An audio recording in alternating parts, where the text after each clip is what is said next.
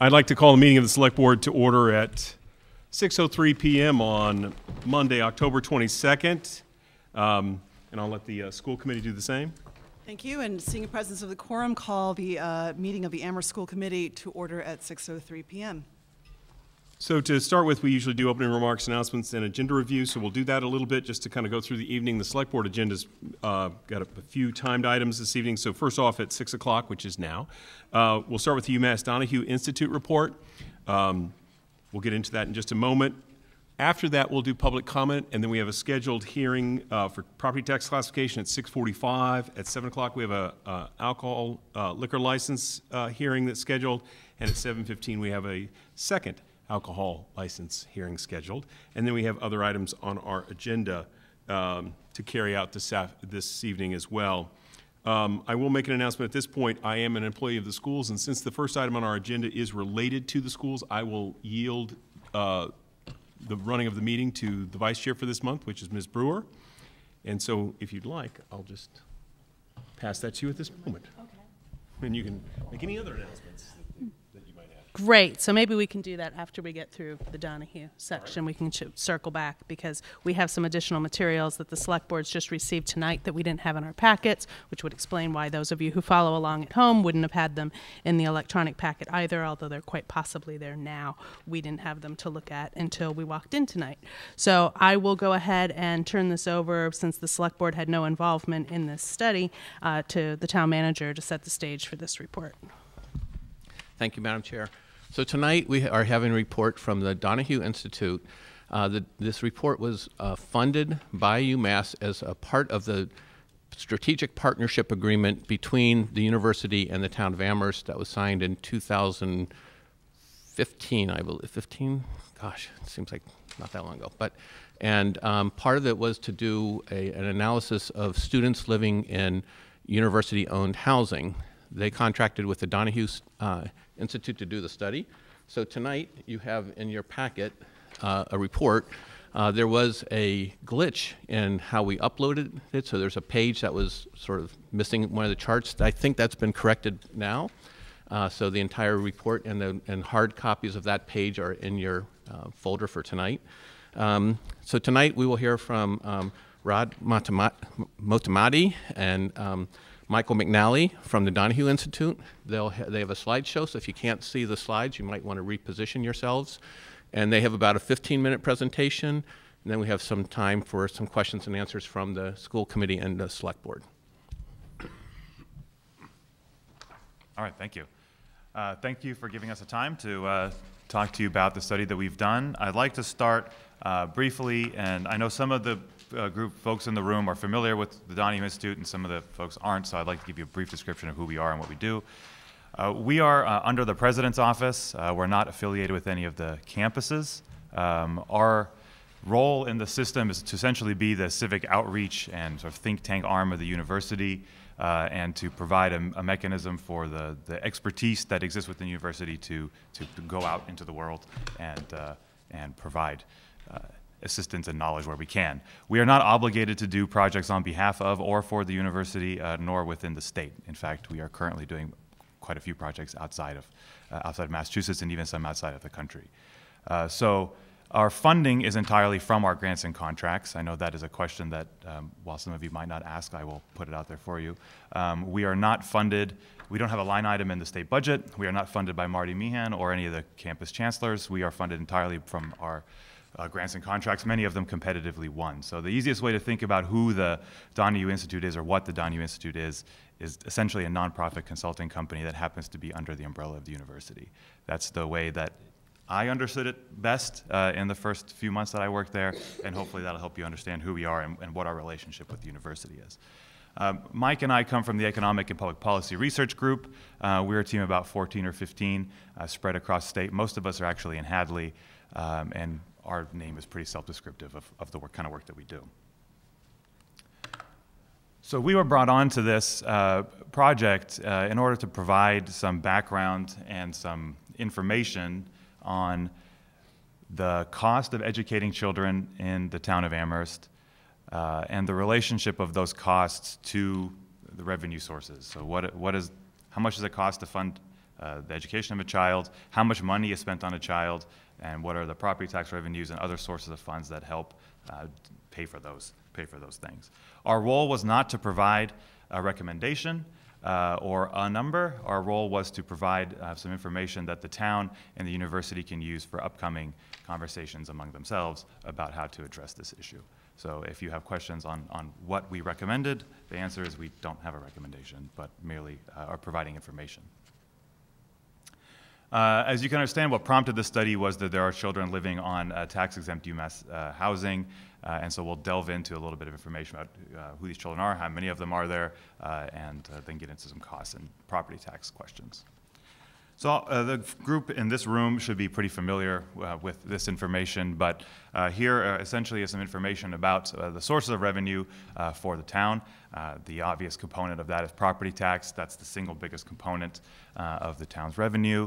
as you all may know, the money goes into a communal pot or pool of money that it is then drawn from to fund the town's priorities. There isn't a direct uh, one uh, dollar for dollar allocation or, or uh, anything like that. It goes into a pool and then comes out.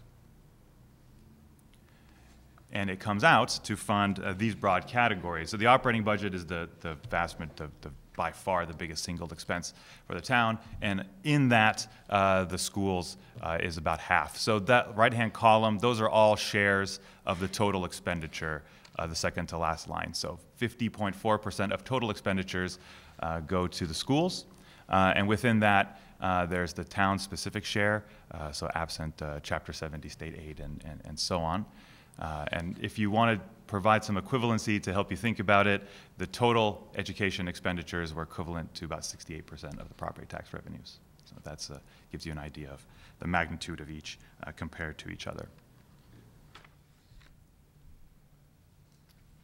Uh, the geographies we're concerned with are here. So we have two overlapping school districts. We have the, the town of Amherst School District, which is the elementary schools, and then we have the, the, uh, the regional school district that includes the middle school and the high school. Uh, as we'll get into, uh, most of the children that we're talking about are in the Amherst elementary schools, and so they're, uh, they're in that Amherst district, but there are a few children that would be in the middle and high school. So we did pull cost and expenditure scenarios for both the Amherst District and the Amherst Pelham District.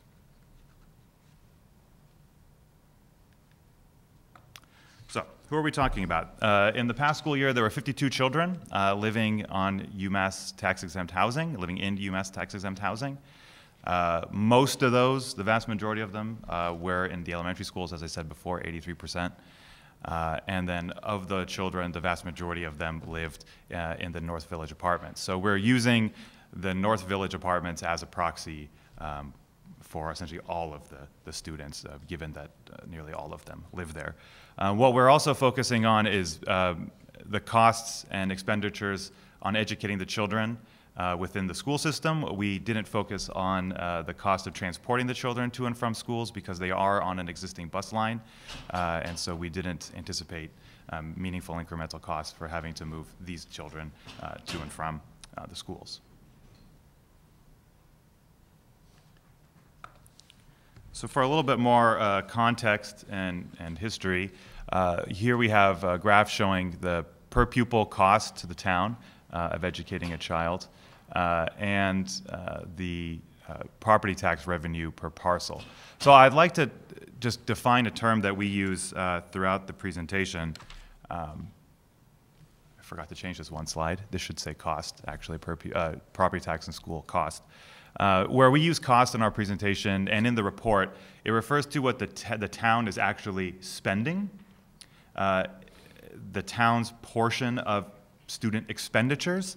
So there is expenditure is the, the total amount of dollars that are spent on, the on educating a child, regardless of the source of that money. And that's what we're calling expenditures. And then we have cost, which is the portion of expenditures that the town bears. Uh, so the red line there is the cost to the town, the per pupil cost of educating the children, not necessarily the amount of money that is spent uh, on each child. Uh, So it's basically expenditures less uh, Chapter 78, essentially. So as you can see, the cost of edu, uh, the cost of educating a, a child in the Amherst, this is the weighted average also of the, the town and the regional school district, uh, has been going up somewhat steadily. Uh, property tax revenue has been relatively, average property tax per parcel has been relatively flat since the recession, and is roughly about half uh, the town's cost. So turning our attention to the North Village Apartments, um, rather than looking at the average parcel, let's look at this, this specific property. So if you were to consider the property to be a regular taxable property rather than its current tax exempt form, uh, we worked with the town's assessor to figure out what the hypothetical assessed value of the property would be. Uh, and we got what you see here on the slide. The property itself would be about $235,000 assessed value. If you divide that over the units that are in there, it works out to be about $1,240 uh, per unit. So that would be the sort of household equivalent of the people who live, uh, of the families that live uh, within that, uh, within that uh, apartment complex. The total assessment, the $235,000, uh, in its entirety would not cover the cost of the 52 children uh, who live there. Uh, whether you're looking at the expenditure number or the cost number, uh, it's at least less than half. So if it's less than half of the cost, then it's way less than half of the expenditure, given that the expenditure number is higher. One other thing I wanted to point out is that um, commercial residential properties like this, uh, the way they're assessed, uh, it's pretty well laid out here. It's in this income and expense approach. So the, the assessed value of the property uh, ends up depending a lot on what the rents are. Um, that determines uh, what the, the town typically assesses. So using a lot of the information we put out there in front of you, um, the, this idea of uh, per child, uh, per student uh, expenditures, per pupil cost, and these various property tax scenarios, we've put together a menu of sort of five options that lay out, to some extent, kind of a bracketed uh, list uh, that the town and the university can use for their discussions. Uh, what we have presented in, what we have in the slides is a uh, numbers based on 10-year averages. What you have uh, in the report are both the 10-year averages and using the latest fiscal year data. Uh, the reason we chose to focus on the averages for the purposes of this presentation is that what we thought would be most important to talk about were the, the relationship and the relative magnitude between the various options, which is a bit more stable using an average. The various cost components of education, they inflate over time differently. The number of students in any given year differs, and so your per pupil number is going to move up and down. Uh, Chapter 70 aid is not consistent from year to year. And so, given all of these fluctuations, we did a 10 year average, uh, and that's the focus of the presentation again, so that the magnitude among the various options that we're showing, I think, will be most illustrative. But again, we have all of this stuff here uh, using the last fiscal year uh, in the report. So uh, it's in there uh, if you want to look at it, and we can answer questions about it if you have those. So the first option is the per pupil expenditure plus uh, English as a English language learner expenses. The students uh, that live uh, in North Village are in most ways basically identical to the larger uh, student population, except on this one measure uh, of English, English language learners. Many of them are the children of international graduate students. English is not many of therefore um, is not the uh, first language for many of them, so they tend to be higher propensity for them to be English language learners. So we took the per pupil expenditure, which in and of itself actually includes English language learning among it, uh, and added actually a little bit extra to put in what we think is probably the high uh, number for what the per pupil expenditure uh, will be. We've also put it in there to highlight the difference between it and the next option, which is just the actual average per pupil expenditure without a little bit of double counting, frankly, for the ELL. And you'll find that the cost is basically about $200 a difference. So the, the incremental cost of, uh, of the additional ELL uh, for the students is not terribly high. So if we go to option three. So this is the expenditures minus chapter 78. So this is what we're calling costs. So this is the actual cost of the town uh, of educating a child. And this is roughly about $2,500 less uh, than the expenditure scenario. So option two compared to option three is roughly about $2,500 less. I should point out, uh, I didn't point out earlier, that we have adjusted all of these to account for Amherst costs of educating Amherst children. So for the elementary schools, we've removed the school choice children, uh, and in the, the regional schools, uh, we have accounted for the fact that many of the students don't live in Amherst. They're from Pelham and Leverett and Shutesbury. So this is actually Amherst's cost of educating Amherst children. Um, which partly explains why the, the secondary schools, uh, the middle, middle and high schools are so much lower, but it's also that they just happen to be lower. They're structurally a bit different. So if we change our view from sort of money out to money in, uh, here's a, uh, an overview or a review rather of the property tax numbers that we already talked about. Uh, again, the average property tax per parcel in Amherst is about $6,000 average over these 10 years. That includes both residential and commercial parcels. Uh, and again, the average uh, per unit property tax uh, on the North Village apartments, if they were taxable, is about $1,240, uh, which you see there in front of you. We have all of this summed up in one table to make this a bit easier to compare. So the first three, again, we have expenditure plus ELL, regular expenditure, and then the cost to the town. So then we have the property tax per parcel. Uh, and just for help you uh, sort of illustrate this a little bit more, if you take 68% of that, which is the average share of property taxes that go to education, you actually get about $4,000. So the average parcel in Amherst is paying about $4,000 toward education uh, in, in Amherst. Uh, and then you have $1,200 for the units, uh, and then again, the 68% share of that is $841. So that's the end of the, the slides that we have to present, and I hopefully I didn't take up too much time, and we can take questions now. I went through that quick, quick on purpose, so hopefully. Thank you. Yes, we did ask you to stay to 15 minutes. I'm sure you would have been happy to speak longer about all the work. Um, one of the things I want to point out, even though we are short on time, is that you are somewhat walking into a fraught situation in that we've had a strategic partnership agreement with UMass for a long time, and we wanted this dealt with many years ago. And so there have been a lot of changes in personnel. Different people signed that first strategic partnership agreement. A school closed since that original one. And so there may be some pent up angst when you hear some of our questions because That's some fine. of us have been around that long, and others will just have new questions. Another point I want to make is that your slides don't have a lot to do with the presentation that we received. Several of them are substantially different. That one, for example, that I think is particularly helpful is not in our report. And so, and another one was misprinted, so we didn't see it before tonight. So we're having a little trouble following some of the numbers along. So if someone asks you about a specific number, it may be because Sure. they didn't have it in front of them and it, it's a somewhat different format. And I know there's so many different ways to present the info that, and we have some slides, but we don't have all of them. So that's part of it. I'm going to turn to my colleagues for a couple of questions in just a moment. But while I have the mic, I'm going to go ahead and just ask a couple of factual questions just Sure. to make sure we're super clear. Because I know the strategic partnership agreement asked for K to 12. So even though we have preschool in Amherst, it's not universal preschool. We don't have a slot for everybody. It's um, they don't have to pay for it but we didn't ask for that. We asked for K through 12. And so I just want to clarify, since you pulled so many uh, tables directly from DESE, that table one mentions pre-K.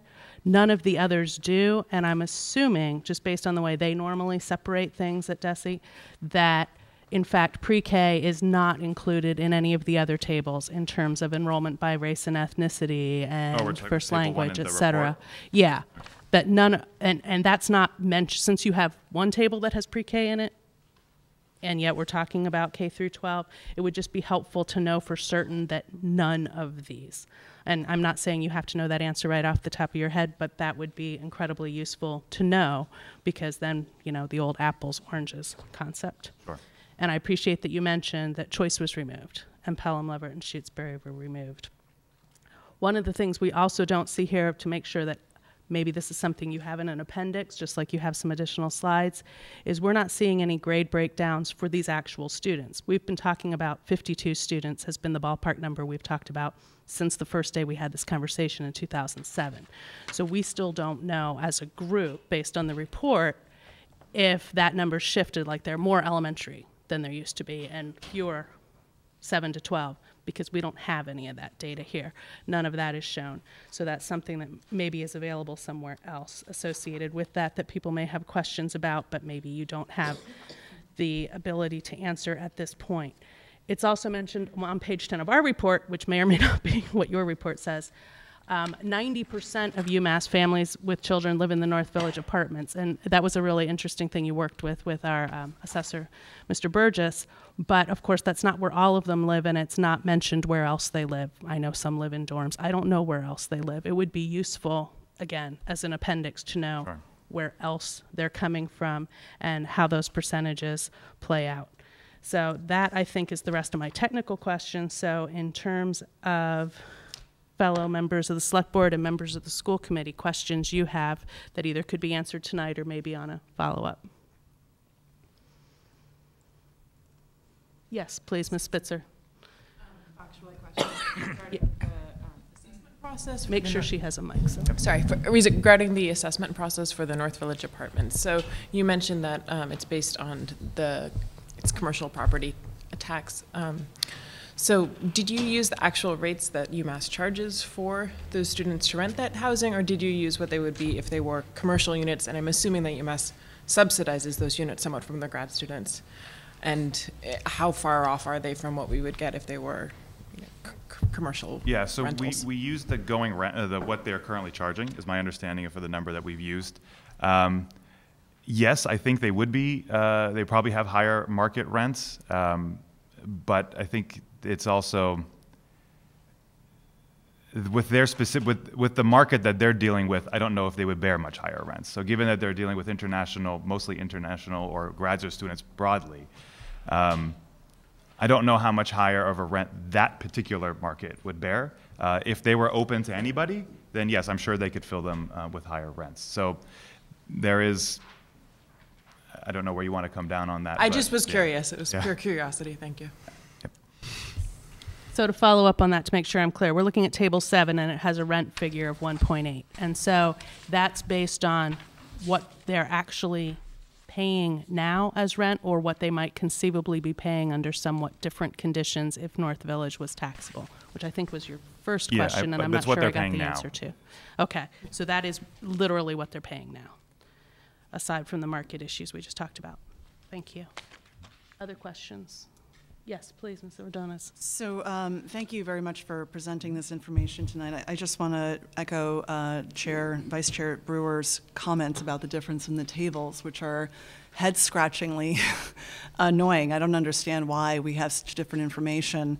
Um, But one of the things that I also wanted to ask was specifically about uh, the question about the students residing on campus are more than twice as likely to be English language learners.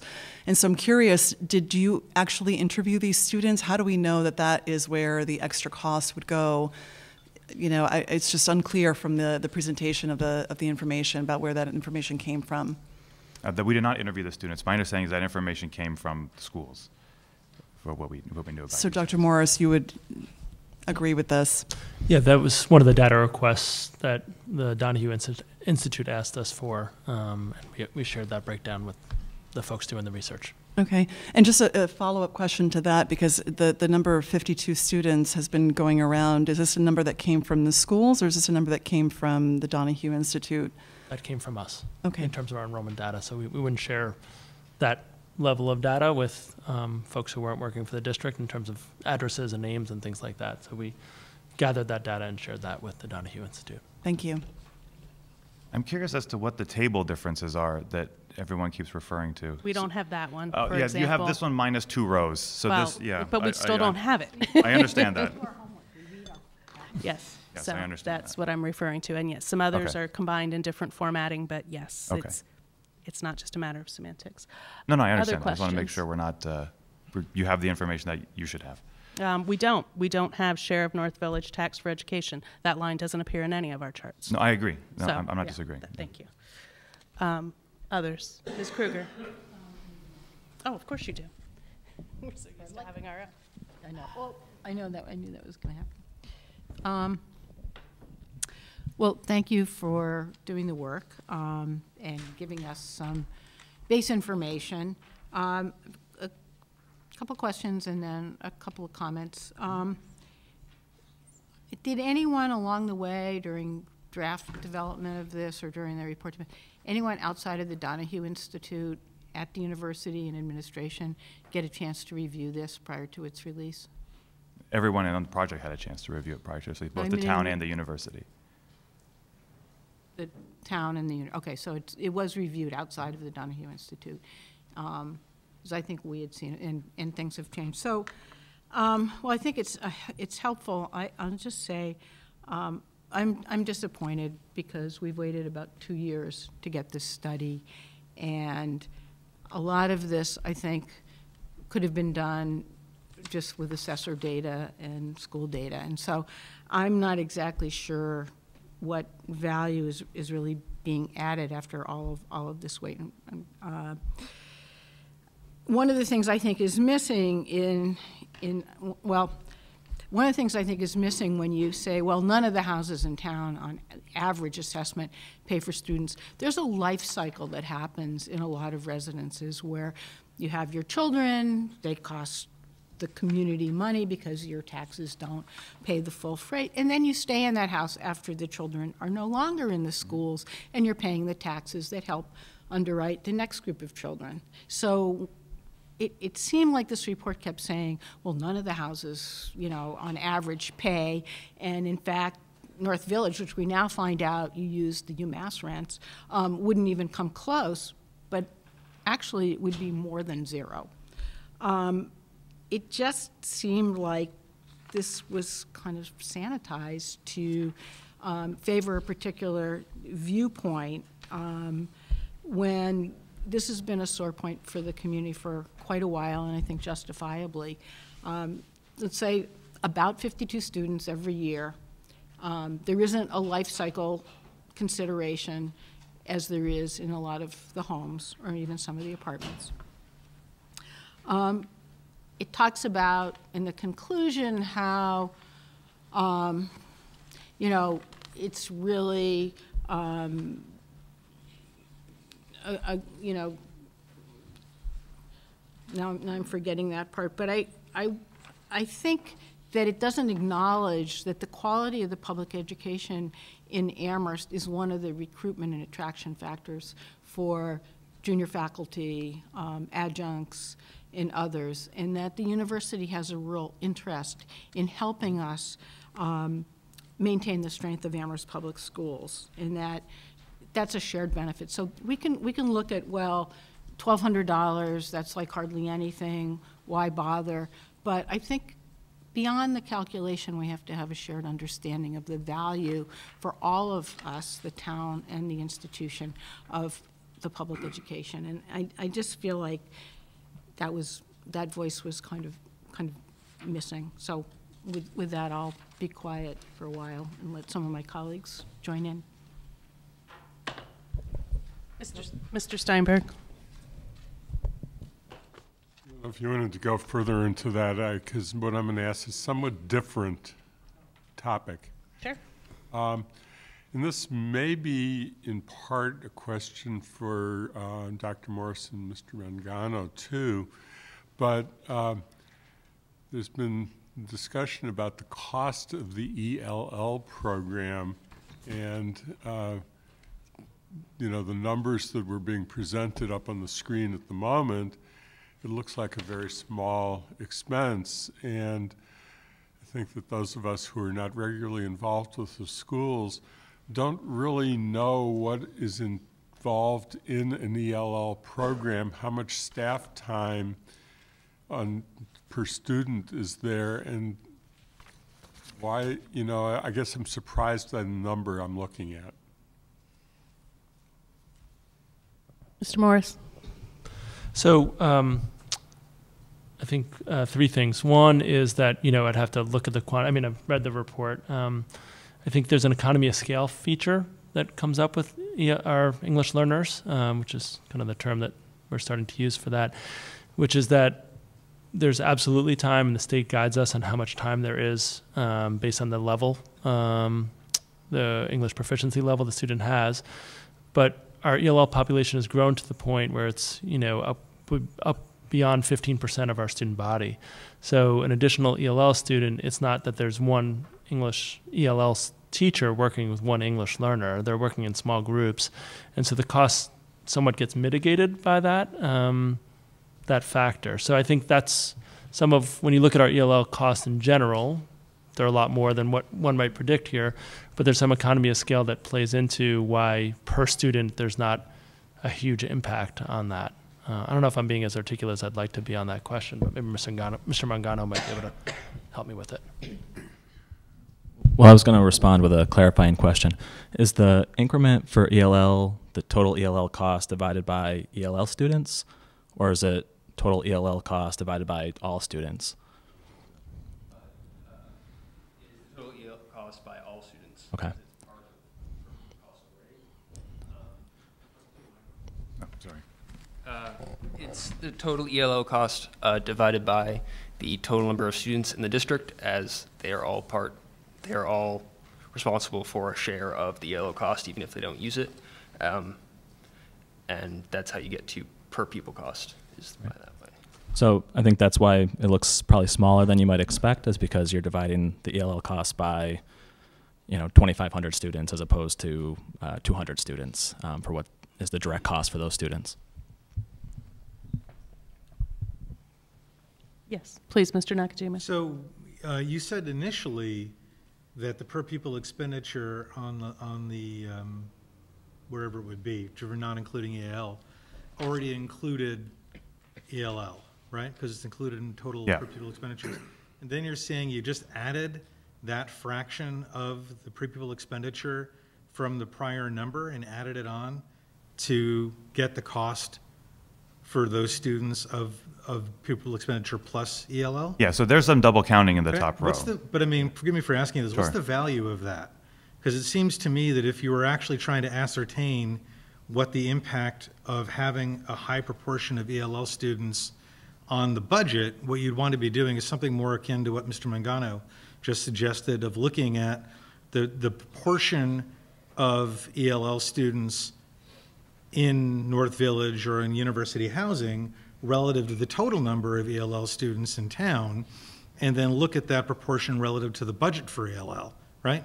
Because then you'd actually be assigning the, the actual cost of ELL relative to the large proportion of ELL students there. I mean, just adding the marginal increment per student onto the overall, but that doesn't tell you anything. And pardon me for being, I know I'm sounding harsh, I don't mean to be. No. But, but to me, that, that's not a particularly informative or illustrative number under those circumstances. And actually, why I have the microphone? Um, the other thing is, I, it would actually be, to me, building off of what Ms. Spitzer said earlier, uh, and Ms. And Ms. Krueger, uh, I actually think it would be useful or illustrative to know what the uh, property tax income would be for the average prevailing rents for apartment complexes of like size in the town, because since the, I mean, it, it seems to me to be slightly circular logic, since everybody knows that North Village Apartment is subsidized rental apartments for students, then by definition, the amount of property tax that could even potentially be generated off of income restricted housing is going to be low. If you're, if you're looking, and I'm, and I'm not saying that's untrue, I'm just saying if you're going to look to understand, well, let me try to understand and get a sense of what the property tax revenue would look like um, under sort of like a baseline scenario in which clearly the average of 6,000 it just tells you, you know, what our property taxes are in general like per parcel. If you start segmenting that, you'd get, you know, different kinds of housing by size and, and valuation. And one of those categories would clearly be um, rental income of, you know, housing that's otherwise generally rented by students and lower income households, even if they're not per se low income housing. And I just think that'd be useful as a comparison, particularly if we're going to be illustrative of, of discussions between the town and the university. Sure. Uh, I can add a little bit of uh, background to that. The, while I don't know exactly what the, the market rents would be, uh, I can tell you that they would have to more than double uh, from what they are now um, to, uh, to, for the assessment to, to begin to cover the costs of the children that are at the property. So I, again, I don't know what their gap is, but they would have to, it, they would have to more than double. The assessment would have to get up to the seven, seven hundred thousand, six, six, seven hundred thousand dollar range for it to, to start covering the, the children's costs. So I don't, again, I don't know how far they off are from what the market rent is versus the subsidized rent, but the, the rent, average rent increase would have to be significant for that, the, that gap to close. Would you like to follow up on that, Mr. Akhti?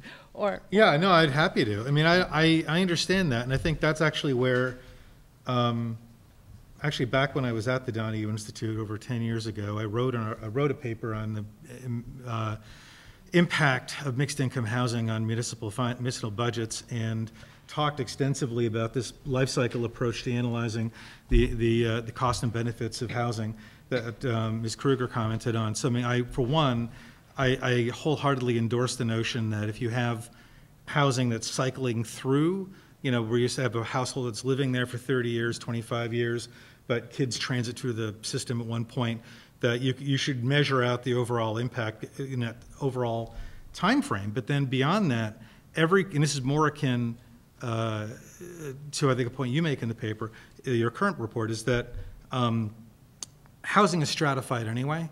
And so the idea that you're going to have some housing that's a million dollar home and it's going to generate X amount of property tax, and you have another unit that's worth $300,000 and it, you know, has a different number that it generates is intuitive and obvious, but it's still important because, for example, in this case, if, if you have 230,000 plus dollars being thrown off by North Village under that model where it's generating income tax, and property tax, excuse me, um, if you, if you double it, it's still not remotely covering the cost of um, tuition, but it's still double the money, which would be useful. And so if you're getting into conversations between the town and the university, knowing what different comparison points are is, is just useful for that, because you're benchmarking, you can benchmark yourself against, obviously, all luxury housing, and that would be unrealistic. You could benchmark yourself against 100% low-income or even very low-income housing, or you could benchmark yourself against, against a comparison of what the, the, the market rate housing would look like um, for that segment of the population, right? And it would be higher, it wouldn't be enough, but it would be higher. And it'd be just useful information, regardless of a recommendation, it'd be useful information to have. Now I'm done. thank you, I appreciate that, but I knew you'd be able to tie that together. And I would just note, too, that the units that are shown on our page 10, it's, there are 190 units at North Village. That means there's not even one child per half the units. So it isn't just that people with children live there, and then another family with the child, and then another family with the child. So the life cycle is is different than just assuming that every one of those units is going to have children in it or not. Um, other questions? I realize we're running. We, for those in the audience, we are running up against our 645 property tax classification hearing, but we are also, as you heard, pent up demand to talk about this particular issue. So I just want to make sure while we have the consultants with us, if there are any other questions that can be asked directly of them now that might be followed up later by Dr. Morris and Mr. Bockelman. Mr. Steinberg. Yeah. Um, Just getting back, um, without getting into ELL in particular, but um, if there are other types of expenditures related to a group of students, in this case, we've identified the group of students, that um, have um, particular cost factors and particular educational needs attached to that group. It's always helpful to know that, and um, so if there's information that can be provided to the community um, uh, about that in order to inform the future discussions with um, the university that is going to flow from this, I think that would be very helpful. Others? Yes, Mr. Morris. Just responding to that, that was the, um, the ELL demographic information was the, the only demographic variable that was significantly different from the general population. So if we look at some other ones that one might think of, they align very closely, and that's why one of the reasons that we shared that particular piece of information as opposed to, for instance, special education costs, other things where it aligned very similarly with the general population of students we have. Okay, thank you.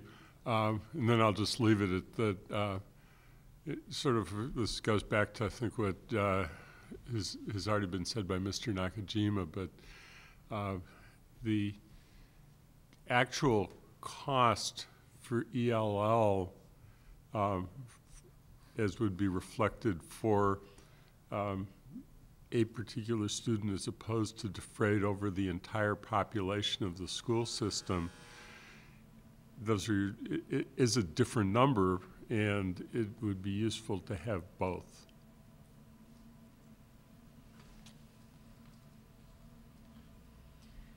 Others? Great, and I, Um, yep, good, please, Ms. Spitzer. Um, I guess this is a question for, for Dr. Morris, but I'm, I'm thinking about the student population and how it might be different from our general population. And I think in one way, having been a grad student myself, is that you often only spend maybe a couple years in, in the district, and then you move on when your um, parents found a new job. So does that in any way increase the burden on the school districts, having students come in and out um, over time? Yeah, so that's, you know, the transiency piece uh, is definitely higher there. There's other neighborhoods in Amherst that also have higher than average transiency rates. It's hard to quantify, it's hard for me to think about quantifying that cost. Um, and I think the whole, you know, without getting in uh, my full thoughts because I'm conscious of time, I think it, it gets really difficult to think about the the real cost of transiency. Um, there's a whole lot of factors that go into that that aren't just about where you live or what your parents are doing at any given time. And so you're absolutely correct that it's a more transient population in terms of the years in the district. Um, but we had a hard time thinking about how to quantify the cost of that. Now, it could be that the quantification could be just the transiency rate, right? That could be a good way to do it and not have to put a dollars and cents next to it. And that might, you know, I think um, respond to your comment and question. Um, but you know, it just it gets into awkward business for us to do that because there's other things associated with transiency that we, we're pretty cautious about how we talk about when we're talking about children and families. As a perfect segue, um, on page seven of our report, there's a description about how these students are more likely to be high need because they're more likely to need English language instruction, more likely to be defined as low income. There's explanation of the fact that graduate, poor graduate students are not the same as poor third generation Section 8 poverty. They're simply not the same. They get lumped together because those are the kinds of categories we have. But what I am wondering about is the use of the term in you know small letters versus the use of the term in Table 3, where it's first language not English, English language learners, students with disabilities, economically disadvantaged, and stuck second last is high needs. Maybe you could tell us how DESE's currently defining that since it feels like those other categories already covered that. So what does that mean?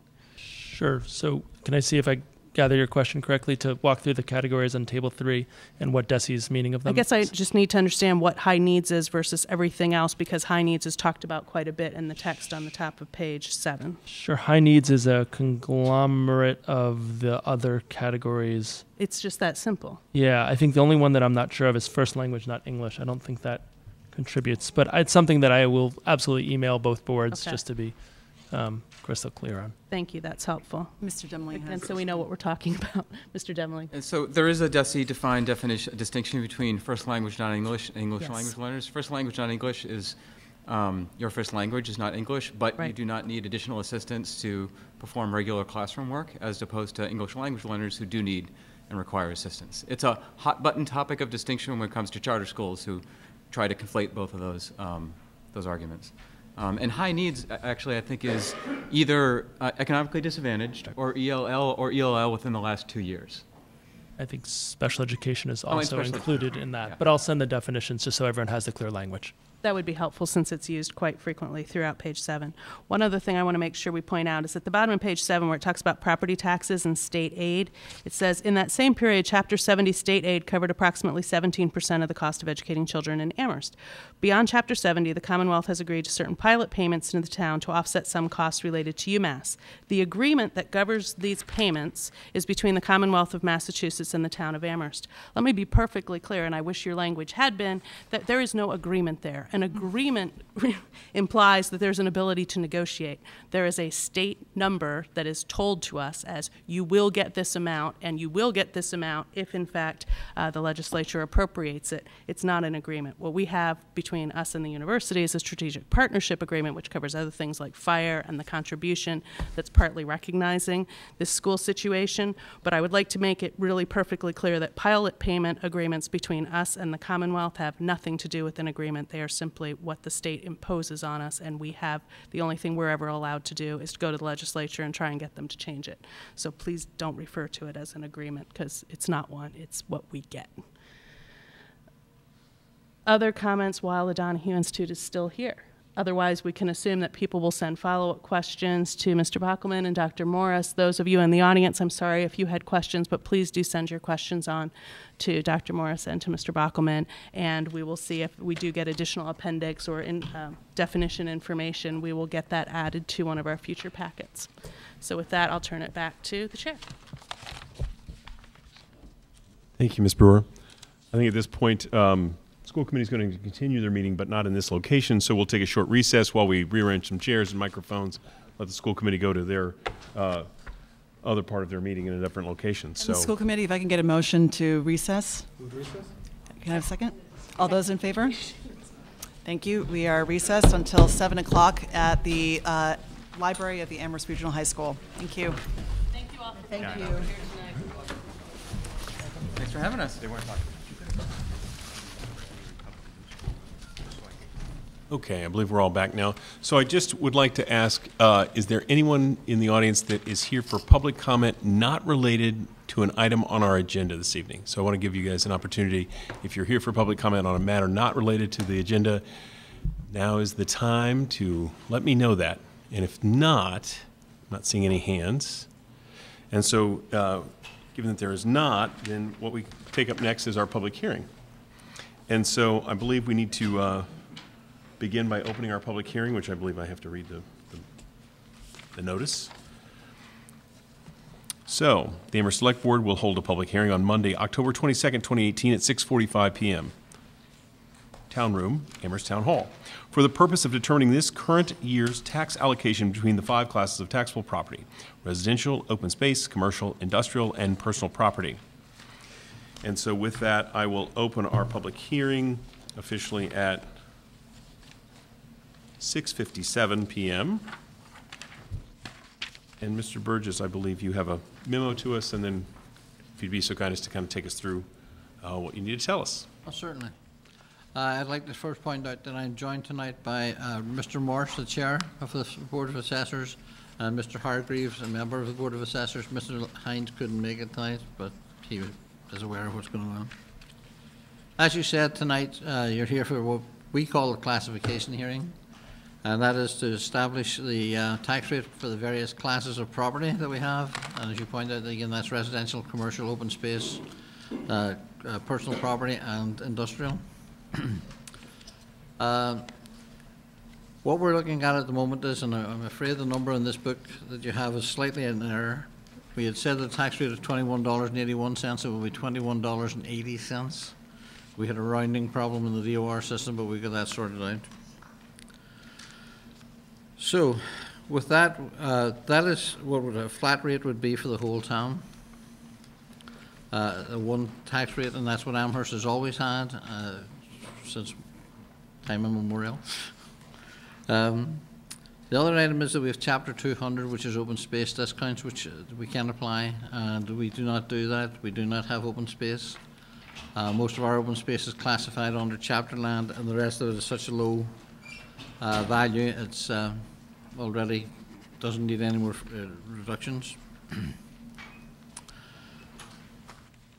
The select board is allowed to vote to shift the tax rate by up to fifty percent. That is, move fifty percent of the um, value on the commercial properties and raise the tax rate from that uh, by fifty percent. This would lower the value on the tax rate on the residential properties. At fifty percent, we'd be looking at a tax rate of thirty-two dollars and seventy-one cents for commercial properties and a rate of twenty dollars and forty-seven cents uh, for residential. The residential average single-family property value this year is three hundred and fifty-three thousand seven hundred.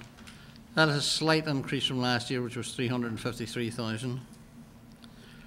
The average tax bill, if we go with the twenty-one dollars and eighty-one cents, will be seven thousand seven hundred and fourteen dollars.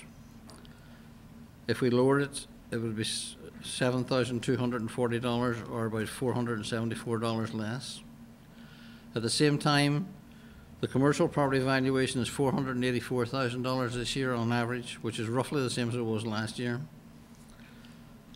And the tax, uh, va- tax that that would generate on a single rate of twenty-one eighty-one or twenty-one eighty would ten thousand five hundred and fifty-six dollars. But if we shift the burden, the tax would become fifteen thousand eight hundred and thirty-two dollars, or fifty-two hundred dollars more on the commercial properties, is what it would cost for us to save, uh, uh, four hundred dollars on the residential property. Page three shows you a bit more, uh, outline of this and how it's worked. Um, you can see what the average single-family value home was in FY eighteen, what the taxes were, what the commercial, uh, and commercial taxes were. The same properties this year now gone up slightly, seven thousand seven hundred and fourteen over seven four six two from the previous year, and 10,556 over 10,244 the previous year for commercial. The tax rate difference will be a slight difference of sixty-six cents, not sixty-seven, and it will generate uh, two hundred and fifty-two dollars more on a residential property of, sorry, three point three eight percent and three hundred and twelve dollars more on a commercial property of three point oh six percent. And the bottom line just uh, lays out what I already uh, spoke to you about, the difference in the valuation, what fifty percent increase in commercial would be, as opposed to a fifty percent reduction on the tax rate for the residential. I already addressed the uh, discount for open space, so we don't really have to worry about that. Now, the other items are the residential exemption and the small commercial exemption. We can grant a residential exemption, which is calculated by taking the average residential property value, or the property, the average residential property value and taking 60, 20% of that value, and that is the amount of dollars we could take off any owner-occupied single-family or other family houses that are occupied. And that is the amount we could take off, and that is, would be about forty thousand dollars, or eight hundred dollars. What happens then is that the tax rate on the residential property would change, and it would go from twenty-one eighty-one to twenty-five dollars and thirty-one cents per thousand, only in the residential property class. There would be no change in the commercial, industrial, or personal. That would mean that any property that is not owner occupied would not get the exemption and they would pay the higher tax rate of twenty-five dollars and thirty-one cents. That is all the apartment complexes and any other non-occupied properties. Also, properties over a value of about the average of three hundred and fifty thousand dollars would see a negative impact even if they got the forty thousand dollar reduction, because at that point, there's a break-even point and it goes up. It is not a twenty percent reduction in your taxes, it's a twenty percent of the average value, so it's a dollar amount that comes off everyone's in the same amount, not just based on your own assessment. We have never adopted that in Amherst, and uh, the Board of Assessors would not recommend that this year.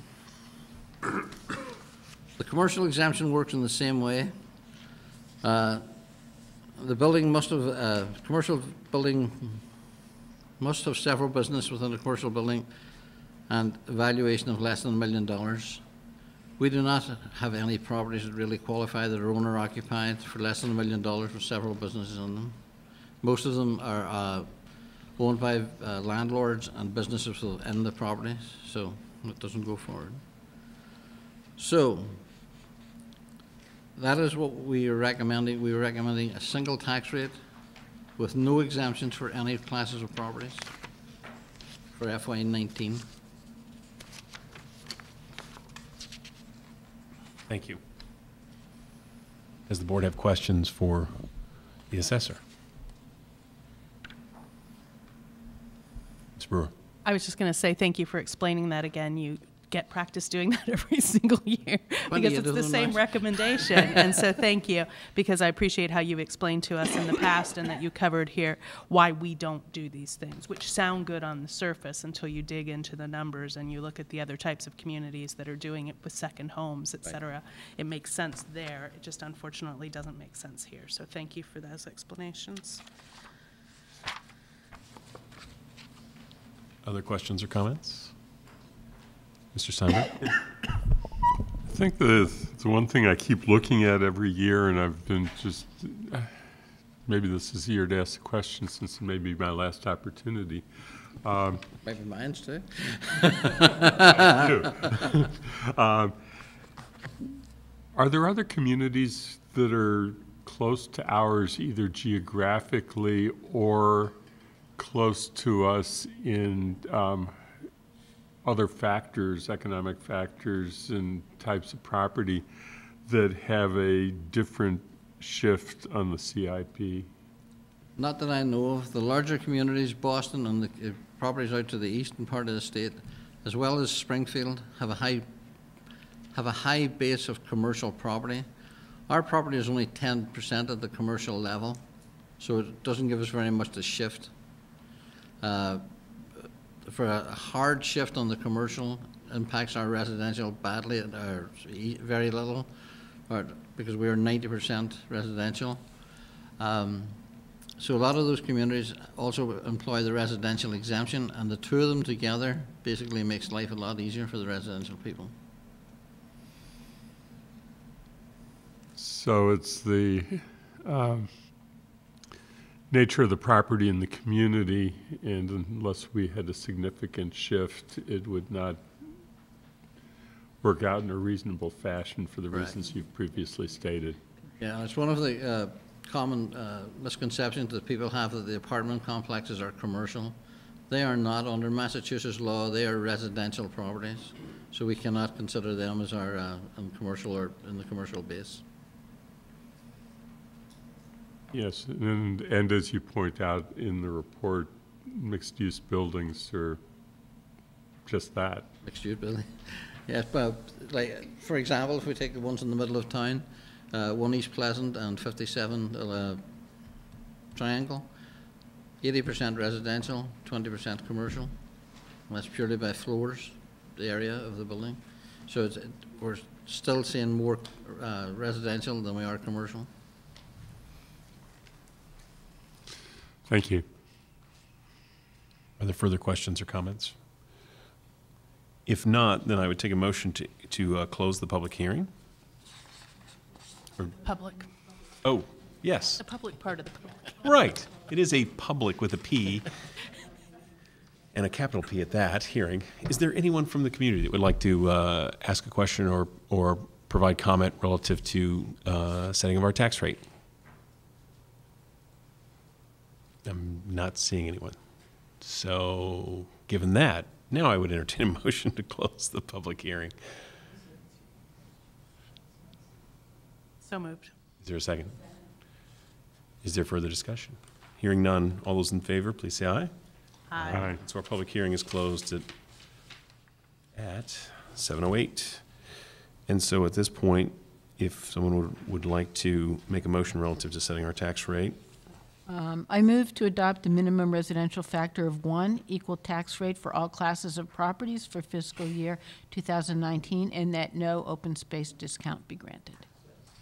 a motion and a second. Is there further discussion? Yes. I know we don't normally include it in the motion, but if we could make sure that the minutes do reflect the 2181 figure, so that. every- 2180. Twenty-one eighty is the correct figure. Round Exactly. The rounded, yes, that would be Yeah, helpful. I found that Because otherwise, it's, like, it potentially doesn't even make the minutes because it's in the handout, but. Right. Yeah, there are a couple other motions relative to this, but, but uh, none of them need to, this would be the only one that might reference that, so. So just if our minutes could reflect it even without Absolutely. changing the motion. So we have that one on the table. We do have that motion on the table. Uh, Is there further discussion? Hearing none, all those in favor, please say aye. Aye. Opposed? So that's unanimous, and if we could continue with the other two. I- I could do this little series. I move to not adopt the residential exemption for fiscal year 2019. A motion and a second. Is there further discussion? Hearing none, all those in favor, please say aye. Aye. Aye. Third and final in this series, I move to not adopt the small commercial exemption for fiscal year 2019. A motion and a second. Is there further discussion? Hearing none, all those in favor, please say aye. Aye. And that's unanimous as well. Mr. Burgess and the, and the board, thank you very much for your work and your presentation this evening. And thank you. Mr. Uh, Bockelman has one form for you to sign, and we'll send that in in the morning, and we should have a tax rate by the end of the week, which is probably the earliest we've had it in 30 years. Thank you. Excellent. Thank you very much.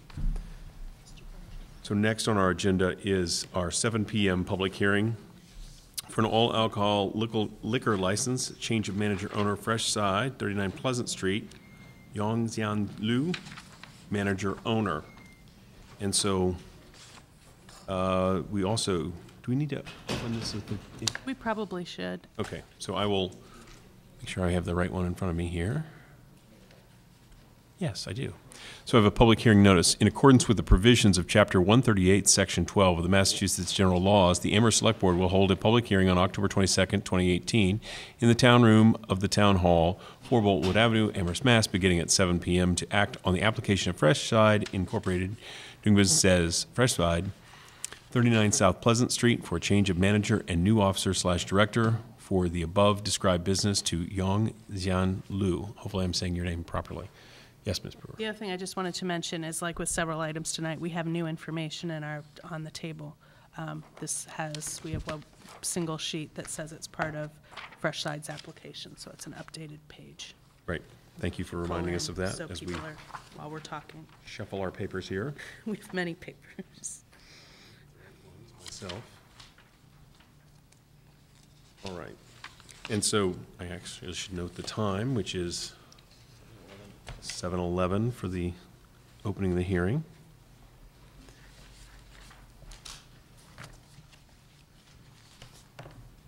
And so, would you like to tell us a little bit about uh, your circumstance, if you would, please? Um, yeah, it's not, um, uh, it's a, uh, the restaurant is nothing change, nothing much change, as everything is going to be same, Okay. yeah, as before. So it's just a technical change in, Yes. in the manager of the, uh, of the establishment, correct? All right. Does the uh, board have questions for, for the applicant? Um, You are the new manager um, being listed, Yes, and have you been working at the restaurant previously? yes, And uh, were you involved with um, the um, operation of the liquor license that exists previous to this? I'm sorry. Were you working on, um, as you have previously worked at Fresh Side? Yes. uh, Were you working in the sale and administration of liquor Yes. license?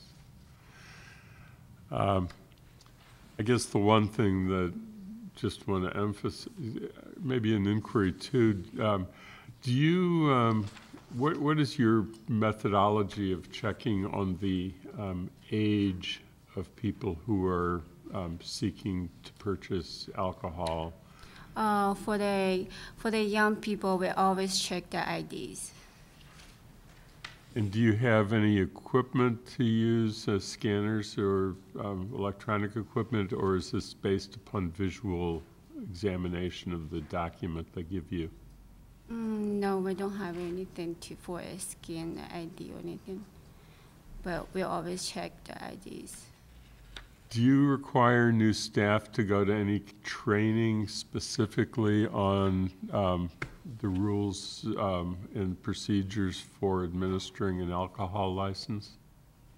Uh, mm, we train we train our our, our staff with uh, legal legally uh, self. Uh, you- training yourself? yeah, or we train or, or we train all the all the uh, service uh, service they they uh, f- with the se- sales. They all know about the check IDs with the young people. Um, I guess the last question along this line, do, does anybody on staff have TIPS certification or anything similar to that? Um, no. What TIPS certification is? It's just a training program It's that's provided. training, Hasn't, do- does anyone, I just, do you have tip certification, you're training yourself? No. Um, I guess the one thing that I would uh, urge you to do, and it's not, my vote is not going to be dependent upon how you answer this, so I won't put it in the form of a question, but it is very important in this community with the number of young people here that we adhere closely to um, the enforcement of all state laws, including state laws regarding um, not serving people who are under the age of 21 and uh, not serving anybody who's obviously um, intoxicated. Um, One of the things that um, is available to assist in that is training that is provided privately. Um, One, another is the uh, um, ability to have equipment to help you scan licenses to double check that they are not um, bogus licenses, but they're in fact valid. But the third is just to make sure that you have um, adequate um, training programs and supervision of systems because this is for us an important system.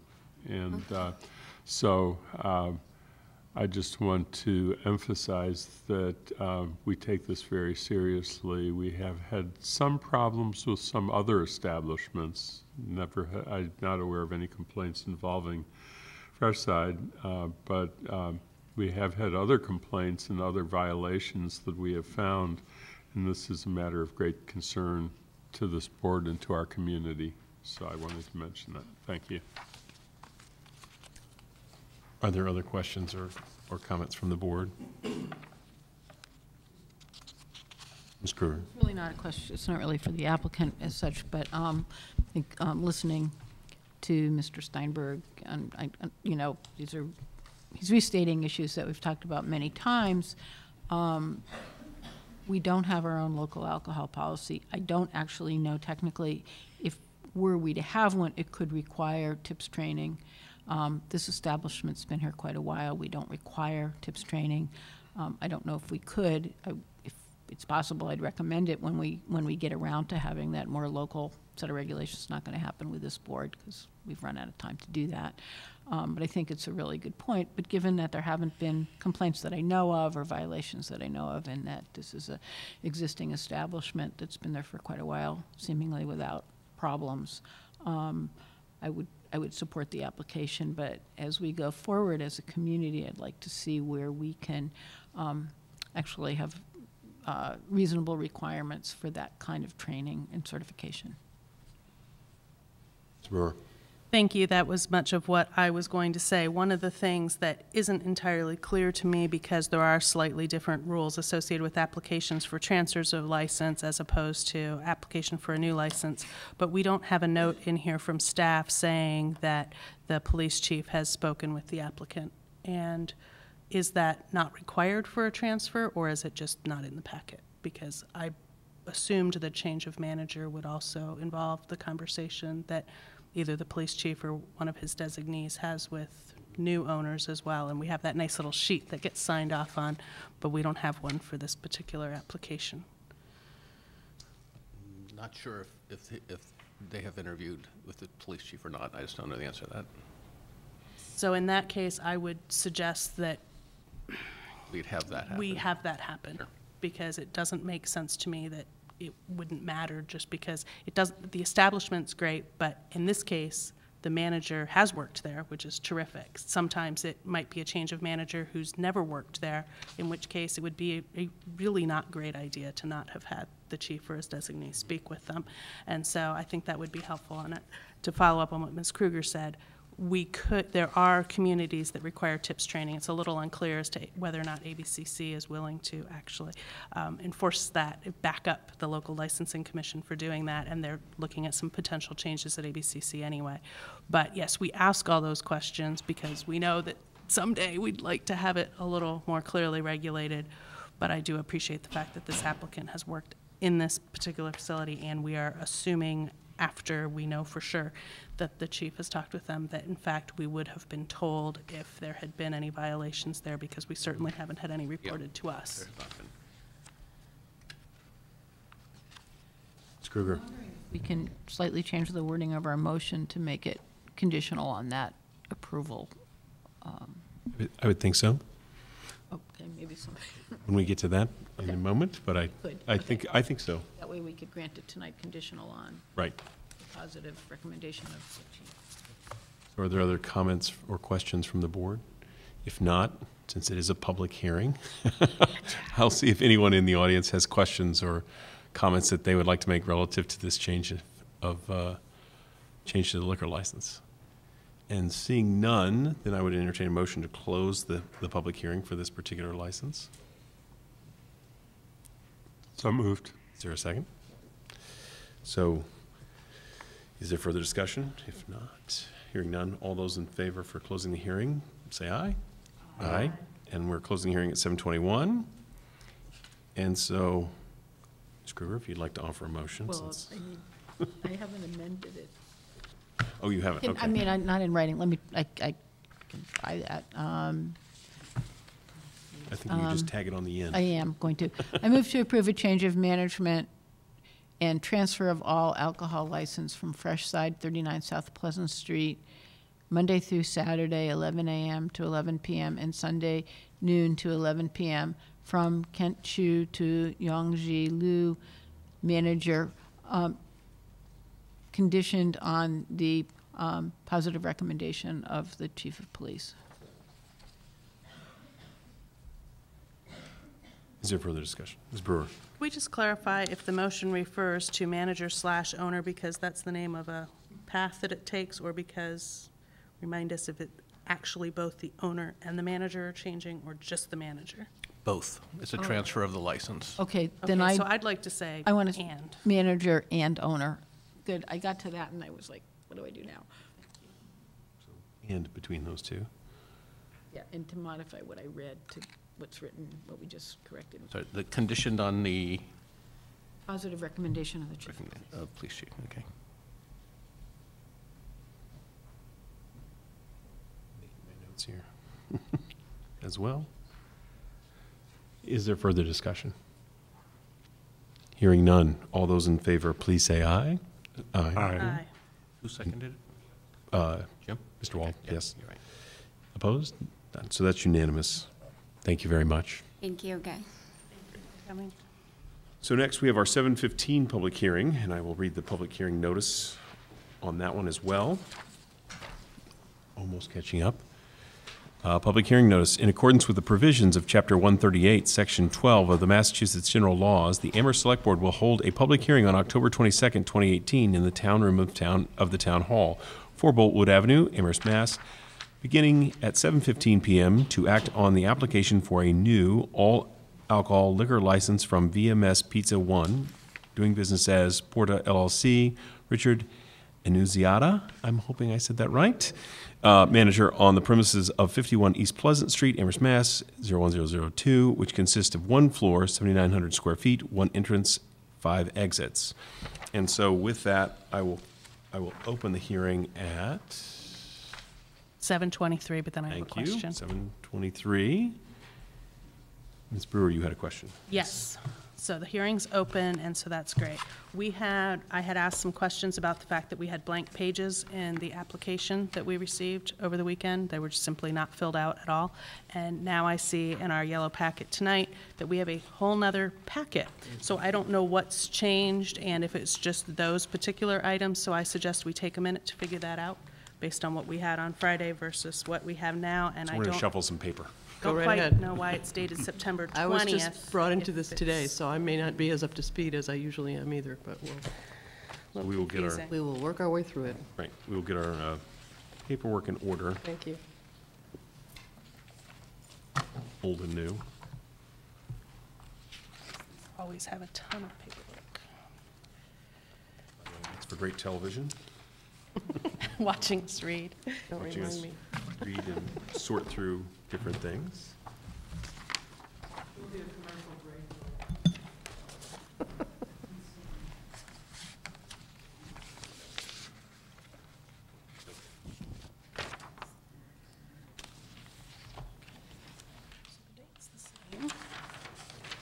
So we have a stapled piece and then a menu, I believe, and I'm just not Floor map. clear on what may have changed from one copy to the next.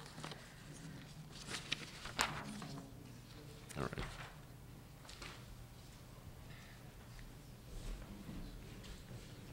Well, if you don't mind me saying informally, Mr. Slaughter, I can see that the things I circled on page three that were just missing answers now have I'm not sure. answers. didn't- That's So good. That's a good start. That's a good start. And right. on page four as well, so it looks like three and four were definitely replaced. Now let's see about five. Mr. Chair. Yes, please. So I believe the handwritten comments are Ah, what's that's a good way, different yeah. Okay, So- on those pages, yes. on those From pages. Pages three and four, we saw for sure, and then on page five is still not completed. There, it's, the employment Right. information's completely blank. Yeah, we'll address that. Okay. And the additional information's still blank.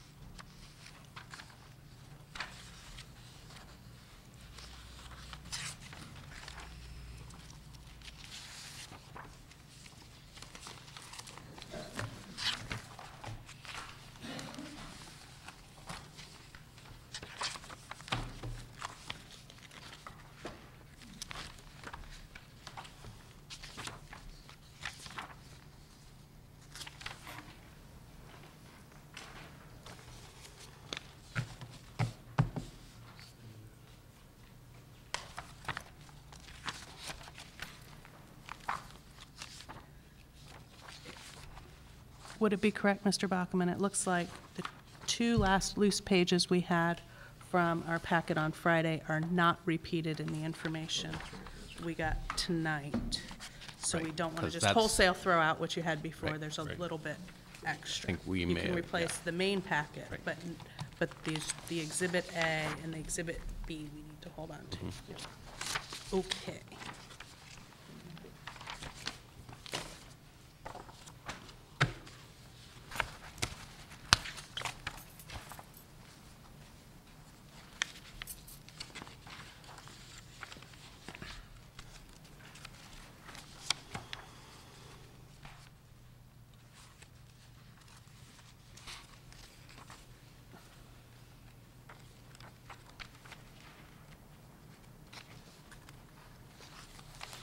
I think the, uh, the memos may not be in the, Right. in the They're as not well. out, right.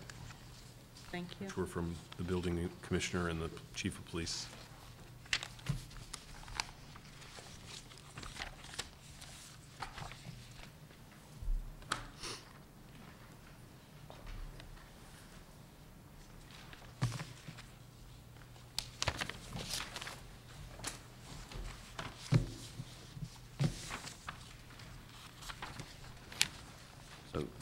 So Have we, have we shuffled sufficiently. So just a note on the, is the new packet, it says received September 20th, but that was the original receipt date. Mm-hmm. And so he took the original receipt date, made changes to it. Okay. And submitted that to us this afternoon.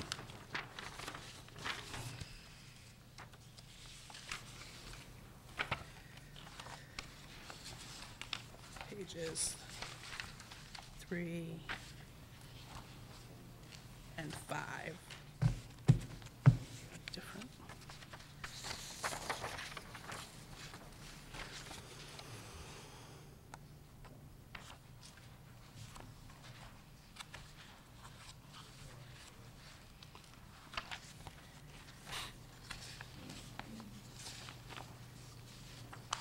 Okay.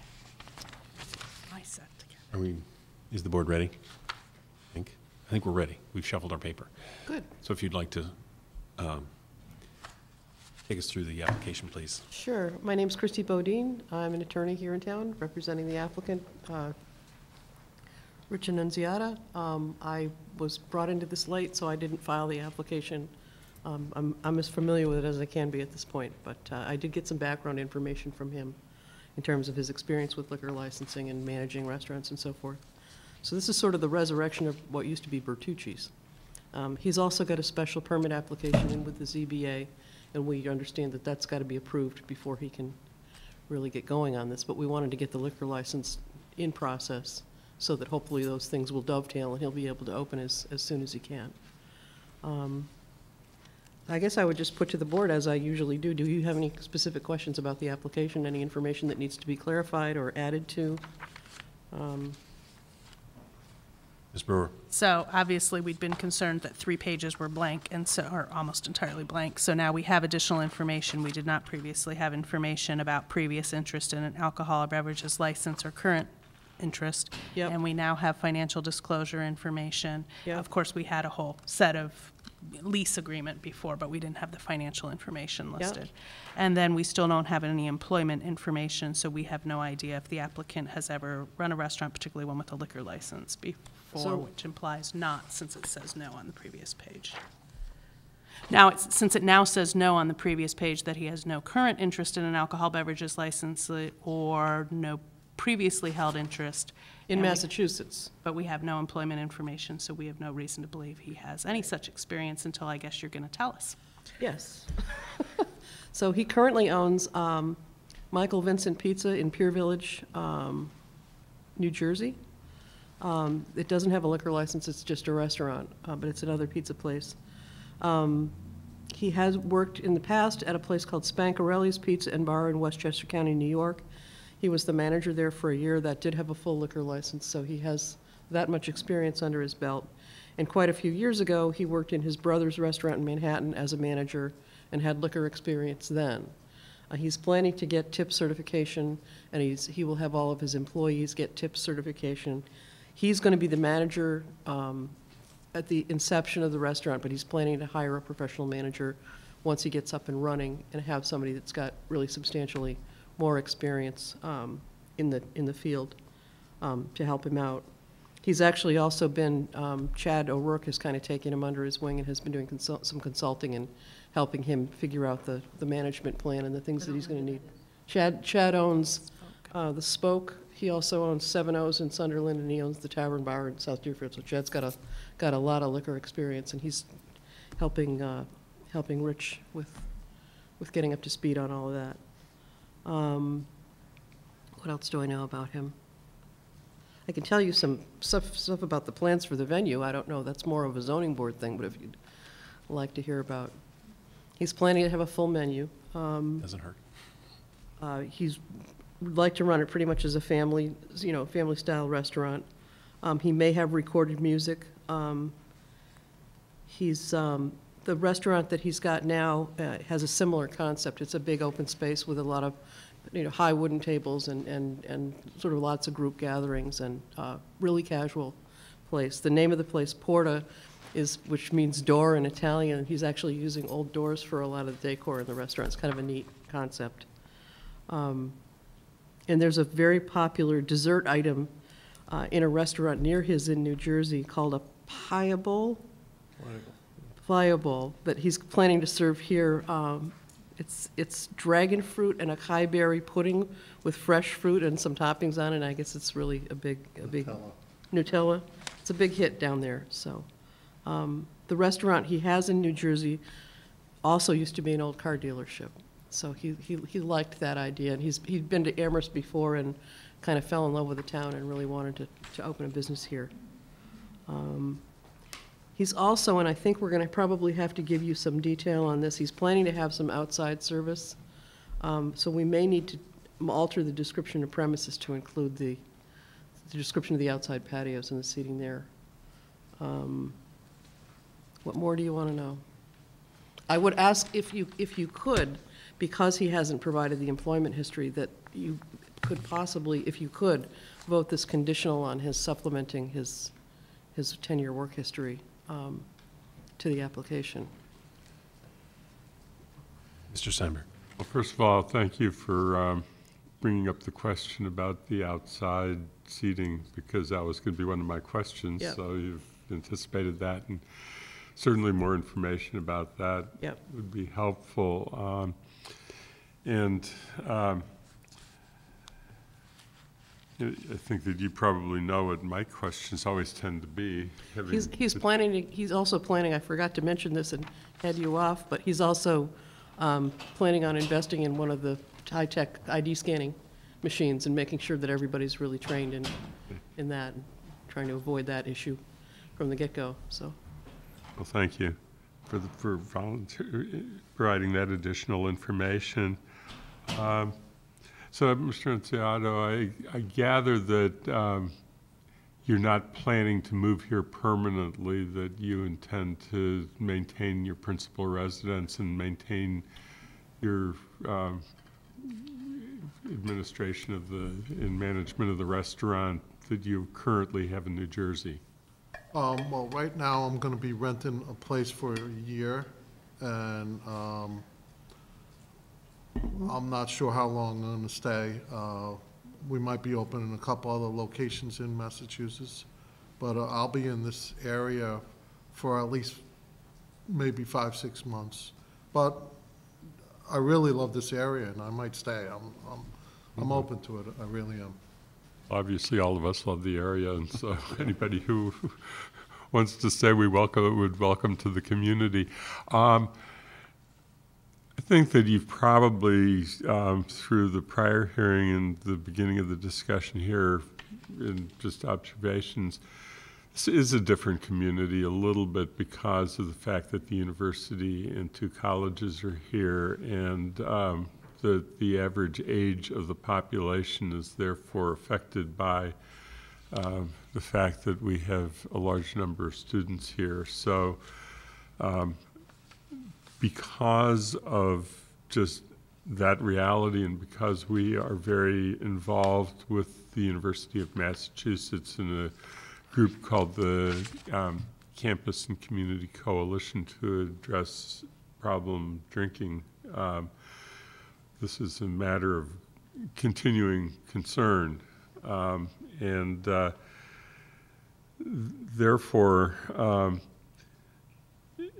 I guess the question, next question is, have you had any direct experience in working in a community, in a restaurant in a community that has a large um, student population or uh, an unusually young aged population?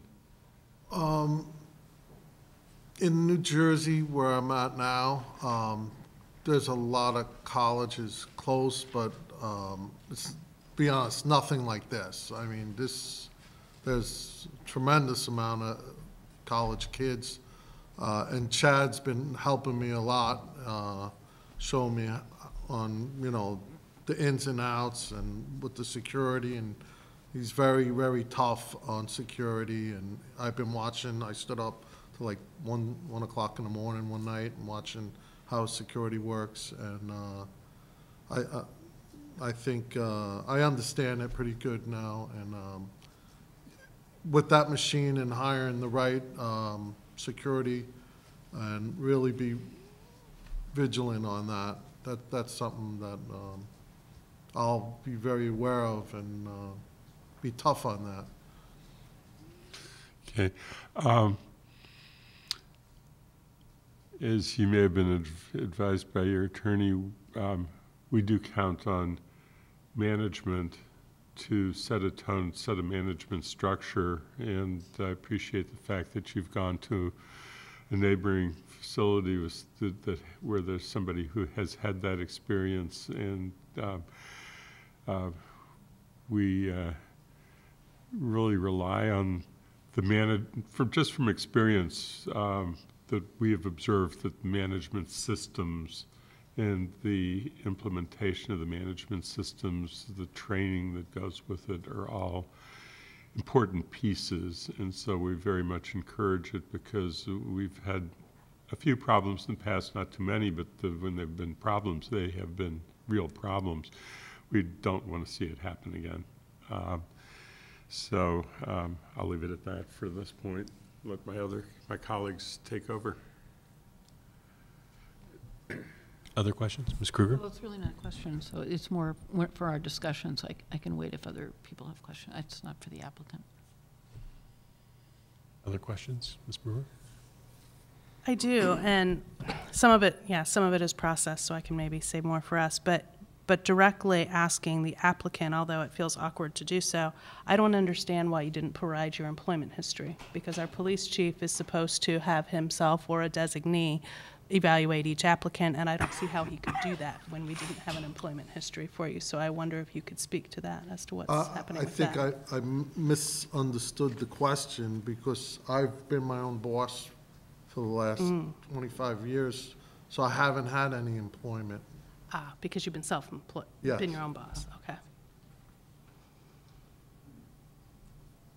His background is in, uh, he's done residential construction, he's owned and trained uh, racehorses. Um, He was licensed at, licensed at tracks in Massachusetts, Maine, and New York, which actually speaks to his integrity, because you can't just get those licenses if you're, if you're not a worthy person. Um, So he does, he has a fairly broad business, and a lot of background in managing businesses and being self-employed, so um, I think he, and he's running a restaurant now, so I think that, he, he knows that the liquor experience isn't as deep as, as you might like. Um, But I think that, that he can uh, work on that, and he's, and he's certainly got people to help him, um, and training courses available that he can take.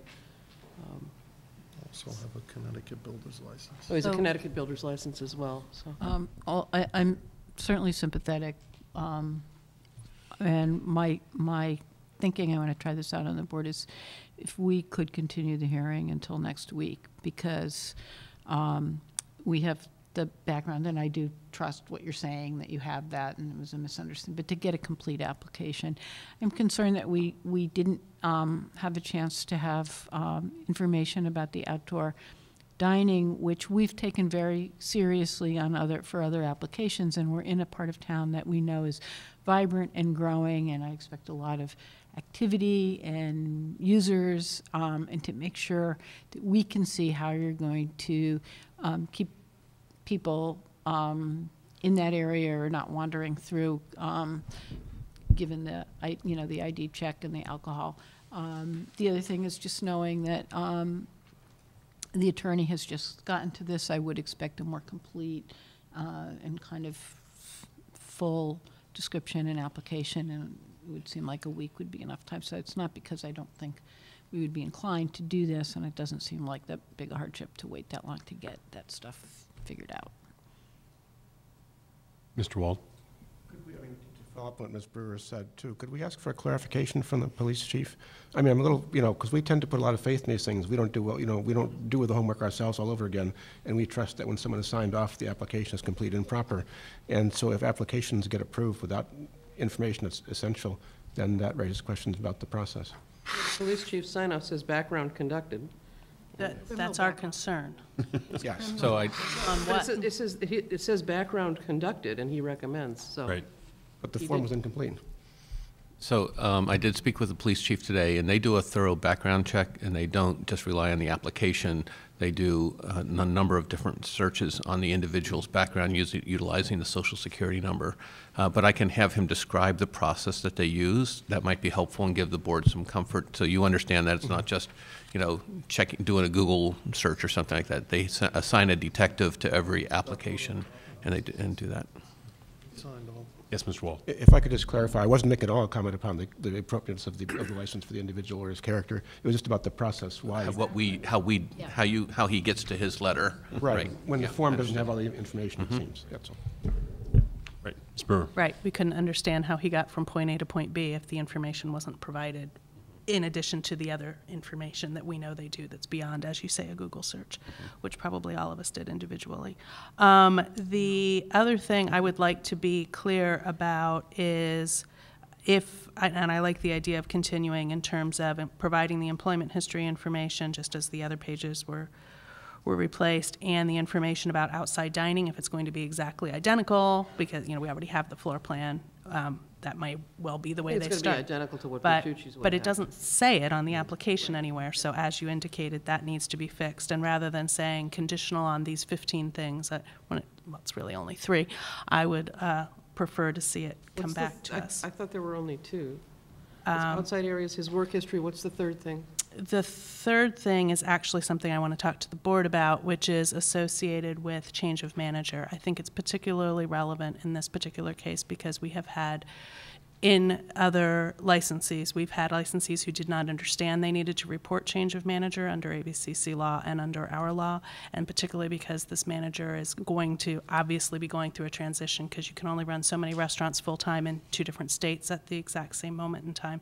So I would just like to be sure with some sort of narrative that it's clear that that happens because unfortunately the way it usually happens is somebody just finds out somebody doesn't work here anymore and then that's awkward for everybody or when the uh, renewal comes in it comes in with a completely different manager's name on it and so i just want to be clear that because there's been confusion about what this application needed to have on it because Ms. Bowden was not associated with it the whole time, but perhaps some clarification that, of understanding that since it's either clear that the person's going to have to move here permanently or hire a different manager, that it's known, rather than, I didn't know how to fill out this part of the form, it's, we know that a manager has to be reported to us and has to go through another process, just like the hearing that was just before ours. I explained that to him when we met Thank tonight. Um, He knows that if he changes his manager, he's going to have to go through a- another review process. It's been re- made As he real clear to probably him. saw tonight. Good. That's helpful. Yep.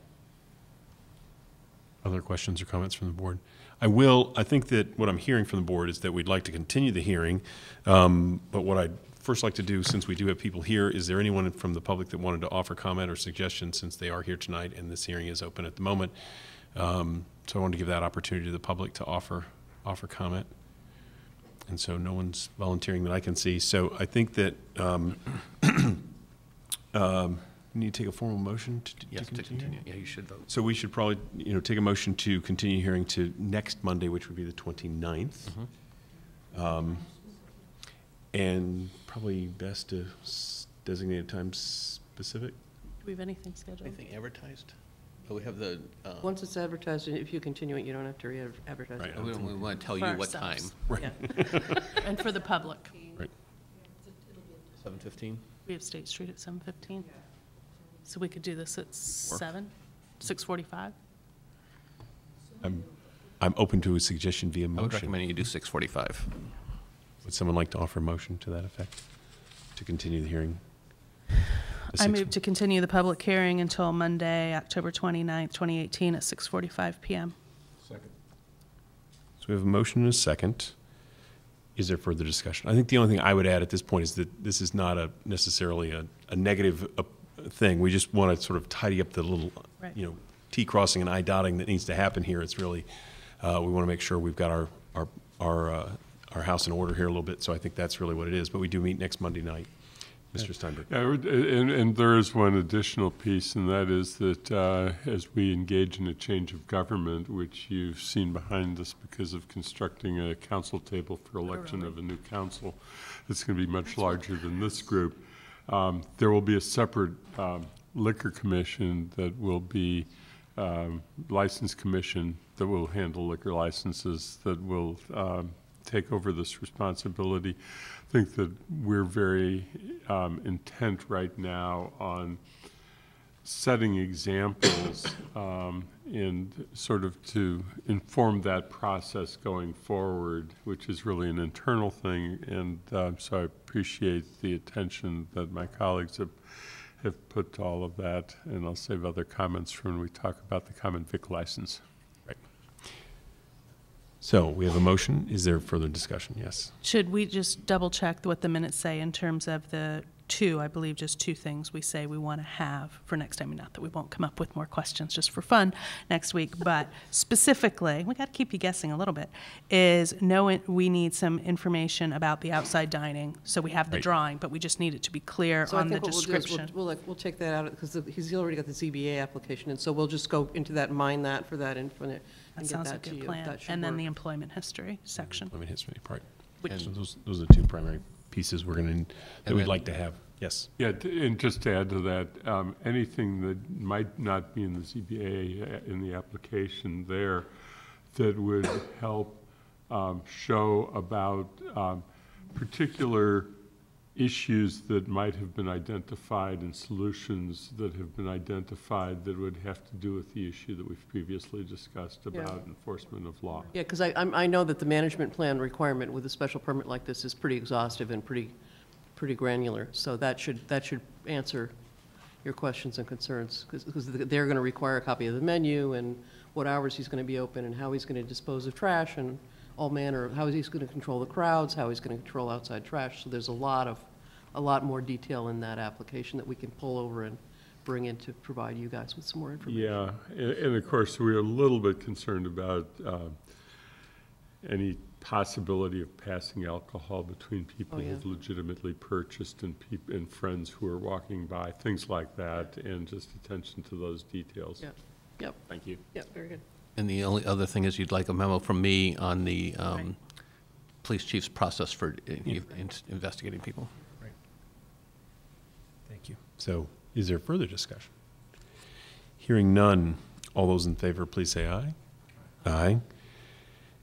Opposed? And so that's uh, unanimous that we're going to continue the hearing to next Monday night at 6:45. Okay. Thank you very much for your time and patience, and we'll uh, try to tidy this up. Thank We you want to do much. the common vic I license. think we for should, them. yes. So if you've got a While moment. you're here, we'll go ahead and do the common vic. Oh, yeah, the common. vic- Yeah. Yes. Hang on, hang on, Rich. Your common victual or your restaurant license, they need to. Much less, License, much You can less, actually have food. Tricky. much less scary. this is a much, yeah, this is much less. So we have in our licenses, public way and meter parking reservation, a new common victual license for VMS Pizza doing business as Porta LLC, 51 East Pleasant Street. Richard Annunziata, manager. Hopefully, I'm going to get this right. So, um, you'd like to tell us a little bit about that application? If I could, Mr. Yes, Slaughter, because not, on- we talked about the dragon fruit dessert earlier, which was great, but this does in fact, because we got this tonight, this does give you a moment to talk. It's your chance for a commercial on television about, about your menu. Exactly. So feel free to tell us a little bit about your Those- but offerings Your and food service and restaurant. your menus and stuff, yeah. Well, that, that menu is uh, a sample of, is not going to be the same one with the same prices. It's a different market, so the prices are going to be less over here. Um, We got some other different uh, items we're going to put on there. Um, uh, The chef from our New Jersey location's moving out here, and uh, he has some things he's putting on the menu that, that aren't there. Uh, there's not gonna be that many items, um, maybe six or seven entrees, five appetizers, and, uh, all different, uh, brick oven pizza. That's pretty much it. Are there questions or comments from the board relative to the common victual license?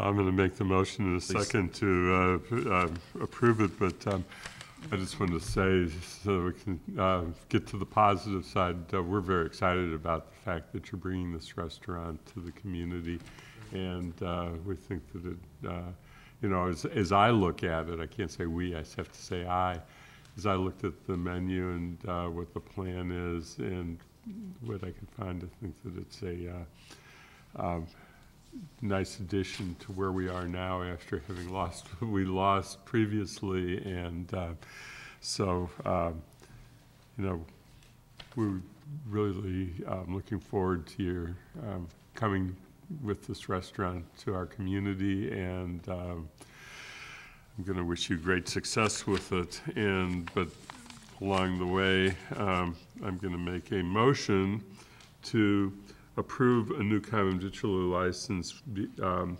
BMS Pizza, one doing business as Porta LLC, 51 East Pleasant Street. Richard Annunziata, manager. So we have a motion and a second. Yes, Ms. Brewer. Unfortunately, the motion's missing the hours of operation, which are listed on the application and are always included in the motion. That's true. 11 AM to 1 AM. We've got 11 AM to 1 AM, seven days a week. It's not your fault, it's So, so um, it should be 11 PM to 1 AM the following The morning, following, seven yes. days per week. I'll Thank take you that for as noting that, Ms. Brewer.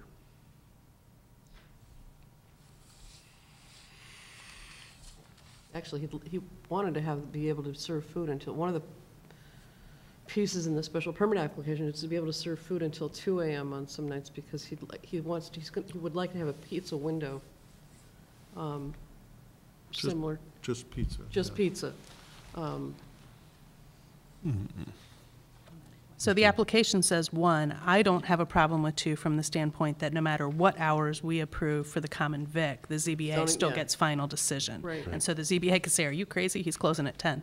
And, you know, we approved it, but that's fine. It doesn't hurt anything. Right. If we approve the longer hours, is my understanding of how the process works. I mean, I- that makes sense. We could do that unless it was going to unduly influence the ZBA. Well, you know, they approve my common victual too, so, so, I- but, it- but otherwise, if we only do it to one, we have to haul the person back in Yeah. here. And I, I don't have a strong feeling. It, Um, so I think your idea, Ms. Brewer, makes sense. I was just going to make a, I was a little disappointed when I found, this is just a sample, and I was like, wow, vegan sausage on that pizza, like, you know, give you extra points for that. And I would, there were some things that we don't have in town that, um, I'm hoping that you'll keep some of those offerings so that we can keep it a Yeah. different than, than when we have a lot of pizza joints. But um, I thought that was a, a- um, I won't go into my food comments anymore, but I was psyched about some of it, so, yeah. So if I, I have it correctly on our motion that we have an addition to the, the motion which has 11 AM till 2 AM the following day, seven days a week, as part of that motion. In the revised application, we'll, oh, well, that's a different one. Right. Is there further question or comment? Hearing none. All those in favor, please say aye. Aye. And that's unanimous. So thank you again. Thank you. Thank you. So I think, uh, I think we have some other people visiting us. Uh, Mr. Bockelman pointed out an- another new common victual license, which again will be uh, fairly brief in its, its listing. So uh, we have a new common victual license for Malek Shawarma Incorporated. Is, are those folks here? So if you want to come to the front, doing business as Malek Shawarma Mediterranean Cafe, 11 East Pleasant Street, Monday to Sunday, 11 a.m. to 11:30 p.m. Eliana Dabus, manager, owner. The common vic is in our folder tonight. It wasn't in our packet. The, That could very well be the case. Yes, I believe So- that's correct. that, that's what happened. So, yes, there it is. It's me. So if you'd like to uh, tell us a little bit about your, your business and, and uh, what you're seeking to do, and tell the community about what you're offering, and, and we'll go from there. Okay. Hi, everyone, and my name is Eliana Debus. I am a resident of town of Amherst for 24 years, and um, I own a barber shop for 10 years now. I opened my restaurant 2015 for two years, and I supposed to renew the license, but things changed. My son was the manager, and uh, He took a year off to help out with the business, but now it's time to go back to school. So my business is uh, Mediterranean Cafe. It's a very Lebanese authentic food, healthy. I um, have in the menu salads, shawarmas, hummus, baba ganoush. For desserts, I get the baklava, and uh, that's about it. And falafel. Great, thank you. Are there questions for the, from the board for the applicant? It, it doesn't necessarily have to be a question, but um, Or comment. more of a an understanding of process. So knowing that we had previously done this, perhaps with a different manager's name, as she mentioned, um, may have existed on a previous application. But if this have they been in continuous? Well, maybe it is a question.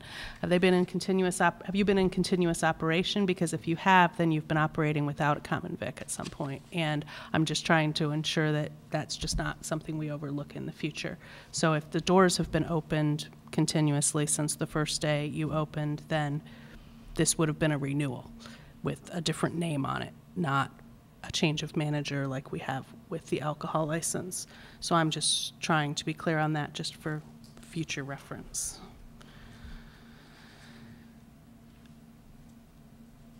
I didn't really understand exactly your question. What? So you have a common victualler license that's in place every single year. And so you got one, I believe, originally in 16 maybe, and um, then it was renewed. And I understand that the managers changed, but I guess I'm not understanding why we're getting an application for a new common vic rather than a renewal. Why, why this doesn't fall under our renewal process. It's because I closed the business for That's a what I few needed months. to know. That's Thank why I'm.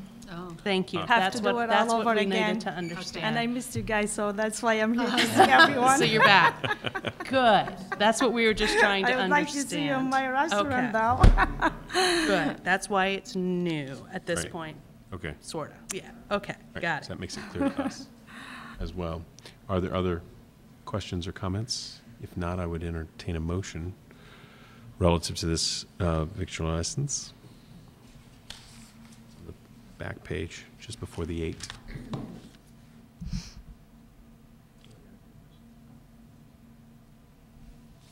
Anyone?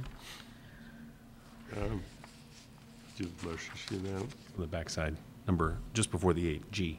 Okay, I move to approve a new common victualler license for Malik Shawarma uh, Incorporated doing business as Malik Shawarma Mediterranean Cafe, 11 East Pleasant Street, Monday to Sunday, 11 a.m. to 11:30 p.m. Is that Correct? Um, Eliana DeBose, manager owner. Yes. Is there a second? Second.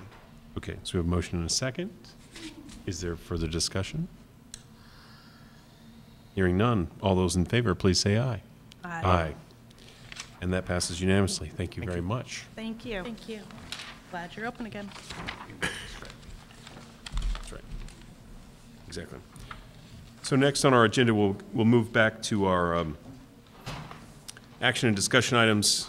Uh, And the first item under that is the North Common renovations Main Street parking lot, and we're going to get a bit of a design presentation from Mr. Ziomek and Ms. Brestrup. Um, And so, take us through that, please.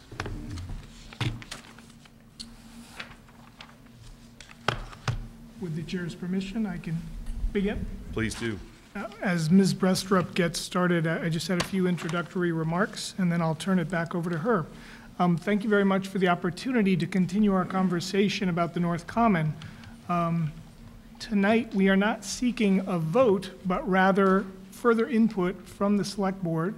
Uh, We fully anticipate that we will be bringing this before the council in the coming months, but tonight, we're looking for your, your input on this iterative process as we have moved from um, early plans to a plan that we think has many of the elements that uh, we can bring before the council.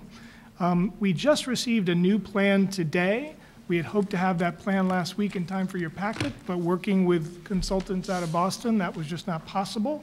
Ms. Brestrup will go through the new plan with you today. You have the plan on your um, uh, tables in front of you, and I believe there were copies in the back for those uh, people in the audience.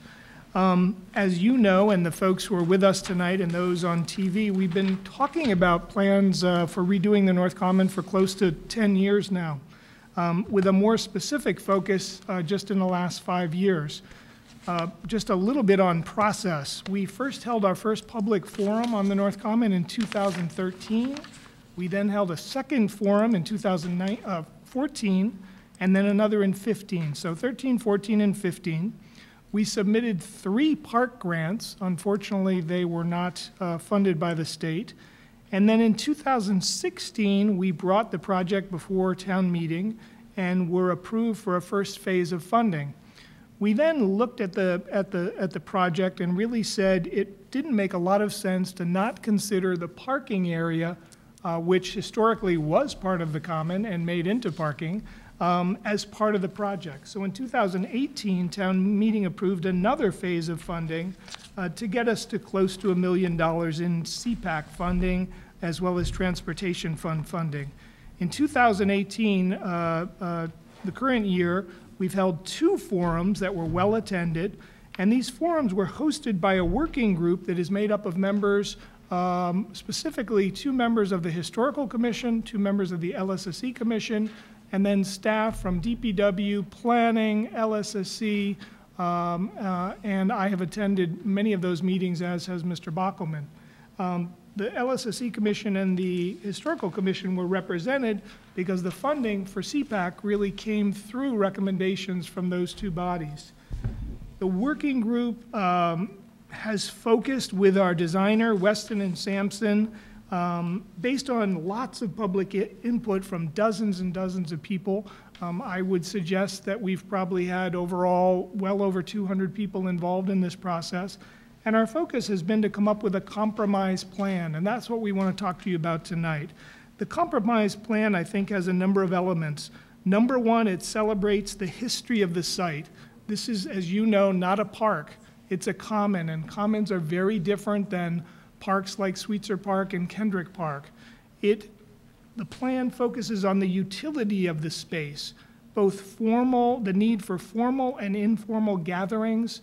It is a multi-purpose space that is used from the lighting of the Merry Maple to peace vigils, uh, to tag sales, and the list goes on and on and on. Um, we want to activate the space. We want to create seating for people in eight, nine months of the year. We want to include art, and we want to include interactive elements to the park. We've heard from many families um, that they need more things for the fa- their families to do downtown. So we want to in- incorporate art, and we want to incorporate art that also has an in- interactive element to it. So we've heard from the public uh, about those two uh, important uh, design features. We want to celebrate the trees that are healthy and uh, perhaps move on from those trees that are either invasive or are, do not have a very long lifespan. We've worked very closely with Alan Snow, our tree warden, and Alan, Alan has attended many of those meetings. We've heard from many people and many groups on parking. I'm sure we may hear from others tonight, and we've tried to incorporate, again, a compromise uh, position on parking, recognizing how important parking is for the vibrancy of our downtown. And then finally, we really wanted to focus on simply the importance of this site as the absolute center of our downtown. And that we've heard from businesses, we've heard from business leaders, we've heard from citizens, um, that we want a center of our town that we're proud of, that people can feel safe being on during the day, at night, and that is accessible to all. I think we won't go into tonight because I think we've covered that in some detail in many of the public meetings. But we have a town common that is very old, very tired, has tremendous erosion problems, is not accessible, um, and is not um, well lit. And I think many people don't feel safe on the common at night because it's not well lit. So all of those elements we've tried to incorporate in a reasonable compromise plan um, that is not um, not the Ferrari of plans. We recognize uh, that funding is limited It is a plan that we think is fundable, and we would ask you to, for your input tonight, uh, and I'll turn it over to Chris. Good evening. I'm Chris Brestrup, Planning Director, and I'm very happy to be able to show you this, what we call the preferred plan. Um, It's been a long time coming, and um, I hope that you uh, appreciate um, the elements in the plan and think that it's a good plan. So, um, as Dave said, we had a, a working group that was uh, working very hard since last spring to put this plan together. Um, and we've been working with Weston and Sampson Design Studio, landscape architects, and engineers. Um, this is a, a picture or a, a plan, an aerial view of the town common, the north part of the town common. Uh, the Main Street parking lot is here, and the green portion of the common here, Spring Street parking lot down below. And here we are in Town Hall over to the right. Um, Grace Church is right here on the corner of Spring Street and Boltwood Avenue. Um, Bank of America um, Bank Building is here, and Hastings, and all those stores that we love so much, including the uh, Fresh Side Restaurant uh, along South Pleasant Street. So that's sort of the context that we have. Um, last time we met with you, which was on September 5th, uh, we showed you three schematic plans. Uh, these three schematic plans had been shown to the public on August 28th. So the first, uh, we really, I guess the, uh, the way I could describe them is there was a, a plan with um, no parking. We took the parking out of the North Common. A plan with all of the parking that is uh, currently there, and a compromise plan which is um, related to the one we're going to show you tonight. So this first plan is the plan with no parking. Uh, It um, provides a circulation pattern that's quite different from what we have now. The circulation pattern would go through the Town Hall parking lot, come back down Boltwood, uh, Boltwood Avenue. There would be no um, vehicular connection between Main Street and Boltwood Avenue. Um, There would be a a promenade up to uh, Town Hall and swooping pathways throughout uh, the North Common. Many people liked this plan. They felt it returned the North Common to its um, former glory um, and didn't include parking, just like it didn't include parking a long time ago. Um, But as we know, parking is a big issue here in town, so um, here we are with schematic plan number two, which we also showed you on September 5th, and this includes pretty much the whole parking lot that's there now, but it would uh, pave it with a different type of material so that it wouldn't be all asphalt. It would raise it up here in front of Town Hall and regrade the parking lot so that it wouldn't be so much on a slope, we could accommodate the handicap parking spaces better, et cetera. It has a central gathering space and then these graceful walkways through the, through the common. But um, it did seem to be not that different from what we have right now, and uh, did seem to be so focused on parking. So the third plan, which is the compromise plan, has about 19 parking spaces uh, here in a place that is um, also paved with something different from the usual asphalt.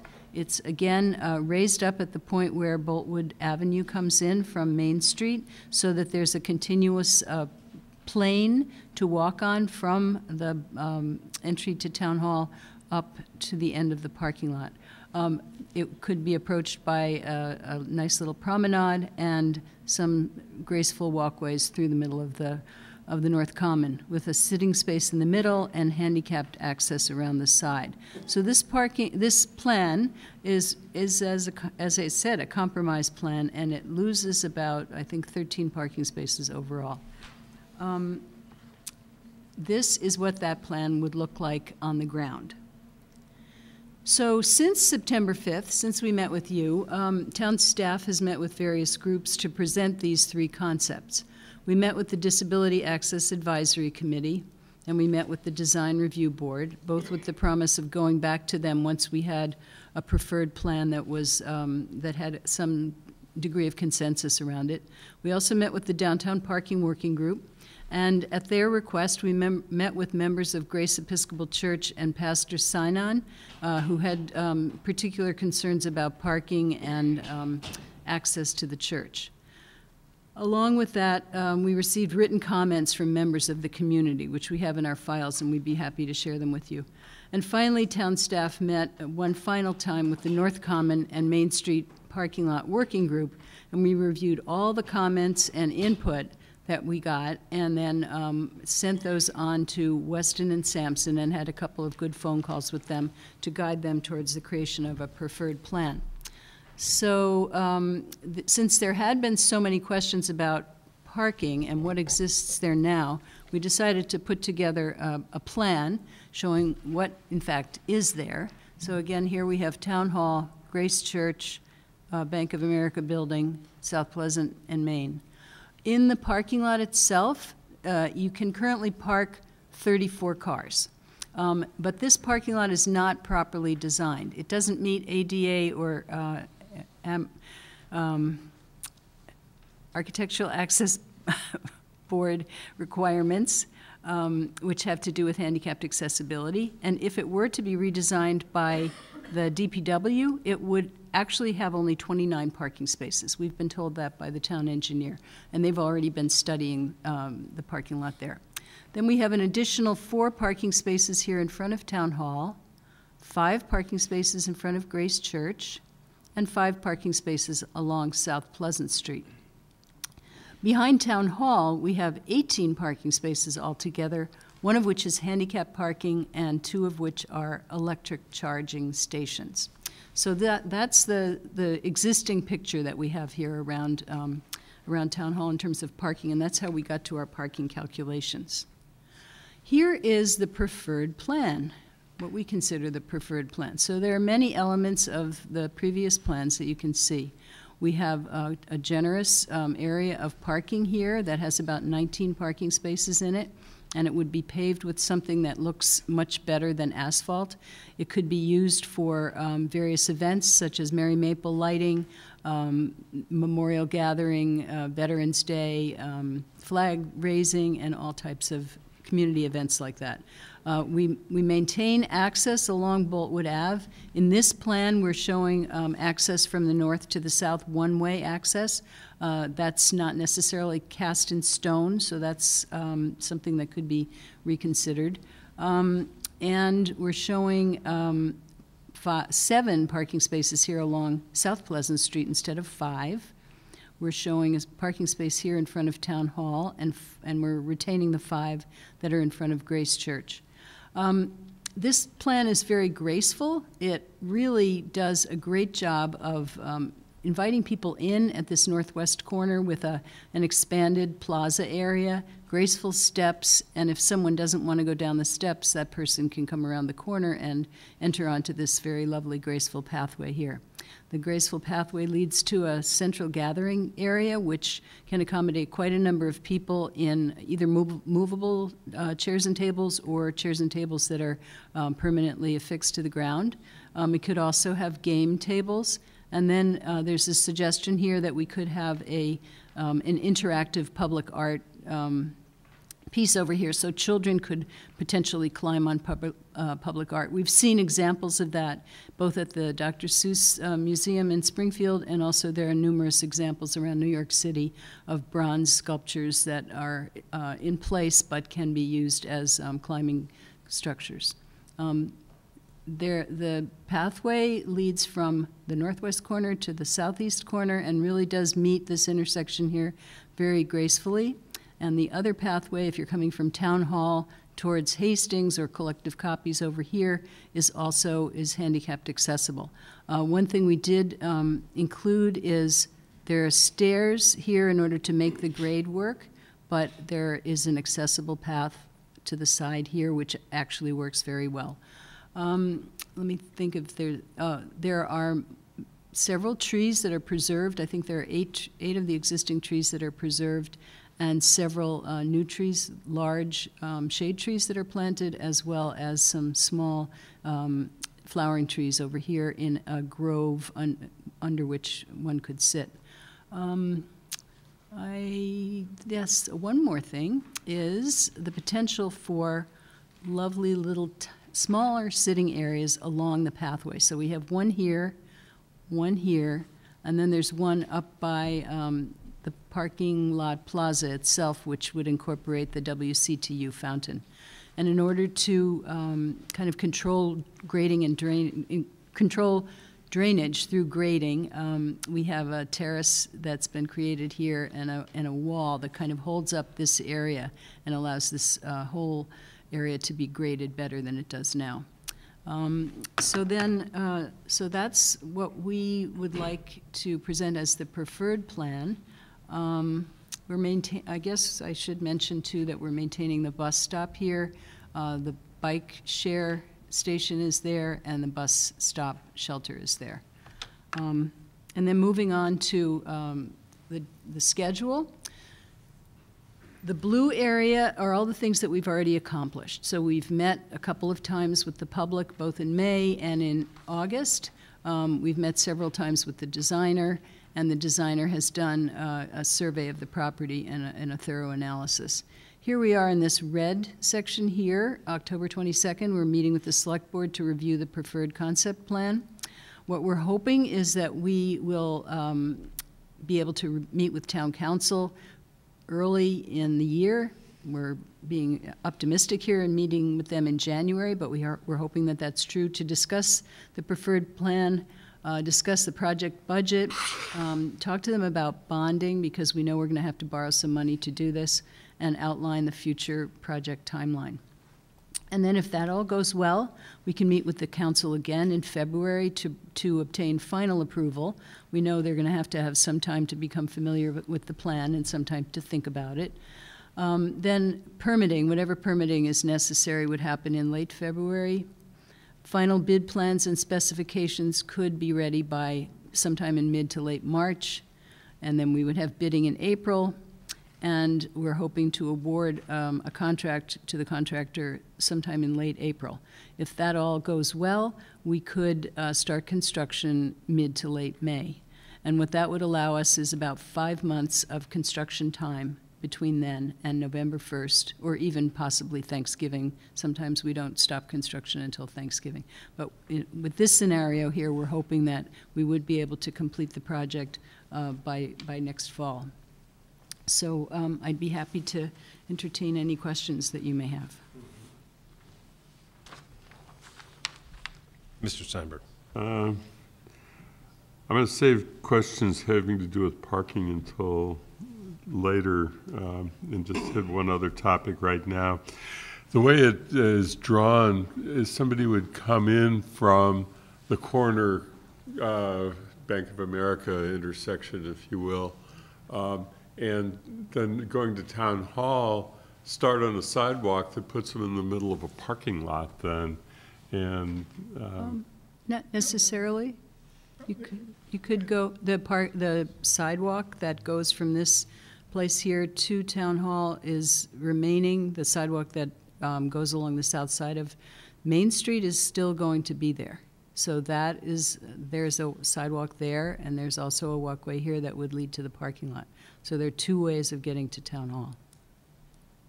It makes it still um, a very inviting path to put you right in the middle of a parking lot to go to the other side.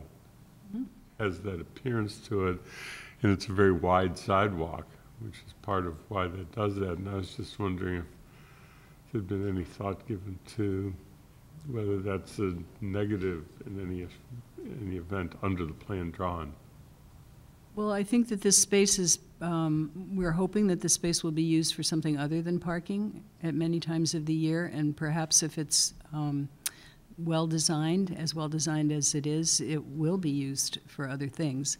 Um, And when it is used as a plaza, I think it's going to be very um, useful to have a a pathway that goes from that corner right into the space. Mr. Wall. Uh, Seems to be the evening for disappointment, since we had this nice conversation about the Donahue study uh, of the schools and taxes. Several of us had asked, and again, I I have the greatest respect for Mr. Ziomek and Ms. Brestrup, and have enjoyed working with them over the years, but several of us asked for a much more detailed explanation of how you got here. And it's kind of frustrating to come here and get this thing on our desk with no background. We repeatedly talked at previous meetings, like how did we get from Plan A to Plan B and so forth. There was nothing in the packet, nothing to study, and so we're looking at this thing cold. Uh, the advantage, I guess, is that it seems to have been kind of a preordained conclusion because we were faced with the first pr- pr- proposal, which was basically stupid and awful, and the second, which was utopian. And this was, you know, everything was, was logically going to lead to this compromise plan, which has a number of strengths, but also a number of, of weaknesses. And I guess I would like to know more how, how it became the preferred plan. Was it just the default because the other two were totally unacceptable? Uh, what was the consultation that took place with the other bodies along the way? What alternatives were suggested? Um, did you consider anything bolder as far as parking configurations on the streets? Um, I don't, I'm- I've got the end product, and as in the case of the liquor license, I'm not sure how we got from here to there. Please. So we did study a lot of different scenarios. We did study parking around the edges, um, diagonal parking, diagonal parking along South Pleasant Street, diagonal parking along Boltwood Ave. Um, It all seemed to be very contrived and did um, end up cutting into the uh, North Common. Um, And, you know, it, it seemed to take more away from the North Common than it added. Um, the, uh, we, we heard from a lot of different people, and there were so many different points of view. It was really um, kind of uh, revealing to me that there were so many different points of view. Um, very strongly uh, stated people saying, no, we don't want any parking at all on the town common. Other people stating very strongly that we could not lose one parking space. It would just um, be very devastating for downtown. And so um, trying to come up with a plan that would serve the most number of people with the most utility, we, uh, the, the North Parking Working Group, um, along with town staff, um, really tried to, you know, put as many elements together as possible to come up with the best plan that we could. And, and the compromise plan is the best plan. If we had um, gone with the plan with no parking at all, uh, that would have really been um, very difficult for um, many people to accept. And um, I think you may hear from um, members of the public tonight about that particular subject. We got a letter from uh, Amherst Cinema saying, really try not to lose any parking spaces. We got, uh, we had a meeting with and, and a letter from Grace Church, really try not to lose any parking spaces. So, um, you know, this is, this is the best, I, I believe it's the best uh, for now. Um, We may choose in the future, if we ever get a parking garage, to eliminate that parking in the northeast corner and direct everybody to the parking garage and make this a green space. But um, for right now, this seems to be the, the most um, useful. Um, We also heard from people that they didn't want a performance space in the middle of this um, North Common, that the performance space was going to be provided by a band shell that will be built by the, by the bid in the southern portion of the common. And so um, what we're envisioning here is a uh, quiet sitting space. You can go there and you can play, you can play games, you can watch your children play on the interactive sculpture, um, but there won't be um, a performance space there, nor would they, there be a, a large lawn, because we heard from people that you have a large lawn just to the south, in the south parking, or south common area, and so you don't need a large lawn area here. Um, I, I think we went through many iterations as far as um, pathways going across the common from one direction to another, and um, we think that this arrangement of pathways, it doesn't cut through the middle of the space, it provides handicapped accessibility, it gets people where they want to go in the most graceful manner possible, and it provides a lot of sitting opportunities along the way, either on sitting walls, on benches, or in these little crescent-shaped nooks. So I think there really was a lot of, of thought that went into this, and um, I hope that's evident. Mr. Walters. But that was very helpful and, and, and well-prepared, eloquent. The thing is, it's obviously all in your head. We want it in writing, though. You know, why couldn't we have had that in advance? So we had some logic. It's much easier to judge if we know we thought about this and chose that and all that. So again, it takes work, but you know, I thought it was clear from our previous meetings, we expected a written statement. Ms. Krueger. Just, um, So I guess there's something for everyone to be disappointed about and some things we like. Um, I- I was one of the people who sort of put a stake in the ground and said, no, no um, net loss of parking, which I knew was unrealistic saying it, but um, wanting to emphasize how important preserving parking in this location was for a number of reasons, but I'm not, so I'm not going to get into the parking thing right now, but um, my kind of um, bandwagon I've been on is having a place where children can do something active. This isn't a playground, um, and it's not a park, but I'm disappointed that there's two places where it says public art feature, and one's called interactive. So a sculpture you can climb on is kind of what I meant, but not nearly. So something that's really a children's space to climb and be active, it might, you could maybe call it art, but I already see right near there, it says public art feature, fine. But then there's another one, and it's gonna kind of make do, is maybe you can climb on it. And I'm not sure that meets the, um, you know, from one to 10-year-old, it might work for some kids. So, of course, we don't know what it is, but I'd like to see that see, more identified as a children's active play area. If it looks like art, great.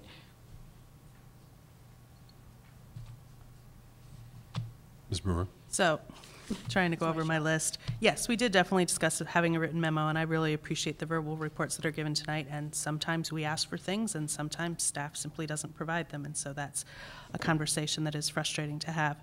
Um, I do really appreciate that this was reproduced in such a large format. That's been incredibly helpful, even though we had to quick study it tonight as you went through it, rather than um, no, having the chance to really look, dig into it over the weekend, although it hasn't changed hugely from last time. I really appreciate the relabeling of the shaded Plaza Grove, so thank you for not using the landscape Square. architecture and engineering terms that people sometimes use, um, that are not as helpful to the general public, including ourselves. One thing you may have mentioned, um, and I may have missed while I was shuffling papers around, is the Merry Maple. So are we, did you mention it? I did not, I Yeah, mentioned is this the one of, the lighting is this the one of Mary- those, let's not talk about it because we're cutting it down? No, Um, and, and so I think we need to make that, su- just, you need to give people time to adjust to that concept rather than to. Well, I, I will offer a little bit on that topic because um, at one of our earlier meetings a while ago, the tree warden did did mention that the maple itself is He did. showing its age and that it's you know life is nearing its end. Um, so in some ways, we have been prepared for that as far as the, the current maple that we use for the Merry Maple. Um, that wasn't, he didn't make a statement that it's got to go or it's going to go tomorrow, but he did, he did indicate that the, that the current uh, health of the tree is, is a little um in jeopardy in some respects, and so its, its lifespan is fairly short at this point, but that's my understanding of that, and maybe Mr. Ziomek or Ms. Brestrup can offer a little more on that, if you would. So I think what we were trying to do with this plan was create something for the long term. Um, We're thinking on a 50 to 100-year horizon. We know that the, the North Common really hasn't been touched since the mid-60s, when those um, surroundings for the, the trees were built. Um, And so, you know, is it going to be another 50 years before we're able to do anything else out here? So in that case, to consider um, a tree that's in decline as something to um, really design around wasn't, you know, didn't seem to go along with that long horizon that we were looking for. I'm hoping you could plant a new maple, but anyway. I, I don't at all disagree with that. What I do disagree with is the approach that doesn't say, and by the way, the Merry Maple's coming down, because that's one of the main features people look to. And in fact, the designers thought it would be clever to show us a picture of the Merry Maple celebration taking place in the dark, but yet the Merry Maple itself wouldn't have been there anymore. Just the really lights. not that helpful from Weston and Sampson. So, um, yes, we have seen this in various iterations at forums and at this meeting, but it's not the end of the world. We just need to be clear that it's happening rather than people being surprised by it later. And I totally understand the 50 to 100 year look that we're talking about, but just as we didn't like the plan that sent people behind town hall to park in front of the church, but it wasn't mentioned until an audience member pointed it out. We'd just like to be super clear moving forward on what things stay and what things go for very reasonable reasons. We just need to understand it. Um, another question I had is associated with the Christian Temperance Union fountain. Um, we've struggled with that over the years. Is it now a piece of dead public art, or is it actually going to be a fountain, or do we have thoughts as to that? I think what we would do is restore it, and currently in this plan, um, it is sort of a focal point for this little crescent It here. would be lovely. Um, I would like to make the comment that there will be a lot of changes made to whatever plan is um, recommended or talked about tonight. Um, We have to go through uh, design development and construction drawings in order to get this actually built. So this is an idea of what, in general, we would like to see. But as they refine, as the consultants refine this um, drawing in this plan here, they're going to be doing grading and figuring out um, drainage and where lighting is going to go. And so ev- everything that you see on this plan is probably not going to be exactly um, reproduced in the construction drawings or on the ground.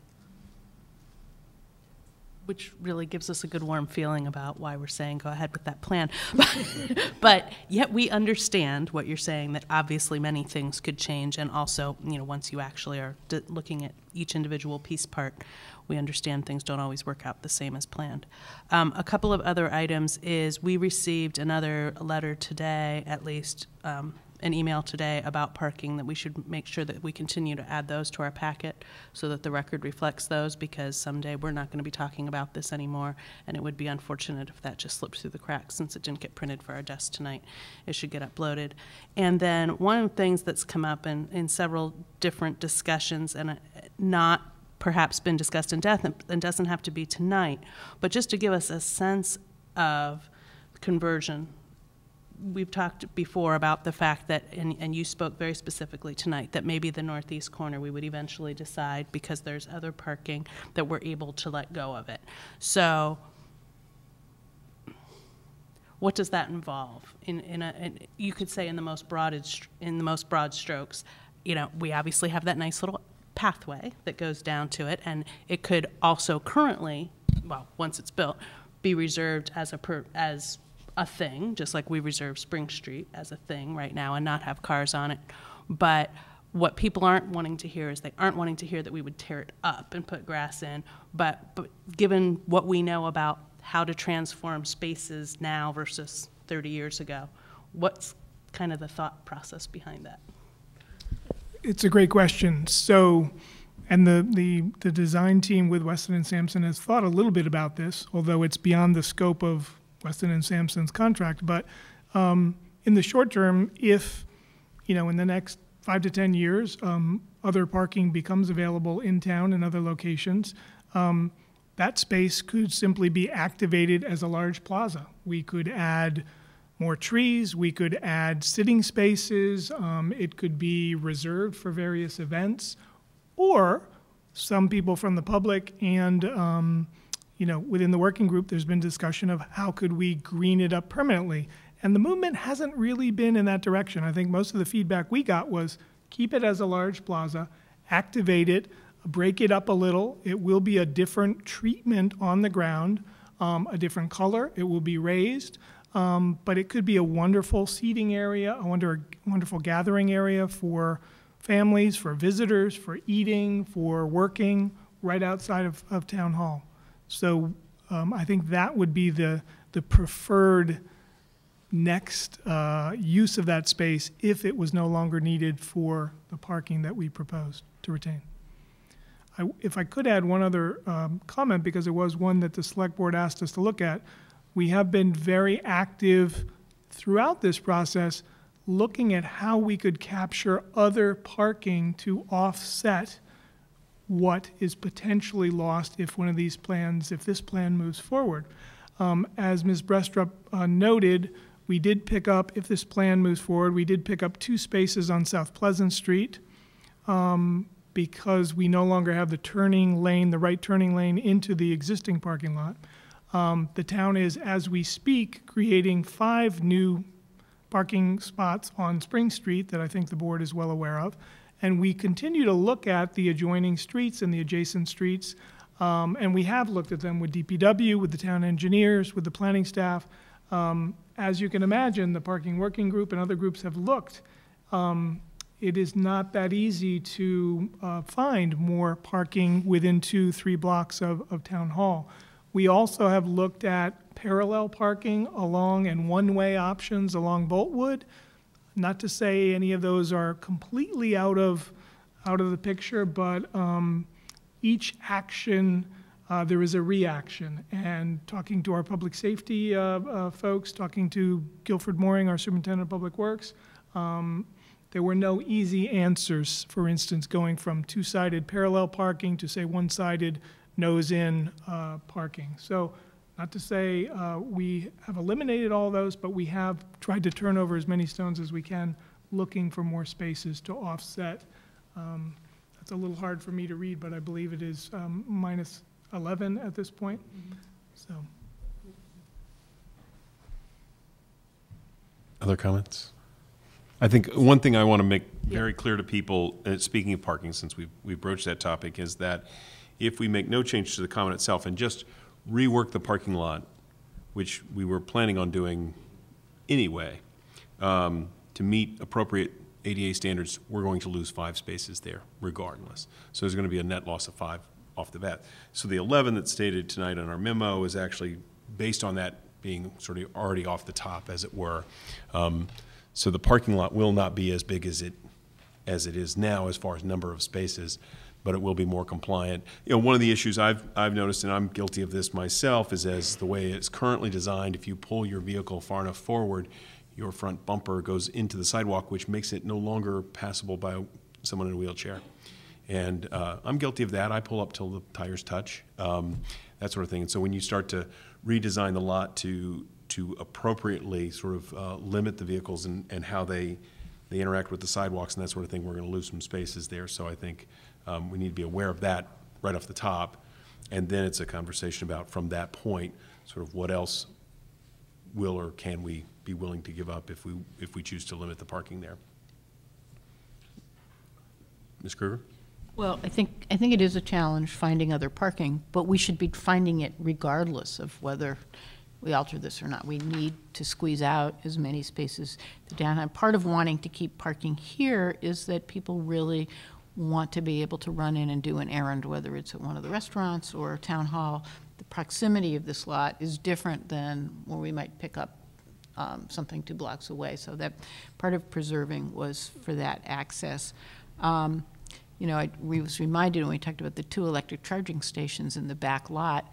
Um, that those are prime parking spaces. We, this is, you know, maybe uh, um, not exactly tied to this, but we could consider moving those electric charging stations to the two blocks away and not right behind town hall because people are there to sit to be charged, including, you know, it's good for town vehicles and, and the charging. We wanted to promote that as part of our sustainability plan, but a lot of times they're empty. So there's a, there's a bunch of tweaking in, in the way we do parking management that could also make a difference. And as I've mentioned before, where town staff can park, both behind the building and um, in this front lot with the parking placards for people who are in and out, maybe rethink the two block away addition and use it differently for, uh, to free up some of the useful space that we have right near this center of town. So I know the public is probably itching to ask questions, but I want to make sure we, we hit all the things that we've been talking about over time because this may very well be the last time we're talking about it. And I really appreciate the chart that was provided, and uh, again, Mr. Slaughter drew attention to it after Ms. Brestrup did earlier in terms of the net loss and gain and also the current conditions. We sometimes don't do a great job of showing current conditions and, and possible. So that I think is really helpful to the public and to us to continue to, to put this whole picture together. Two other things I just want to mention and really aren't uh, answerable per se at this point. One is that the there is absolutely zero assumption that there's going to be a bid ban shell at this point in terms of yes, it's going through a going to go through a design competition. Yes, it's going to go through a process, but I would really prefer that just as I ask people not talk about the central fire station as a future art performing space because obviously that's what it will become. I don't think there's anything obvious saying that there actually will be a band shell on the South Common. I think that a lot more public process is going to take place, even beyond all the permitting associated with it, um, before that decision is made. It won't be made by this body, obviously, and hopefully, based on the timeline we've seen, and I appreciate you revising the timeline too, um, will you know, this will all happen before that's necessarily coming into play. But I know people also talked about, you know, the big picture of, of all of it together. So I know some people are really eager to have a band shell and some people are adamantly opposed to it. And I just don't want any of us to be saying there's going to be one because we don't know that at this point. Um, the other comment I have is associated with materials. The materials that are that will eventually be used in this lovely raised, different colored paving, I'm sure it's going to be awesome thing. I just want to make sure that we are reminded to learn from our experience on our crosswalks. We thought that was a fabulous idea. Um, well, some thought it was better than others um, in terms of trying to meet mobility and visual impairments, and it turned out to be, I would say it's not unfair to say, a disaster. It was completely not maintenance friendly and has caused many problems for us. So I just, people thought it was a good idea, just like that was, was a good idea to put recycled glass in the rail trail. So let's try and learn from both of those and whatever this cool thing is to make sure somebody else has already done it for a few years and see how it heaves in New England and, and, and then use it. That would be my concern because I really want us to learn from that because it sounds like it could be a special space. So. I just had two quick comments. Thank you for your feedback on the band shell. We simply mentioned it because it came up in public meetings, and we wanted to be very clear that we are not designing the space to have a band shell. Whether it happens or not anywhere else on the common will be up to the council. But we wanted to make sure that we at least acknowledged it because we got many comments that said, put the band shell on the North Common. We, that's a significant enough structure, so we couldn't design in concept this space with two different concepts, with and without it. So we only have a limited time with our designer. Um, the clock is ticking, so in order for us to move forward with this process, we had to say that is not, was never mentioned as being on the North Common for the most part, so we eliminated that. The second thing, and I guess before I'm sure you want to take public comment, I think it's really important for people to appreciate, and I don't think many people do, this, although it appears on the screen as a flat surface, the grade change is, the, in my opinion, probably the most significant design hurdle, challenge that we face here. And as Mr. Slaughter mentioned, if we simply redo the parking lot um, to meet ADA and other standards requirements by law, we will lose five spaces. And that's what we should do.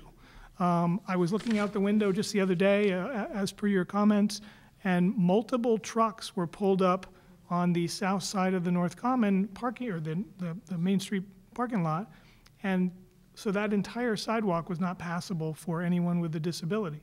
And that is a common occurrence that happens every day in this town. So it's really important to appreciate the grade change, not only for the design of the parking lot, but for the common itself. Weston and Sampson has struggled, and as a design team, we have struggled mightily to figure out how to activate these, the, the North Common, and make the parking lot accessible and, and meet all standards. And you know, it doesn't do it justice when you look at these flat plans. If you go out there tonight after the meeting's over and go, wow, it really is like this. It's a very significant grade change west to east and northwest to southeast.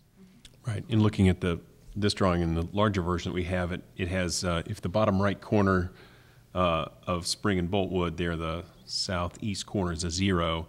It's plus 15 at the northwest corner, so that's 15 feet over the span of that, which is a pretty steep amount of change.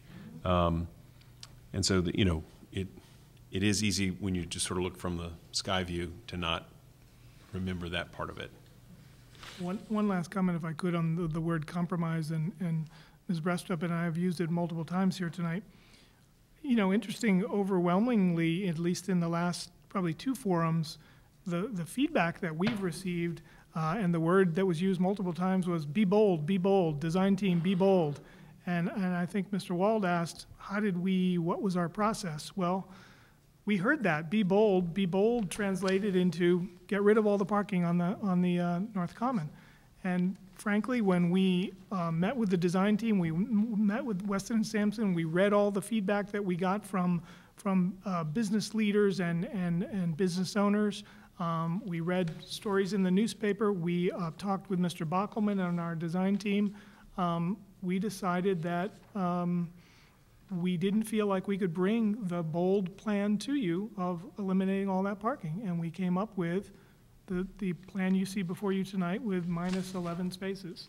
So um, there's no magic to that. It is a practical plan that we think gets us incrementally where we want to be. And if parking uh, changes over time, uh, we could activate the space that the, the, the parking would be, uh, the new parking would be created in. So, thank you. Mr. Wald. But yeah, I appreciate that, and I know that, you know, compromise is necessary, and that's why we're here. We do the stuff that people don't like because we have to get stuff done. So don't get me wrong about that. I guess, you know, what I was, it's, it's, we have, a- we have a messy situation. I thought Ms. Krueger was very important, re- what she said was important, reminding us this- this doesn't solve the parking problem.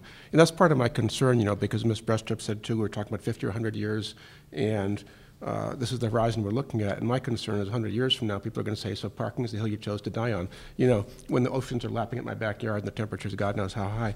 Um, it's it- it's unfortunate. I mean, that's that's part of the problem, and I'm so I, I, regret that. I th- I'm, sure compromise is necessary, and we have this. And I like the idea of converting to some kind of better use after this.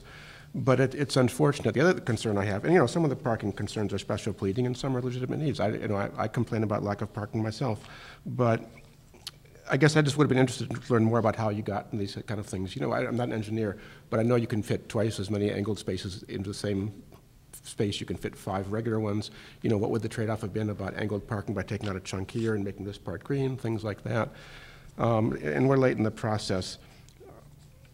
So I, I hope we can just bear that in mind, because I think the, the danger here is the delusion that we've solved the parking problem. You know, we haven't, maybe we didn't, we lost a few places, but we saved the 19. Yeah, you wouldn't think so, I know. Um, but we still have a serious parking problem, and it's, we're, we're stuck with that here. So some, that's part of my concern, we have sort of the worst of both worlds. We both don't go as far as we could to change something because we can't, and yet we think we've solved the problem. And it's gonna, it's gonna pop up down the, you know, down the, down the road. It's like squeezing the, the balloon. I did have another one. When we were talking about the grade change, so one of the things that's come up, and I believe might have come up at a previous public forum too, is given the grade change, and again, obviously we only have a little bit of money in West, Weston and Sampson, only supposed to do a small thing, became a much bigger thing. Um, was there any discussion about trying to have some sort of bi-level uh, parking? Because that has actually come out up, up out in the community. That ooh, wouldn't it be cool if we could like park some under, you know, the grade, take advantage of the grade. And I just wondered if that had been discussed at all, so that I could report back on that. I think that was brought up, um, and it is extremely expensive to do this. Um, And especially if you're talking about two levels of parking underground. Um, And we know that um, the ground underneath there is very wet, and so we would have to contend with um, the wetness there. Spring Street is called Spring Street for a reason. There's a lot of water in the ground there. Um, The other thing is that we do have some old trees here that we want to save, so if we were to put an underground parking garage underneath there, it would have some impact on the older trees that we do want to save. So I think um, everything considered, we really didn't think it was um, a a path that we wanted to go down at this point. Just speaking to Mr. Wald's hundred years, it was like if we were gonna do it, now would be that time. But I, I appreciate especially the reminder about it being wet, because now I do remember that coming. Yes, Mr. Wald. It's a minor question. I know, again, I realize you got a lot of feedback from people who are very energized about all this, for better or worse. Um, and sometimes it's hard for us to tell too. You know, people said, like lots of people, all people at the forum, a couple letters and things like that. I guess I was given to understand also that the message was passed along to the North Common Group that the select board had said, no, we want, you know, the select board insists on no net loss of parking or minimal loss of parking. Was that the case? Because we never took a vote. We discussed things back and forth. That was one person. That was one impression that was out there that's in the public. I, I don't think we passed that along to anybody. I don't think that was our impression, that the select board said that. I think maybe one person said it at a meeting, or Uh-huh. maybe more than one, but I didn't really feel like that was the consensus of the select board. I didn't think so either, but I thought someone said we said that, so I don't know where that came from. Yeah, no, I don't think we ever said it was consensus of the select board. I think we certainly heard it from members of the select board, so it was passed along that some members felt we should not uh, lose any parking there, whereas other members might have been silent or were open to other possibilities. Sounds the I same to me, mean, but. we had competing, consensus, v- yeah. we had competing competing views, views. and that's probably what's out in the community, too. Yes, Ms. Preston. I just wanted to comment on the fact that the downtown parking working group itself had competing views. When I came out of the meeting with them, I had no conclusion at all about what they felt. Each individual felt something different. Some of them felt very adamantly about having no parking on the town common. Some felt that you couldn't lose a single space. Um, and most of the conversation had to do with the actual person's experience of the common rather than anything having to do with parking. And that was um, enlightening to me because they didn't focus on parking. They focused on what a great space this was going to be in the future and how we could make it really wonderful. So um, I guess my point in saying that is that people came from all different directions, and so we had lots and lots of input. I wrote um, meeting notes from every meeting that I went to, and if you would like to uh, have those meeting notes forwarded to you, I'd be happy to do that. Um, so it, it was challenging to figure out where do we go from here? Where can we get some consensus? Because we heard so many different points of view. Other questions or comments from the board? If not, I presume that some of the folks that are patiently waiting here would like to offer some comments and suggestion to us as well. And so, can I get a show of hands of who would like to comment relative to this? One, two, three, four, five. We'll, in no particular order, start from my right and go to my left for no reason. So if you'd like to step up, just make sure to identify yourself at the, at the microphone. Um, given the time that we're at, I don't want to overly constrain people. Hopefully, two to three minutes will be sufficient. Sure. And uh, I'm not sure that the board will offer much reaction. We'll certainly listen and take in what you hear, and, and obviously, Mr. Ziomek and Ms. Brestrup and the manager will as well. So, Thanks. share with us what you think. Um, I'm Tom Davies. I have lived in town for 19 years. Um, I don't want to talk about parking. Uh, I want to bring up the, the issue of safety um, and accessibility, which I think are both fundamental to the design. Um, and the, the, the accessibility, I think, speaks for itself. Um, the safety point, though, that may not be so evident is that right now we have a, a, a kind of a tortured situation for pedestrians um, walking north to south where um, you're crossing through a, a travel lane for cars that are turning into the parking lot and then coming to the corner and, and kind of aggregating there waiting for the light to be able to, to pass uh, north or south or whatever you want, whichever direction people are going. Um, and I think that, that inherent in this plan by eliminating um, that access point into the parking lot, regardless of how big the parking lot is, um, is a dramatic increase in safety for pedestrians um, walking through that area. Um, that it's it's not uncommon to be kind of startled by cars pulling in there, or by or for cars to be startled by pedestrians walking through there. Um, and uh, I just want to just point out something that is very apparent to me as a, a planner and designer, but may not be apparent to the board. Just a comment. Thanks. Thank you. Next will be right here.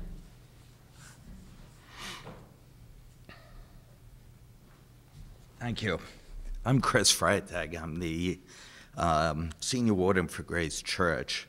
And um, thank you very much for letting me speak. I just wanted to reiterate we did have a meeting with Chris Brestrup, which was great, albeit a little late in the planning. But I wanted to just uh, point out three things in a letter that I sent to her just to make sure that they are um, on the record, as well as that for our congregation, of course, to lose any parking would be a hardship. But again, there is compromise to all of these plans um, because we also find it very difficult to find parking now on a Sunday. But um, at least in this plan that's uh, presented, it preserves quite a bit of it. Um, there was a plan, or it shows in this plan, a one-way direction, uh, which we would not uh, prefer. It makes it much easier for us to access Grace Church having a two-way scenario, as well as if we're talking safety, of course, our police can go anywhere they want in an emergency. But if you have the farmer's market there during the summer, uh, in early fall, the only way they really can get out of Spring Street is to head to Main Street. That's one way, of course, they can go, but it, it impedes their flow as well. So I was concerned about that. One of the um, previous uh, plans had angled parking. We talked about angled parking in front of the church, but unfortunately, this doesn't work for our um, congregation because uh, you'll get a hearse for a funeral. You'll get um, uh, limousines for weddings, uh, and more importantly than that, uh, handicapped accessible wheelchair vans. Um, this becomes very difficult, and it actually reduces uh, spaces uh, that we would potentially have in front of the church. So, you know, the parallel parking that we have, uh, while we'd love it to be much more, uh, has been working for us. So uh, going to an angle mode at that location, we don't find uh, would be helpful. So again, those were the three points I wanted to bring up, and I thank you very much. Thank you. Next would be, yes.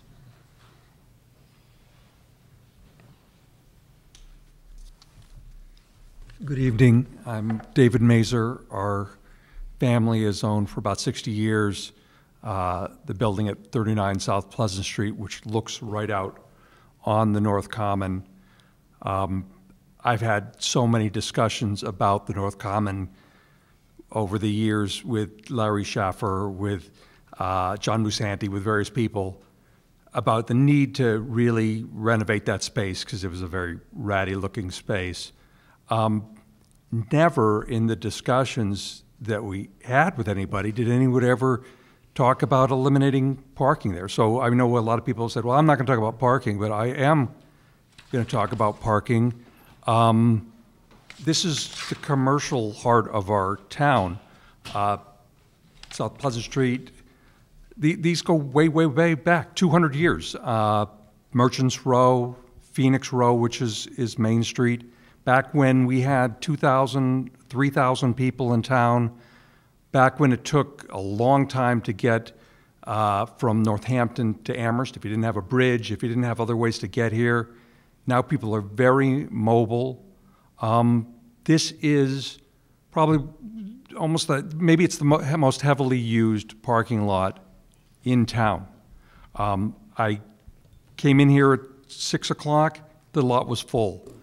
I came by at 1:15 this afternoon because I was uptown uh, at our building. The lot was full. On Saturday, I was driving up the street at uh, 10:30 in the morning. The lot was full. Obviously, it, the other lot on Spring Street gets filled a lot when there's when there's uh, uh, the farmers market. With the plans that that is now dubbed the preferred plan, we're going to lose 16 spaces over what we have today. I mean, you can say anything you want, but that's the reality compared to trying to park today, we're going to lose 16 spaces. Well, we don't, when we see that plan, we don't see um, some of the other areas, like all along the length of our current town common.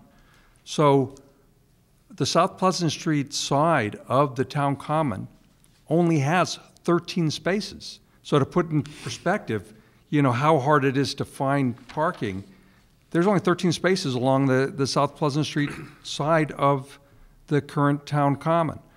Across the street from the North Common, uh, where we are and AJ Hastings and things, there's only four spaces there.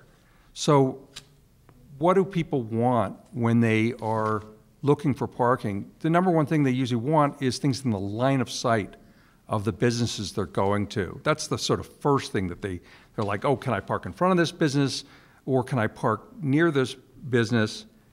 This lot is that central lot across from Oriental Flavor, across from, you know, uh, Clay's clothing store. You know, when I talked to some of the other landlords, when I talked to some of the other retailers, they really hadn't been part of the process uh, when this was, was being talked about this summer. They didn't know anything about this, and they were really uh, upset about this because parking is our big problem downtown. We're talking on Spring Street about putting up uh, another building there. I walked by there today, and there were 14 cars in the lot behind Pacific Lodge. Those cars aren't going to be there in a year and a half, two years, whenever that building goes up. They're going to be out on the street. Um, So, you know, we're, we can sort of talk abstractly about this. You know, like you said, you know, some people are going to be disappointed, but the businesses, they are fighting for their economic health with, uh, you know, competition. We've always had, you know, growing up in, in these areas, the rise of the malls. They built uh, a new plaza in- in Hadley recently. All have free parking, all have very accessible parking. Um, you know, even businesses that aren't in direct line of sight of that parking lot often talk about people coming downtown and telling them, like, well, I couldn't find a parking space, so I didn't come to your business. So I think we really, really have to be conscious of that this is something that, in wanting to beautify something, which I think we all feel that impulse, and we want that, and we want to leave a mark on the town that um, makes it better than, than it's been. We don't damage the, you know, the economic health of the merchants that are downtown and have been downtown for hundreds of years. When you look at the preferred plan, it gains a very small amount of green space in trying to sort of compromise, but it ends up that we lose a good bit of our current parking. So I just wanted to point that out and say that, uh, you know, it's really a concern, and I know it's a concern of a lot of the merchants and a lot of the property owners that uh, basically about that. So, thank you. Thank you.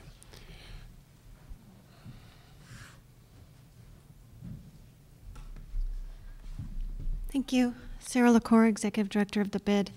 Um, and everybody's aware I'm on the parking working group and um, also a resident of Amherst. Um, what I would like to have folks think about is looking at a slightly more holistic approach. Unfortunately or not, we've been looking at this project in isolation. We saw the little blue box around the area that this designer was allowed to work within, but the the problems that we're facing are much bigger than that. As uh, Mr. Zelmick pointed out, they were looking all around for parking. So by looking at this project in isolation, when we have the big gorilla in the room of parking, I think is unfortunate. What I would perhaps request or, or urge that when, since this is not sort of a formal approval stamp moving forward, is that as this moves forward to the council, we ask for more information and perhaps see if we can open that envelope a little bit wider and get some of the suggestions that perhaps Mr. Um, Mooring has or the engineer show us some of the drawings for angled parking in some of these other locations, show us elevations. Um, the other unfortunate thing is we're literally looking at one plan. We don't have elevations of the, you know, something, a 15 foot grade change in an area like this is huge. So to have zero elevations accompanying this plan is really difficult to understand. So even understanding how that parking angles across the grade change. Um, so I just, my suggestion would be, we're trying to solve the parking problem. We're not going to do it here necessarily, but I think if we move forward for the public, the businesses and property owners, trying to explain how we're going to look a little bit outside of this blue box to help solve some of these problems because we do have this opportunity. It may not come again for 50 years. Um, so we can be bold, but let's be bold a little bit bigger envelope here and, and perhaps um, have some other options. And then the town council has a little more information to be putting this together with.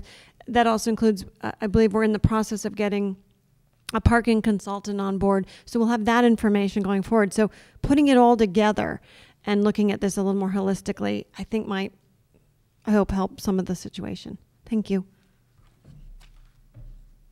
I think We had, I think we had one other, didn't we? Mhm. Yes, please. My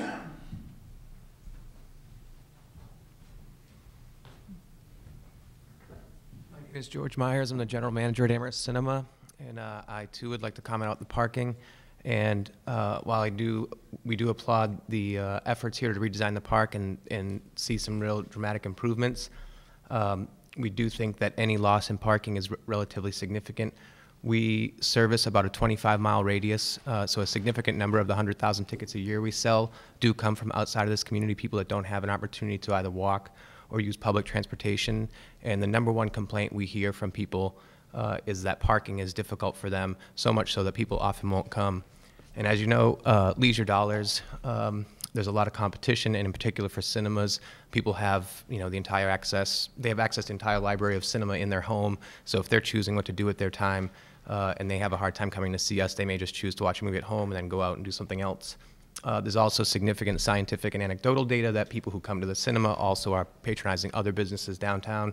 So any adverse effects to our attendance also affects other businesses in town.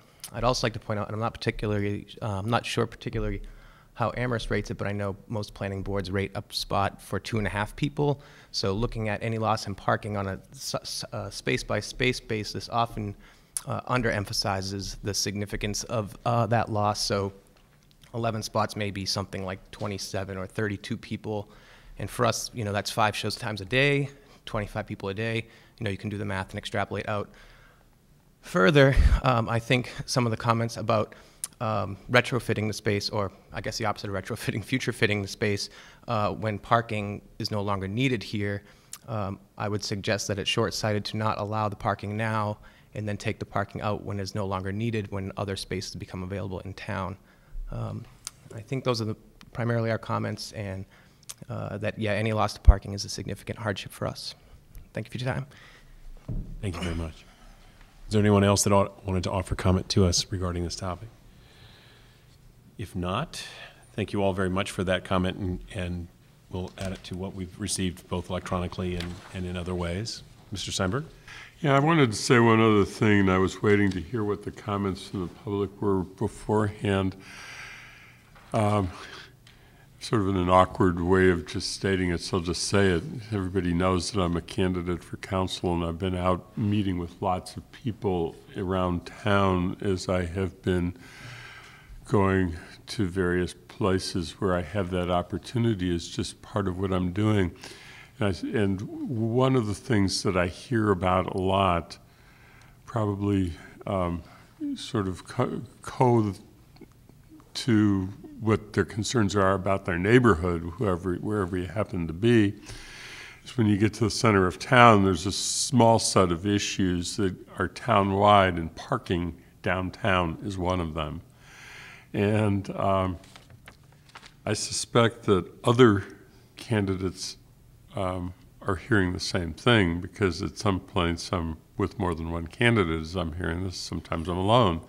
But it is an observation that I made, and I think one of the things that we do as we campaign is that it makes us, you know, the value of campaigning is whether we're elected in the end or not. Whoever is elected hears the concerns of the community.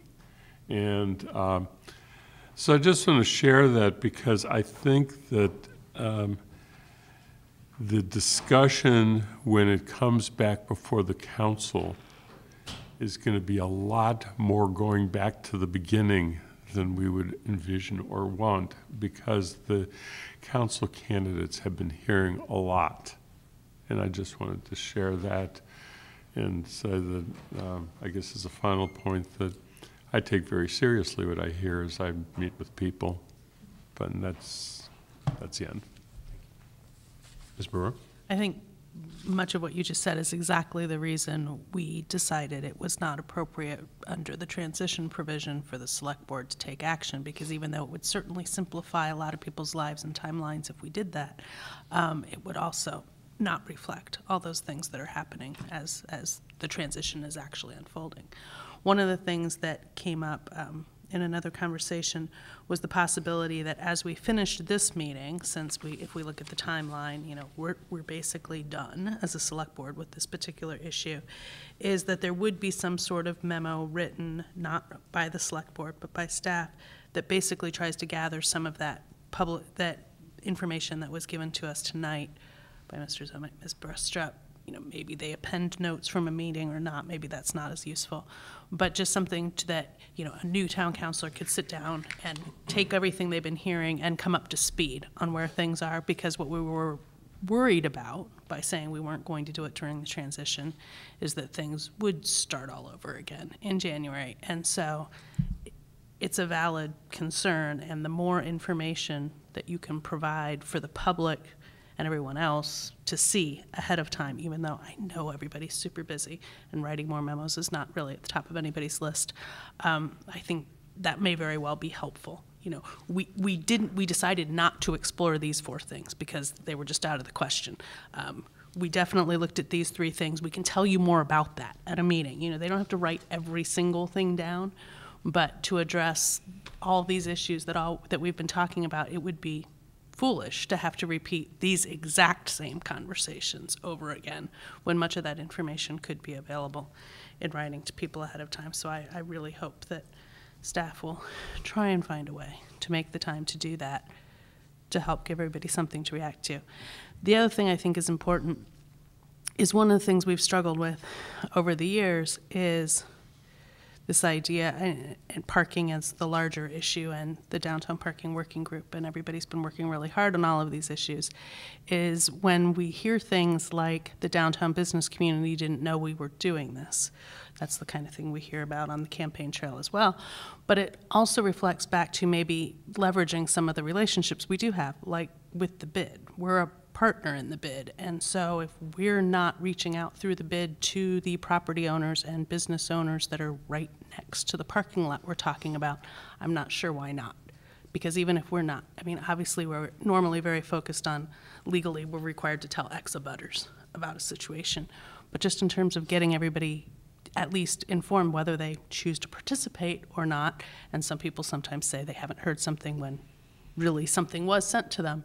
But um, I, I just hope that staff will continue to think about how our being a part of the bid can actually be a relationship that could be not taken advantage of, but leveraged appropriately to help get more people engaged earlier in the process. Mr. Wald. If I could just amplify what my two colleagues have said, I mean, that's partly why I was so disappointed or adamant about the lack of a written report tonight, because I thought, aside from the fact we'd clearly expressed our preference for one, you know, if we have been doing this for years, and some of us have been involved in different groups, like Design Review and Planning Board, we've touched on this Historical Commission, you know, we've touched on it for, I don't know what, five, ten years in other capacities. You know, if we want much more explanation about how we got from A to Z tonight, imagine, as my colleague is saying, what the poor Town Council is going to have to do. So the more we have, the better. And I'm very grateful that Ms. Brestrup offered to share her notes. And I know that when we were on Design Review Board, she would often send out these reports that were equivalent to minutes. I mean, they were not called minutes, but they're extremely detailed. So if we could get those documents without any extra labor involved, just whatever raw notes we have, I think that'd be very helpful for us and for especially for the for the council. Mr. Bach. So I think one of the purposes tonight was to hear from the select board and you know, tell us, I mean, you have been living with this for years, ever since those town meeting articles, when it was discussions, when it was in gestation, uh, meetings, you know, we've looked at many iterations, several iterations of the plan that has, that the, our designers have worked on. And you are really more integrated into the community than any of the staff is. So you are out there, as you know, Ms. Brewer, Ms., Ms., you know, you all have said that you're hearing from lots of different angles, and so we can process some of that information, but it's mostly, and, and I understand the challenge of up, you know, updating or uploading all the information that's out there to a new council. But I think if I were on the new council, I'd say, well, what did the select board think?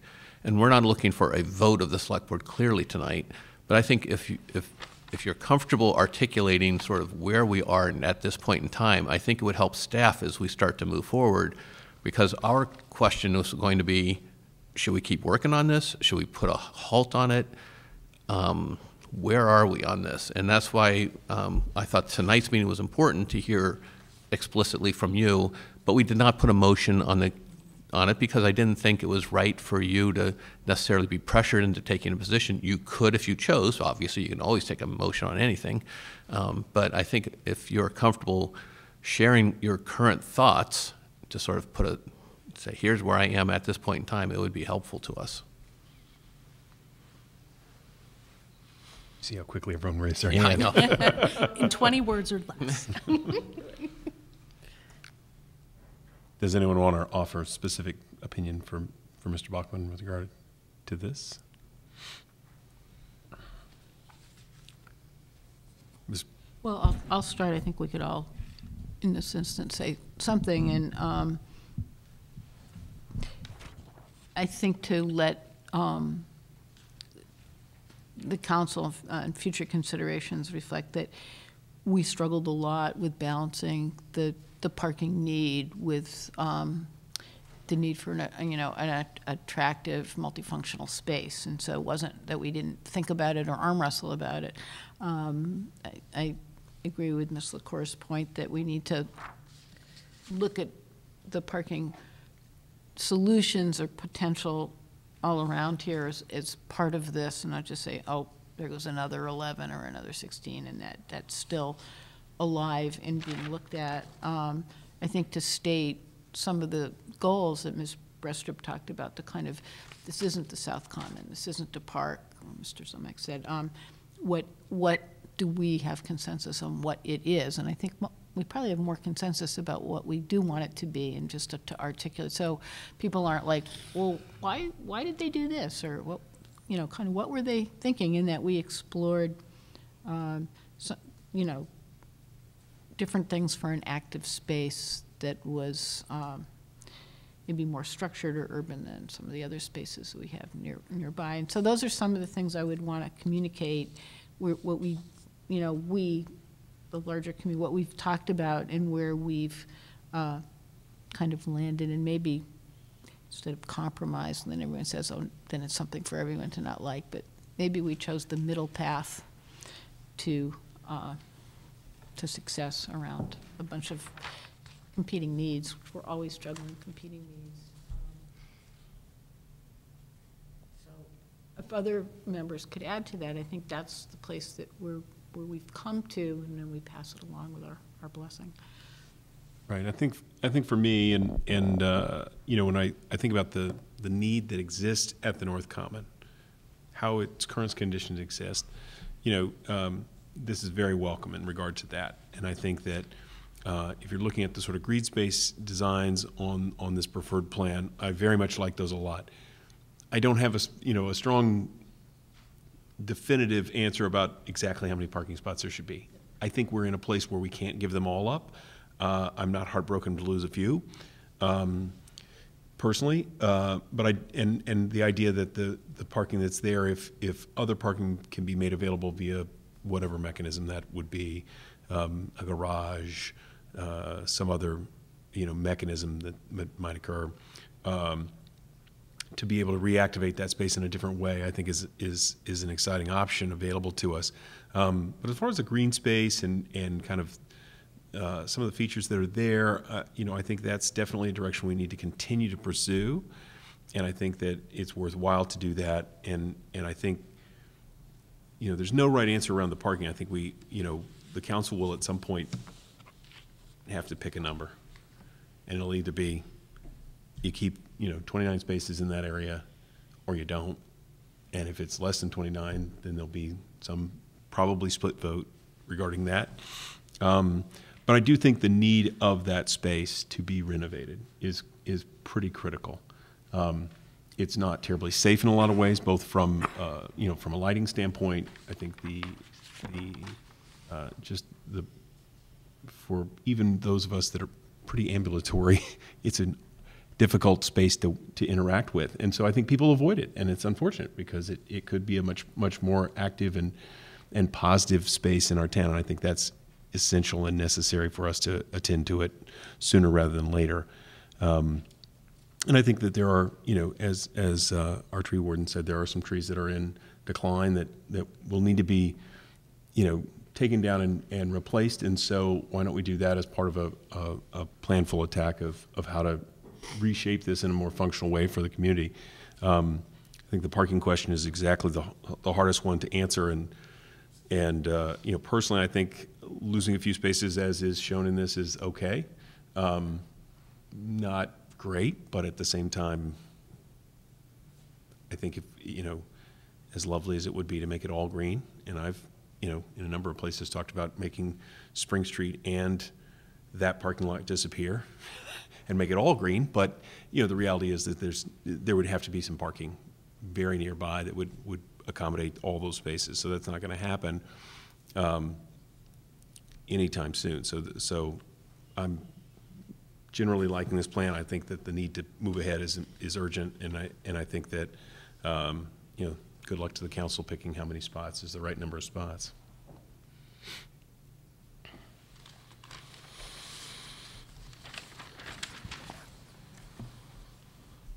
My other colleagues want to offer? Mr. Wald? My- My frustration not being able to achieve utopia notwithstanding, I do want to say that I'm grateful to the people who worked on this. I think it's, it's moving in the right direction, you know, and it- it, what, you know, it isn't what I was afraid it would be, which would be simply Plan Three, but actually, because they have been, you know, it- we keep talking about parking, parking, parking, but as Ms. Krueger and others have said, there's a landscape issue, as you mentioned, Mr. Ziomek pointed to the grade changes, and so I like the fact also that there's been a reconfiguration of the paths here. You know, it's been sort of one from different columns. They've taken different aspects of the three landscape plans we saw earlier and really tried to synthesize them and not just simply slap one onto the other one. Uh, And I'm, even though I'm not a fan of parking there, I'm glad that we also retained that little bit of a corridor leading to the Bank of America, but not making it maybe the focal point. You know, so that aspect has been retained, which is a positive thing. Um, I guess I would like, and I've said enough, so I won't say much more. I guess I would like us to maybe to put in that note to future selves or note to town council or whatever it is, that we would like to think about what happens if parking here is not needed. You know, so it's not, because things that end up being done here have a way of becoming permanent for default and other reasons. And then to second what Ms. Krueger and Ms. LaCour said about looking really at the big parking picture, because I think that's the, I mean, that's part of my fear again, is that we're going to stop here and say, it's okay, and we need a much bigger overhaul of the entire parking situation downtown. So if this can be a stimulus to that, that would be very important as well.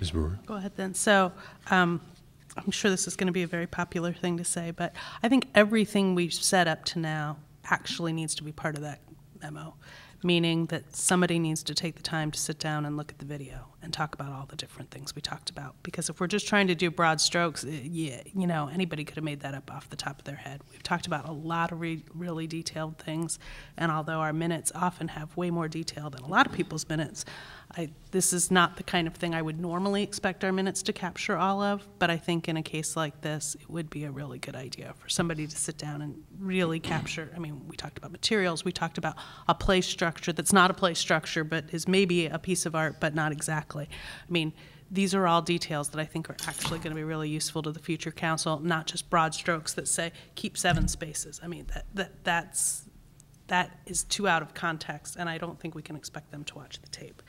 So that said, since I'm already so popular, um, I would also say that um, despite what I heard many of my architect friends say at the public forums, I think it would simply be precious of us to just go ahead and take out all the parking spaces. I think it doesn't reflect the working nature of this community and the needs of the people to just take them all out. So I would really strongly encourage the future council to understand why we came up with this middle path, even though it doesn't make my historic preservation friends or my architect friends happy. It's um, there was a reason for it, and um, yet at the same time, I'm willing to concede that just renovating the parking lot to the full number of revised parking spaces is not necessarily the direction we're trying to go in. And finally, I think it's just important to remind them too that we realized, and it came up over and over again at the forums, and I'm sure in other sessions as well, that this isn't Pula- it's not a park, and it's not Pulaski Park. It's never going to be Pulaski Park because Pulaski Park wasn't placed on a place that had parking. Pulaski Park had been something else for a long time, but it wasn't a place they took the parking out of to make Pulaski Park. I mean, maybe decades ago they did, but not any recent memory. And they have a huge amount of parking in Northampton to shift people to that they put down at the bottom of the hill, and it's a huge deal. That's why we can't do that here. We don't have that ability yet, and I'm not sure we ever will, and certainly not in five or 10 years. But I really appreciate the attempt at you know, trying to incorporate some of that, making this more of an inviting space, not just a place with trees and a couple benches. I think that it, it's, it's a very reasonable attempt to recreate some of that sense of community, even though we can't do that because we just don't have the space. We don't have the space and we don't have the parking space. Mr. Steinberg, do- would you like to offer some Yeah, comment? I mean, I fairly much echo what Ms. Brewer just said. I, I- I really appreciate the work that has been done, and I appreciate the, um, what's now called the preferred concept plan, because we as a community need to think very hard about s- public spaces and the purpose of public spaces and how they can bring people together into the community and that if that they that making the North Common something more spectacular maybe as big a draw as some of the other things we've been discussing to bring things downtown. That said, I also go back to my prior comment, and I think we just have to be prepared and prepare the options so that we can move forward to do as much of this as we can consistent with where they ever come out. Um, because it isn't going to be our decision in the end. And uh, so recognizing that there is, well, this is may be labeled as the preferred concept plan, there is an alternative plan, which would be to take this very plan, keep the lot closed off as far as vehicular access from the Pleasant Street side, enlarge the number of spaces so that it does less to reduce the number of spaces and possibly with the idea that some of those spaces could be removed and it could be reverted to what is drawn now in the future um, if there's um, a longer-term solution to parking, just so that they, it's cl- more clear to the council going forward that there is an option, but it will be, it will take away from the greening of um, town center into a very important part of town center, which is also a community value that I think that we're all hearing about. Um, the term, well, not greening, but the term greened has also come up a lot in um, the discussions that you have with voters. And uh, so I think that it's important that they understand why this plan is here, that there is an alternative. Thank you, that's all very helpful. Forced us into it. Good job. Mr. Ziomek, if you would. I know you're moving toward the end here, and just as a summary comment, I appreciate, we appreciate all the comments of the, of the board, and we'll take them back to the design team in the, in the weeks ahead. Um, I think a memo to future self or to the, to the council would be very helpful, however that takes shape, and we can talk to Mr. Bockelman and, and the chair about how that might, might happen. Um, I did want to say, you know, um, I think listening tonight, listening at all the public forums, I'm going to say, you know, we've been talking about the, the design of this space for, you know, intensively for probably 15, 18 months. Um, I would say 80% of the conversation has been about parking, to be honest. And so less about design, which I think is just a reality that the tension in the room, the tension in um, broader circles here is about parking, and this project um, I appreciate the comments about a larger context, and we will certainly look at that and, and take that to heart. We have done some of that already, but perhaps we need to daylight more of that, that information. Um, I will say I'm extremely proud of the public process that we have run uh, for this project. Um, I think we have visited every board and committee that we needed to in, throughout this process um, and wanted to, and gotten lots of public feedback. I think it's been a very transparent process, and you know I hope the board appreciates that. Um, again, uh, participated. Probably the participants, I would say, exceed 200, 250 people throughout the, the various meetings we've had. So I think it's been a very open and transparent process, and I give um, um, Ms. Brestrup a lot of credit for leading that. So thank you. Thank you. So I'm going to do a quick check of my colleagues. Do we need to take another short recess? Yes. So why don't we take a short recess, which will allow folks who don't want to stay for the rest of our meeting to What? take a break themselves. We could still go for hours on this? We used to go for hours, no, without taking breaks all the time. Yes. I think we got old. Yeah, some of us. Get some more blood circulating. Yeah. Stiff. Yes, exactly.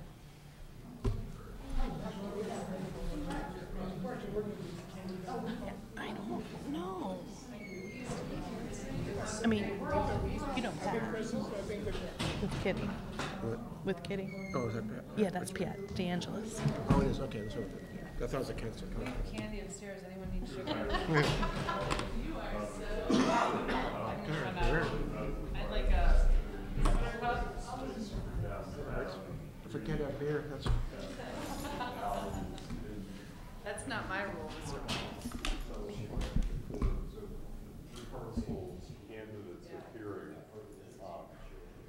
is all about parking. Understands about what that. So as we think about how to. Ten minutes. We Ten minutes. give them that flavor. And, uh, yeah, some of the drawings, some of the concept drawings. Oh, we will. Uh, very much part of that. You know, I think that that's. There will be a report, part of what I was trying to say to the end. I think that It's like the movie There Will Be Blood. This, there will be grief. Have you seen that movie? I'm not. I think I've seen pieces of it. It's all, but. It's one with Daniel Day-Lewis. Five points. Yes. Oh, and I. ways, it's wonderful because of what That- What was that movie? Oh, that one's There Will Be Blood. Right. I don't, I haven't seen that one. I've seen part of the one with uh, Leo DiCaprio and, and Daniel Day-Lewis. Railroad ties, you gotta go, they gotta go along. Even though Dave's dead, We're gonna have a bad show. That might be easier than dealing with the parking. Yeah.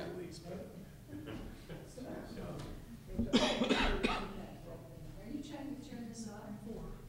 No, no, I'm trying to switch to a different image. Oh, you're gonna talk about State Street, right? Yes, we're here. More parking. And more loss of parking, I should say. I'm gonna just pull the plug. Good job, Angela. We're big fast. This is a different game entirely. It can be dinner. Thank you very much. Everybody's doing it. You are good enough Amherst Day to talk about. Sadly, uh, we, you know, we bought a big bag and we were, and, Microphones are on. Microphones are on. and unfortunately our dog got into it. And our, we had a big bag that our dog got into. Oh, wow. Two presentations And, uh, on this project. yeah. And others. And then proceeded to get ill. Public meetings, yeah. Yeah, so she's fine, but it was a rough day or so. Yeah, that's right. I think that's a good idea. So we'll Mm. definitely tackle it. We can do that. Yep, we Try to be so careful, but yet Thought of a lot of things, but to get them all down in writing is a really good idea. sometimes she's more persistent than we are. Yeah. But I'll send you my notes. Cool, yeah. No, because like your design review, you use, use notes in place of minutes. Yeah, um, Maureen's gonna write up the design review notes. We actually didn't take notes during the Disability Access Advisory Committee. We presented it to them, and they didn't make any comments. They took the packet away, and I said, please send us your comments, so maybe we'll get some in writing, but we.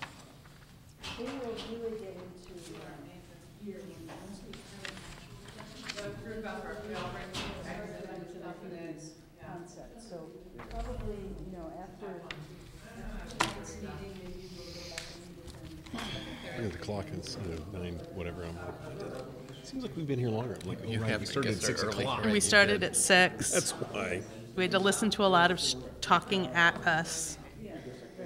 yes. I think that this. Bunch of one-days. Maybe something about social services, budget policy guidelines, and our favorite, the State Street traffic flow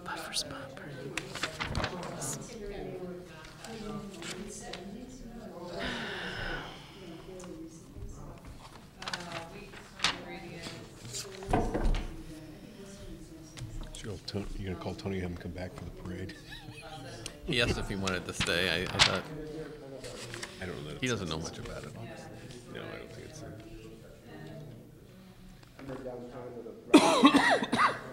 Minutes.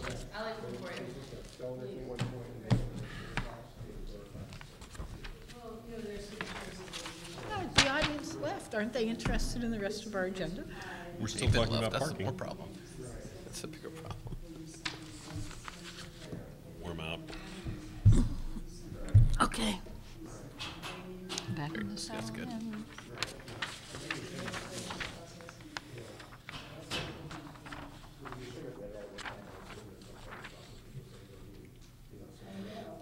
Those aren't horsepower spaces, I suppose. It's handicap parking as opposed to horsepower. Right.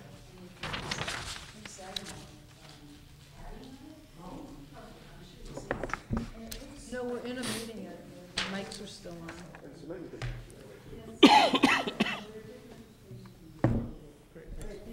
Thank you, Chris. Excellent job. So now that we're back, um, next on our agenda is uh, action discussion item 4B, which is State Street traffic flow changes slash Puffers Pond parking recommendations. And it's in preparation of our next week's meeting where we actually have a public hearing scheduled relative to this because it's a change in parking. Yes, Ms. Brewer? So I'd just like to clarify, even though the public's not here anymore, that we had been very specific last time that we wanted existing conditions and proposed conditions for this meeting, meaning in this packet. We said that at agenda setting two. It didn't happen. We got no explanation for that. We do have a map tonight in our packet that is slightly updated from the one we got on September 18th, so it does show something about current conditions. So obviously, I tried to get that in the packet over the weekend so that we would um, have more information to look at. Didn't happen, and so I think it'll be important tonight to make really clear what it is we're looking for for next week, because as we discussed at agenda setting, the more we can deal with tonight in terms of answering all of our questions and what we perceive the public's questions might be like for next week, the smoother next week will go. So I just want to make sure everybody knew it was, it was in the packet, it was in the folder tonight, although nothing was in the packet, even though it was very clearly discussed that information was going to be in the packet. So with that, Mr. So Zimmer. Thank you. Um, My apologies, yes. Um, Unfortunately, I think having the agenda setting on a Wednesday afternoon and a short turnaround to the packet at noon on Friday just did not allow for the turnaround of those maps. I will say that the maps on the plan have already been presented to the Select Board in great detail, um, which were provided uh, by Mr. Mooring. My suggestion to him and to you is that we provide a link. I think the concern was that the Select Board, um, there was too much detail. So it's very hard to go from the detailed plan to a, a general plan like the one you have before you.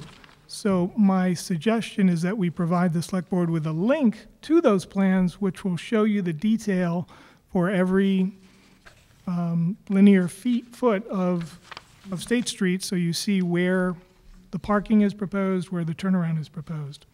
So with that, I think the goal of to- tonight's meeting, and Mr. Mooring could not be here tonight, um, is to provide the select board with a preview for next week.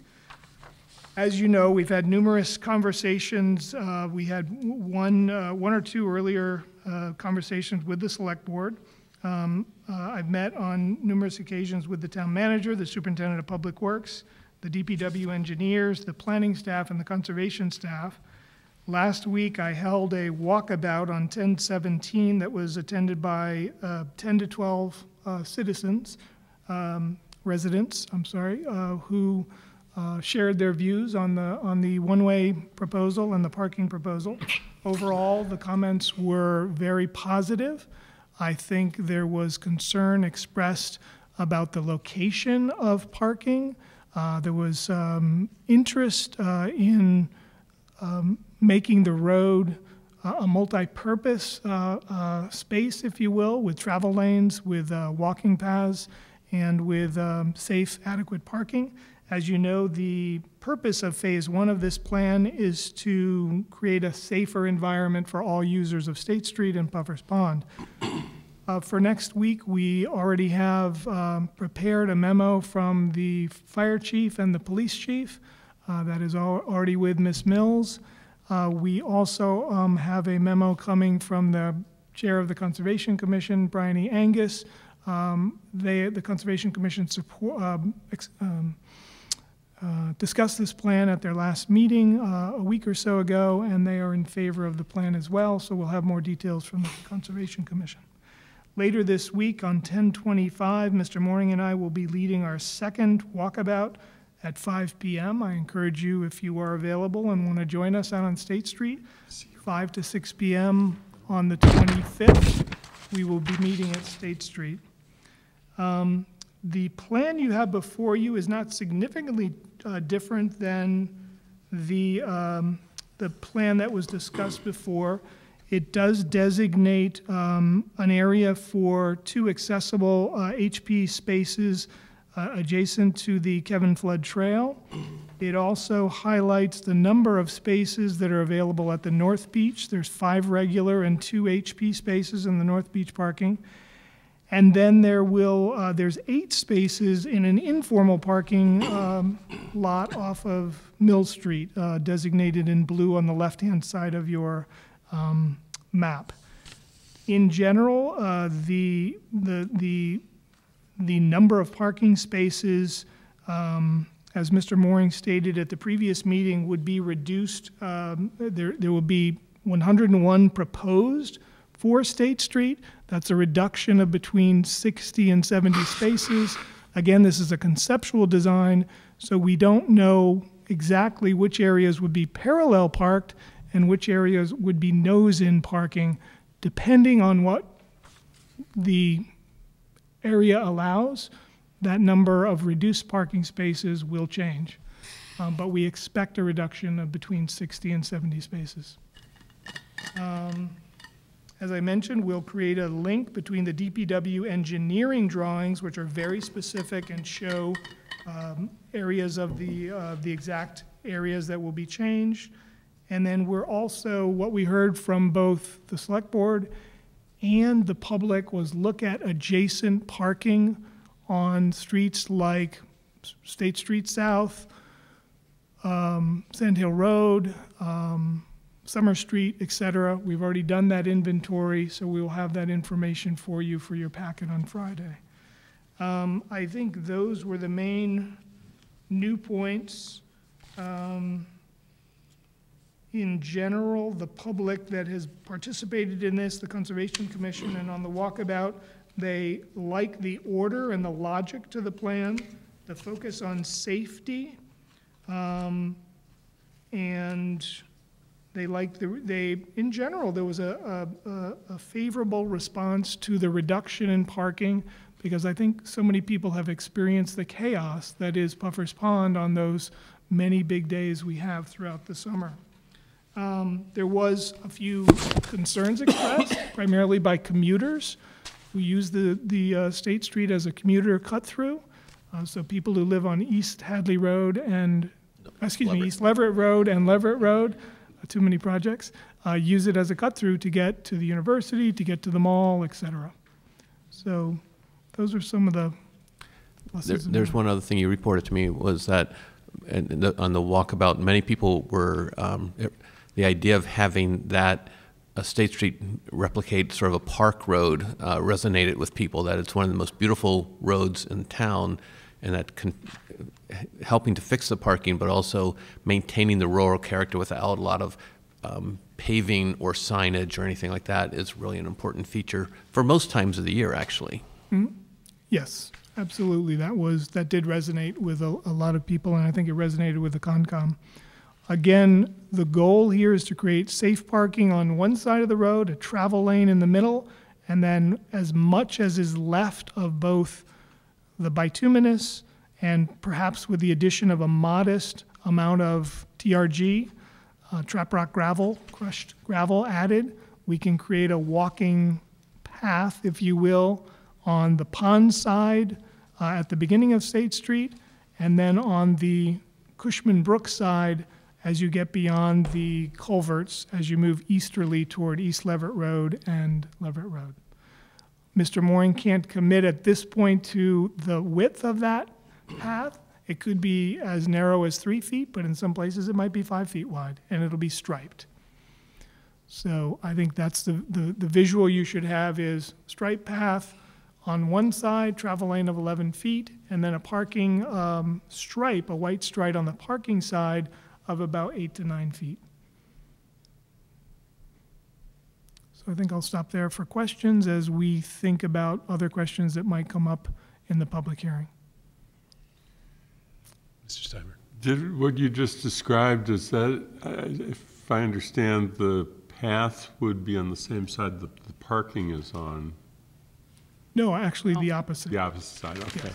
I just want Travel to make lane, sure. 11-foot travel lane in the middle, separated, separating the path and the uh, parking. There would be crosswalks at strategic places um, located, uh, and they are on the specific plans that we will send you a link to, because I believe when they were sent out before, they were too huge and they were just massive documents. So I think we can figure out a way to have you, have those be viewable.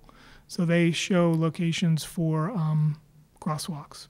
And will the uh, um, path, did I, do I understand it that the, what's the separation between the path and the street? Uh, There will be a yellow line between the path and the street. Is there any concern from people who have experience with uh, traffic safety and pedestrian safety of encroachment of vehicles on that path?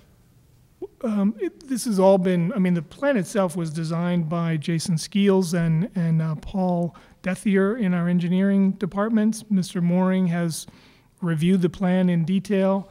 Um, we are talking about an incremental plan here. The situation we currently have there is grossly unsafe. Yeah. Um, so we have no, no, no striping on the, on the, on the road at all. So there is no separation. And in fact, in most places on busy days, we have cars parked on both sides of the road, people walking both directions, bicyclists going in both directions, and then two-way traffic. So I think the way we've approached this is this is an incremental way to move toward uh, a safer environment there. Ultimately, would we like to have a sidewalk or designated path on one side that is raised? I think we would. Um, but that is down the road.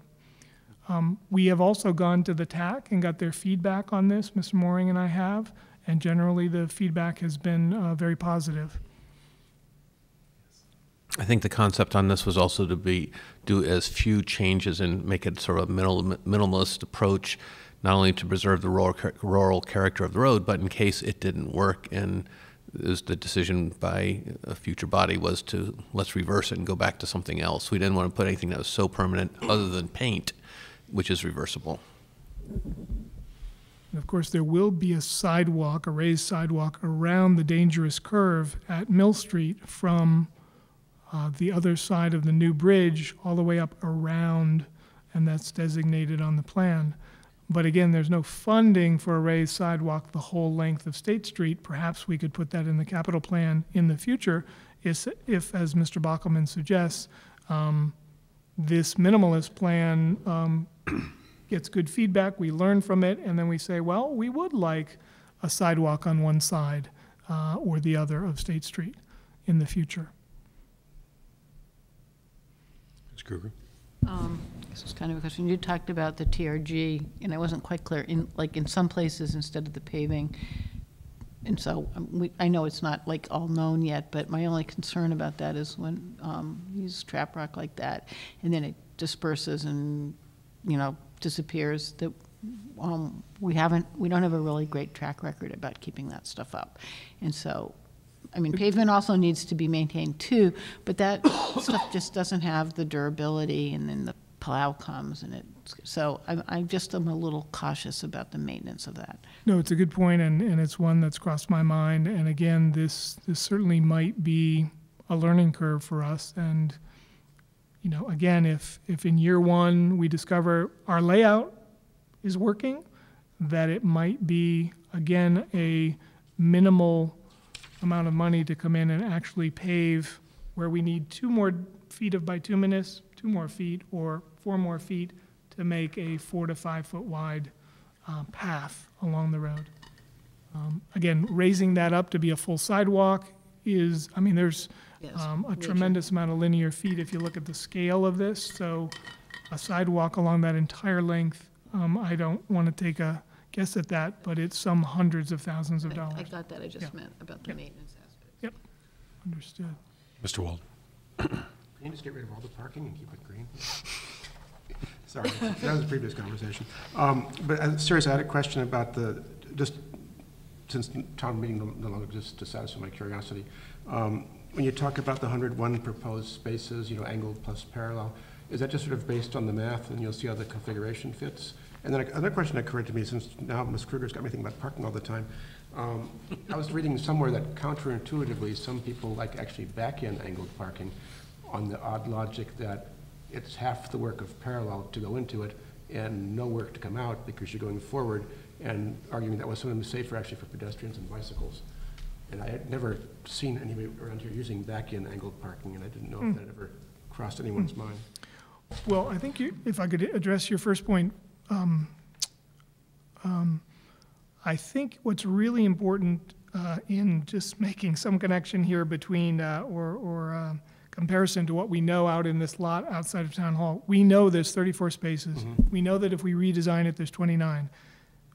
We took our best guess, DPW, an, uh, an educated, engineered guess, and came up with 160, 170, s- not spaces, places that people park. Right. And Oh, you've that's right. seen it all. yes, It is chaotic. In some places it's parallel, in some places people pull in, in some places they, they uh, squeeze between trees. So that is not even all on-street parking. So Oh, I see. I put that out there, we put that out there, and it's noted on the detailed plans that uh, DPW has developed. But I don't think any of us should fool ourselves to think those are safe spaces or approved I see. spaces. We've never had lines on Right. the pavement. Well, That's like the Dickinson and the things we talked about elsewhere, people just kind of self-regulate their. So what yeah. DPW did go out and do is measure, and based on an eight or nine-foot um, wide white line parking on the right, uh, on, on one section of this, and then on the left, is they actually measured out, and I I apologize, I don't know the exact uh, required space, but they measured that all out, and then they measured, using their best engineering, where they would put in nose-in parking, and they came up with 101 spaces. Um, The other comment, you know, we have heard, and I just want to reiterate tonight, is that going back as far as the Puffers Pond 2020 group, to even uh, as recently, I met with Elizabeth Hammond, the chair of the, the Puffers Pond 2020 group, and a couple of other um, uh, longtime users of Puffers Pond, and they brought me back to that whole carrying capacity discussion that um, many people feel that there is simply an, un, to some degree, an unlimited amount of parking because there is no rhyme, there's no reason to how it's done out there. That this brings some order to it, and that when we think of swimming areas, both at the, at the coast or, or rural communities out in the west where there are ponds and lakes, um, very few have unlimited parking. When the parking fills, you have to come back, um, or you have to carpool, or you have to ride your bike, or walk, or take a bus. So I think that's a, a common theme that we hear out there that um, I don't hear anyone saying, Dave, could we create 300 spaces at Puffer's Pond? Because we know the beaches, the number of people that would result from that would overwhelm the beaches and the porta potties and the system we have there, and the minimal staffing that we're able to put on the beach every summer. So I think um, all of those factors came together. But first and foremost was safety and an order to the parking that currently has no order. I don't know the answer, I'm sorry, I don't know the specific answer to which is preferred on back-in parking. Know a parking. little bit about that. I I actually don't back-in park myself. So the back in parking is now the state of the art, mostly for safety, Right. uh, for bicyclists Right. and other cars going in. Um, It's less comfortable for a lot of people because they're backing into a narrow spot versus backing out, out into an open roadway. Uh, In Somerville, they have done a number of streets with back-in parking. It seems people get used to it, or they just don't park there. Um, That's really the the choices, right? So, but, but it- I think the concept is you're not backing into an active roadway. You're Exactly, Pulling right, in, right. right? Mr. Sapp. Yeah. So switching uh, topic a little bit, um, as I was at an event that was um, involving people from this neighborhood, and I don't know if they went on the walk with you then later or not, it was just before you did the walks. Um, I actually was generally hearing positive things about the concept of doing this and reducing the number of spaces, and of course I have to acknowledge that these are people who live within walking distance of the pond, and therefore seeing a reduction in the number of people who drive to the pond and need to find parking in order to enjoy the pond was not high on their list of concerns. What was high on their list of concerns is the effect on their neighborhood um, of parking, and I engaged a lot of people in the conversation that afternoon, and uh, came up with no wonderful conclusions because they were all recognizing the series of problems that are obvious. Um, one is is that uh, they'd like to have something that limits people from being able to hang out and use their street on a regular basis and uh, make their street um, an unpleasant place to live. And um, but on the other hand, a parking regulation that doesn't allow their guests when they have guests to come in reminded me of the Lincoln Avenue discussion Mhm. actually we, we we previously had in this board, uh, and uh, the, they also recognized the seasonal nature of the problem and that this is really a limited period of time. So um, after engaging in all of those factors, they kind of uh, said, well, good luck with finding a solution and left me with all of the problem that we had started with. But um, that was the nature of the discussion that I was having, and I don't know how that comported with what you heard from neighbors as you walked with them. It- It was very similar, and I'm just making a couple of notes on parking. Um, As I said, many of those streets are already uh, limited parking. Sand Hill Road, Mill Street, um, part of Summer Street, but the southern end of State Street has no restriction whatsoever, so that does get parked up currently on busy days. Summer Street does get parked up as you move westerly as well. Um, and then we have had concerns, some complaints from the Mill Hollow apartment complex that people park there um, de facto and, and, you know, without a parking sticker. I have not heard any, and I, I'm noting that on this map, uh, we need to add street names here because many of us know them, but the public may not, that some of the cul-de-sacs to the south and east of um, Puffer's Pond, uh, I did drive them all. None of them have any parking restrictions. So in terms of pushing the problem out, if people are willing to walk or hike down a trail, uh, we certainly could um, push the problem out from State Street. And I think we just need to be cognizant of that. And I'll talk with Mr. Mooring about, and Mr. Bockelman about some of their recommendations on that. Probably the longest discussion I had that evening was somebody who lived on Puffer Circle.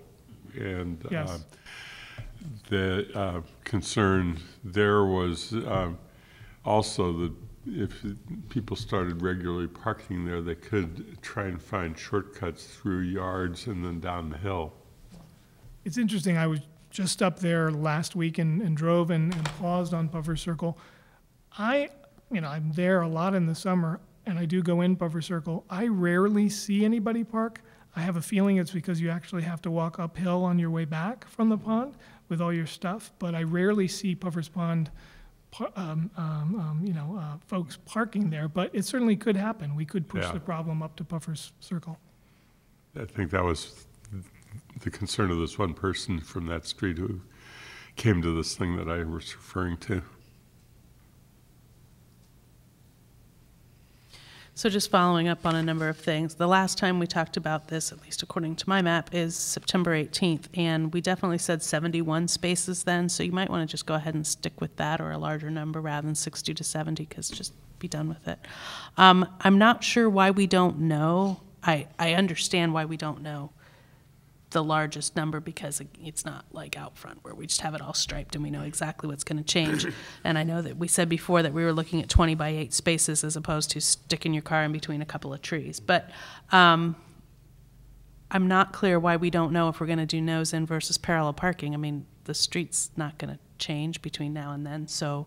We, we actually do on the, on the detailed plan. And We- that was why I wanted that tonight, because I said at agenda setting that I wanted to be able to have us have questions about it tonight, and so that we saw it again and could talk about it based on feedback we've been hearing before we come to the hearing, because the hearing is not just supposed to be the place. I wanted to be able to say at the end of the hearing that we'd vote for the plan. It makes it much less likely if we don't have the stuff yet, and that's why I wanted to lay the groundwork this week, and that's why the agenda items set up that way.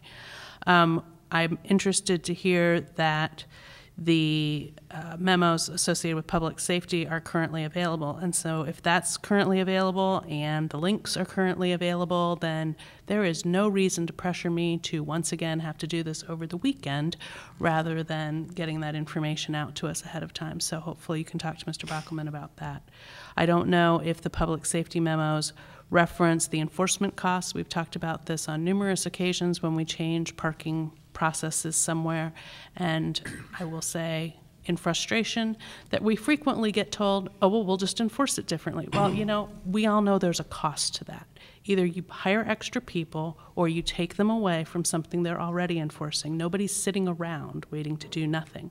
So I would like to know if those memos don't cover this, and I wouldn't know since I haven't seen them yet, um, what what the plan is associated with that. Is there a plan to hire another 0.27 of a person, or is it simply that people who are already doing enforcement will be doing that? And just as we always do during various times of year, certain areas have more demand, and that's where you do more enforcement, and certain others. I know there's a huge plan as to how to you can't have people everywhere at once, but I don't like being told that, well, we'll just suddenly start enforcing it, like we're suddenly uh, supposedly enforcing it out at Olympia, and there's a cost to that and a, and a decision that was made with that. So I just like some mention of that associated with the work. The other thing I hope that will assure people, um, if they come, if they come to the public hearing, is that if this does end up putting undue pressure, and we appreciate that you have reached out to people and that you have been looking at the different streets it would push to, because we had this conversation associated with Lincoln also, is that of course people could in future petition to have us post their neighborhood no parking, you know, and that might that might become necessary in some particular section. It might be signage hollow. I mean, it, it, people shouldn't feel like oh, it's just bad. Like if this happens, I mean, we'll see how we'll see what happens, and then it could be that those things will get changed to reflect that pressure because, as you said, the carrying capacity is, you know, something we're really concerned about. And we don't want to just say, oh, well, you live nearby, so you'll suddenly have cars parked in front of your house when you've never had that before. To some extent, we don't protect everybody from having cars parked in front of their house. But if it becomes problematic, then they can request that just as it's been done in other parts of town when it's become problematic for them. And maybe it won't. Like you said, if it's uphill on the way back.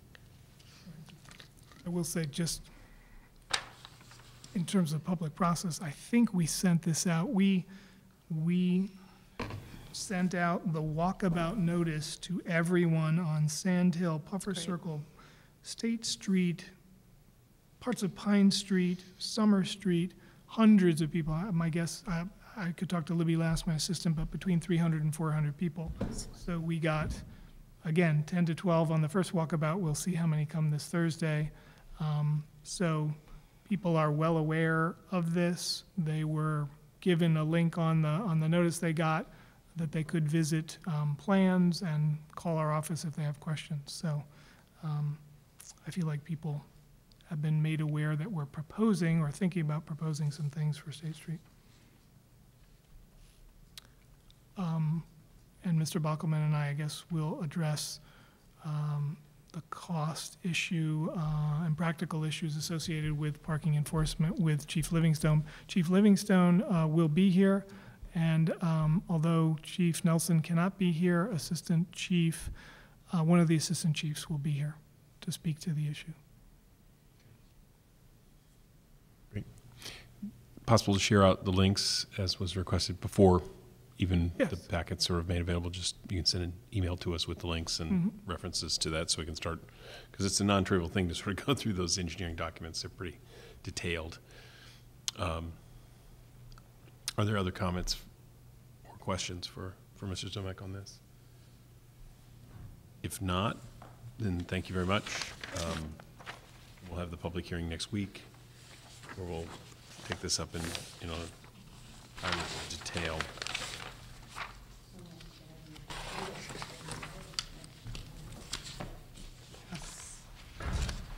So next on our agenda is uh, fiscal year 20 budget policy guidelines. Um, And in your packet was last year's um, budget policy guidelines. And I think that, you know, given our, our, our four boards meeting the other, the other day, uh, and, and the information we received at that point, um, and just the timing of when the council will be seated and that sort of thing, we, the idea behind this was to, uh, to start a conversation about whether we want to um, provide advice to the manager relative to the budget that he's constructing as we speak, because he's already in process relative to that. Um, I was thinking it's also in some ways as much an, uh, a, a as much to the manager as it is to the new council. Um, A way to, you know, prepare them for the process that they'll be going through to actually work through the budget. Because there's certain aspects of this that are just around sort of reasonable and appropriate financial management. uh, And then there are some things that are particular to um, community values that we've we've noted over the years that we want to uh, encourage the manager to, to, um, to pursue.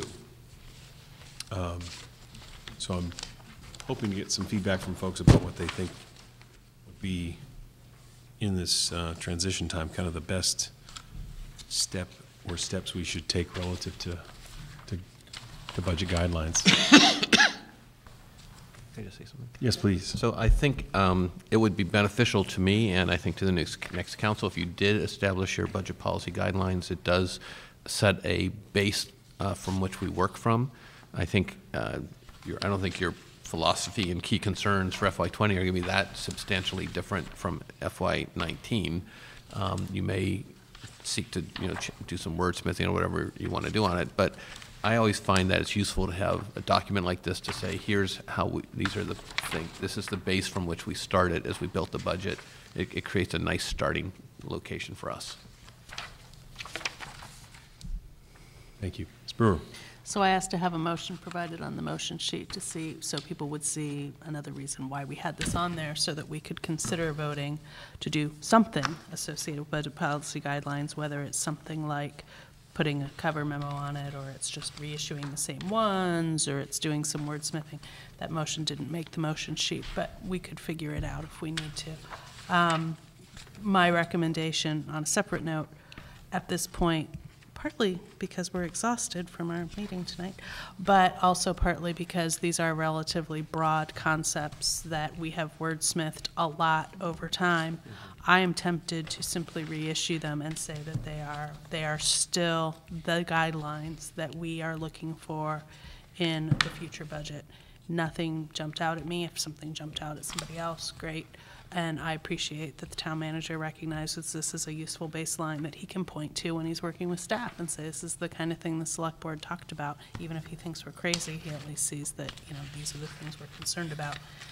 And I think that they're, you know, rather than just saying, we're not gonna do them this year and go look at the old one, I just assume this one's fine, unless there's something else somebody really noticed in particular.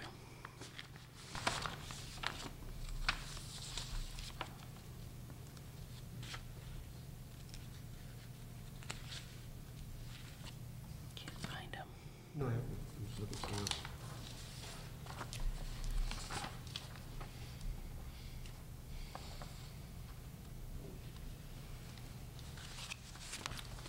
We could do a find replace on FY nineteen and Yeah, no, make it so. find in twenty. May I suggest? But, yes. We- We could easily get a dra, a new one, update it, put a draft in your packet for next week, have a motion for you to, to vote on it, the actual words that you would be approving. um, And then it would be clean and you can put the date on when you've voted it and then it would be up to date. And, and I would suggest, I'm happy to, to, to take that on in some respects, and, and would ask each of you if you found something in particular you wanted to offer, or some editing that you wanted to, you know, if there's something particular that upon further review, you know, strikes you as, as needing a bit of uh, tidying up relative to the current circumstances we're in, um, then, you know, share that with me, and I could make those edits. I, I really apologize. I'm going to have to leave the meeting. The family situation. Okay. All right. Thank you. Yes. Yeah, I, I think the one thing that I would look at a little bit more closely is what our suggestions are about the capital policy. And um, it's certainly an item, again, as I have observed what's being asked, this is one of those overarching topics that's hitting everybody who's campaigning.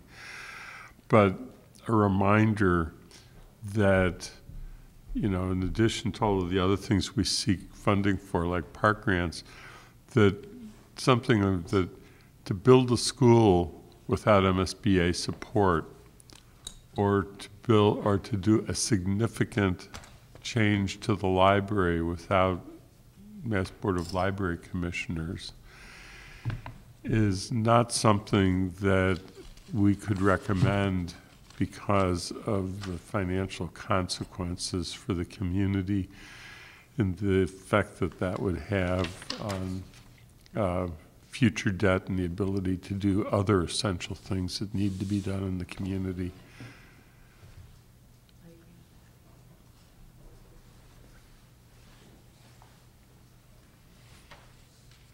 So I can certainly try to incorporate that in a, in, Where would you put that, Mr. Steinle?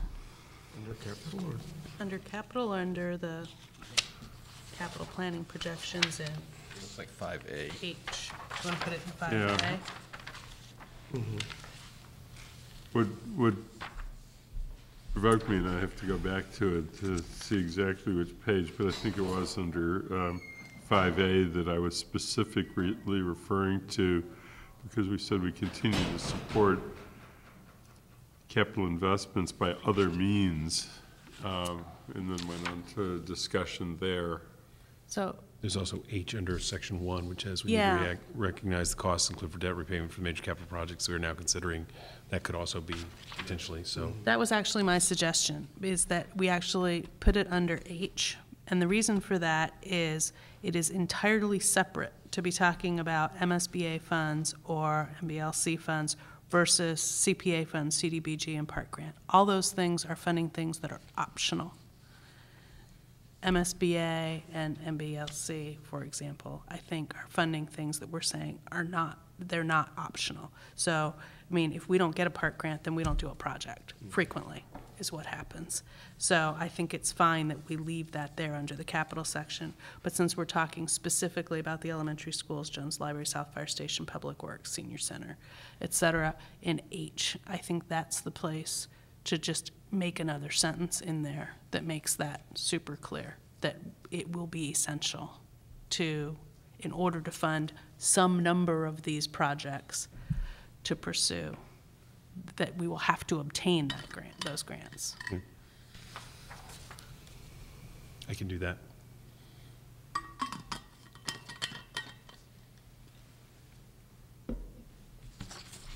So I'll take that, and then, of course, hopefully get that put together in a timely way, we can wordsmith it again on next Monday. Oh, no, we can't. We cannot wordsmith it again. Um, Item N has two references to FY nineteen. Other than that, uh, unless somebody has another idea, it's re- really quite clean. Smart of us to do it that way.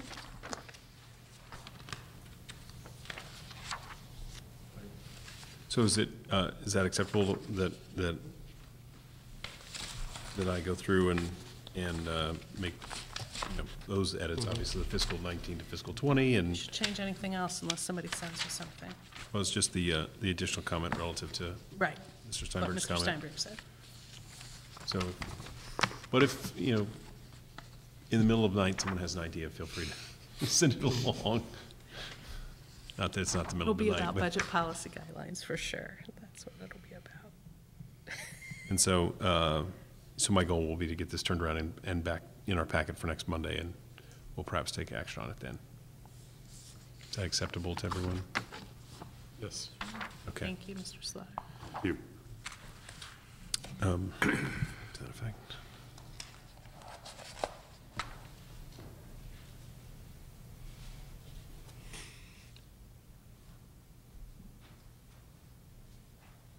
So next on our agenda is social services funding update. Mr. Bockelman, did you have? So I want to update you on where we are on that. So, um, as you recall, the town meeting appropriated sixty thousand dollars in additional funds for, uh, into the social services budget. At the time that town meeting was voting on it, there were comments made about this was supposed to be, uh, to support youth services.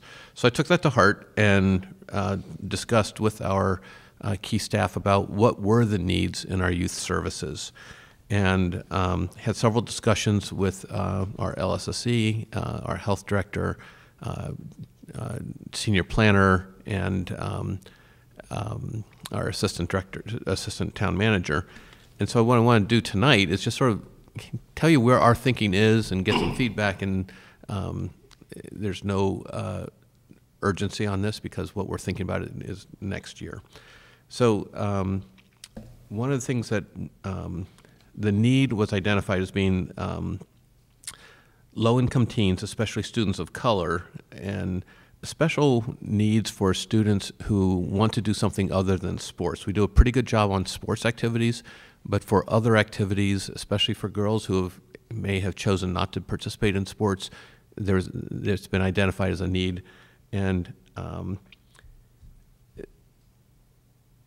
so and so that so that was I won't say just just girls. It could be anybody who's who has tired of, or has chosen not to choose, to participate in sports.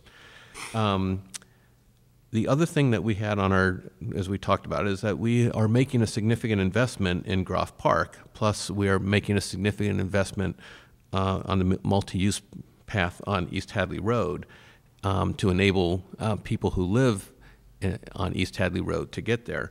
I know I want to note that East Hadley Road is the home of five major housing complexes that that we don't have an exact number, but we believe they house upward, according to the census, of, of 4,000, possibly even 5,000 people, 81% of whom, according to the, the census, are low or moderate income. And a large number of students who attend our schools also live uh, in that area. So there are five housing complexes, and not far away in South Amherst are Butternut Farms and uh, Pomeroy Co-op. So there's a large concentration of students, young people, and low and moderate income people who live in that area. And so one of the things we thought about is we're making this investment in this beautiful new park. How do we activate the space? How do we get people? We, and we have a path to get there. So we, one of the things that we thought about was to, to in order to activate that new uh, uh, asset, was to create engaging uh, programming late in the afternoon. There's a lot of programming that happens in the day, but there's not a lot of programming that happens from 3:30 to 5, 5:30 in that time frame. And um, people have experience in town with other expressive arts, uh, such as Project 2050, which I don't know about, but they said was very popular. Um, and um, and so that was the concept of do something at Groff Park um, during the summer uh, for late afternoon uh, for for for uh, young adults and, and uh, children to have something to do and to even help them get from East Hadley Road and you know sort of have uh, line coaches or line leaders who will say, "Hey, we're going over there." Something that makes people want to go there, so they become familiar with the park and say, "Wow, this isn't that far away. We really want to go there." Um, the other thing that uh, we had talked about was to, again, activating um, Groff Park was to have family movie nights uh, at Groff Park. And a number of, we can rent a screen and put that up and show some family-friendly movies, which have always been popular in town. Um, so unlike what we did last year with the social services funding, where we did an RFP for a very specific task, which was uh, uh, food security uh, for Latino families specifically, we feel like this is something that we can do with our current or new hires for LSSE. So we would not go out for an RFP. We would see what we can accomplish um, through our existing staff when programming um, for, for the summer. And um, so that's, that's sort of where we were looking is like, how do we get the most bang for our buck in the area that's most needed, that doesn't require people to come to us, but also takes an, an advan- takes advantage of a brand new asset the town has, has invested over a million dollars in, plus the, the new uh, walking, the multi-use path along East Hadley Road. Um, so I guess that's, I just wanted to float that idea and, uh, you know, as we start to develop this, see if you, any feedback to, to me from you, I'd be appreciated. So I'll offer a, a quick thing on the first thing you brought up, which was low-income teens and especially those of color in non-sport activities. Um, I would offer to connect with the schools because they have another number of clubs, both the middle school and high school. Um, that is engaging to a lot of folks. It's a, f- um, so, but at the same time, they don't run during the summertime. So it's really more about getting the right seasons for that sort of thing. But it may be able to take existing uh, service organizations that kids belong to or, or programming that they're engaged in there, or to work with the schools to get better in, engagement with that po- set of population into those clubs and, and, and uh, but if you could extend those through the summer or just uh, try to bolster the, the participation within, uh, within that programming uh, during the school year. That's an excellent point. Mr. Steinberg. Yeah, I mean, the one, the one comment I heard the other day in my ventures around town is a similar idea to the first one, uh, just commenting that the amount of money that gets spent on participation in sports um, and the number of participants, that um, there are other things that um, would be on a less costly basis per teen who participates in the example that they threw out was theater and arts programming.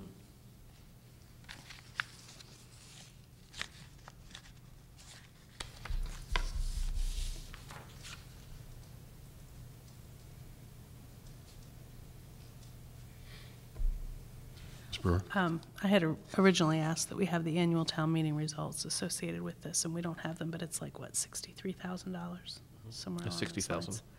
Um, there were two different numbers floating around at one point. Um, so, at any rate, they're not in here. But I do think it's perfectly fine to, to take a different tact with this. I do think it's, it would also be smart to go ahead and tell the social service agencies, once you feel like you're a little further down this road, that that's what you're not doing this year. Because I've already had them asking me if they should be coming to the meeting, and I said, no, to go talk to the town manager.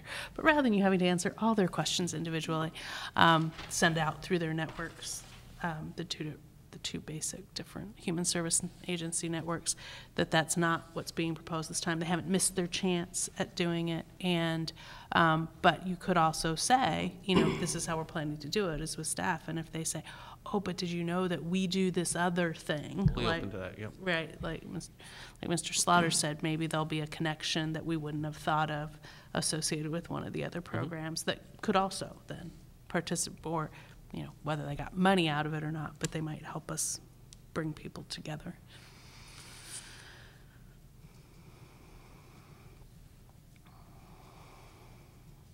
Other suggestion or comment? If not, then let's move on to our next agenda item, which is uh, charter transition.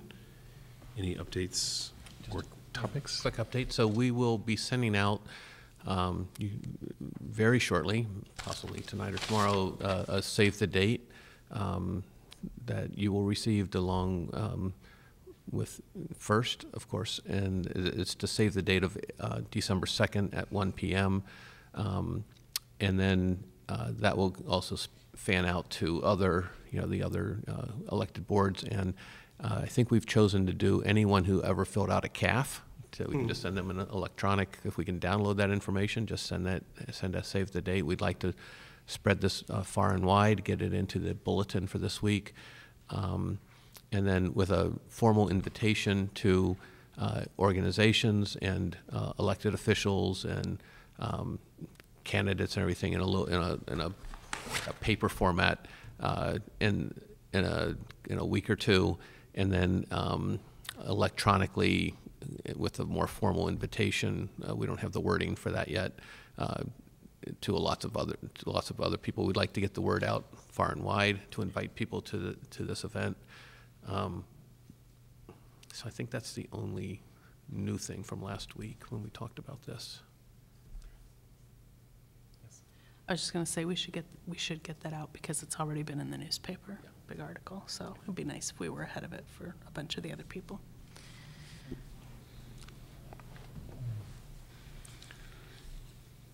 Anything else? Not for that. Not for that? Okay. Moving on, the next section of our uh, agenda is licenses, public way and meter parking reservations. And so we have a host of um, license renewals, et cetera.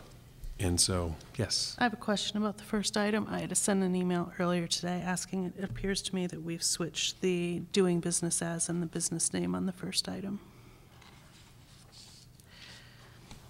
So I would just like someone to confirm that, because they're having their grand opening as the thing that's listed under their business name. The thing that's painted on their window is the thing that's listed under their business name, so it doesn't make any different d- sense. to- I'm looking at this list. Oh. Yeah, I, th- I noted the same thing. Ichiban's the old name. If it's any name, it's, it's certainly not the doing business as name, because they're, that's not what they're doing business as. something else. So I just Which think I those can two just got s- switched, Yeah. perhaps. Well, I don't know that, um, that they're doing business as, because they certainly sent out the invitation, which, uh, town The first manager name. forwarded to us, is Chuan Chuanjiao Asian Bistro. Right. Was the the thing we were invited to a grand opening for. So this is what was reported to us on the common victualler's license, so we can ask them if that's what they intended.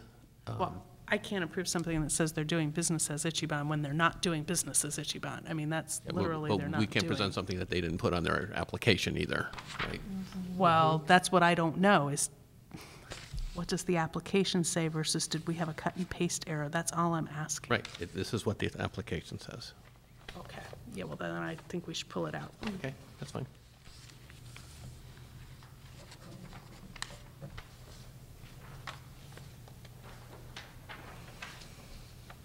But then we could do the rest, right?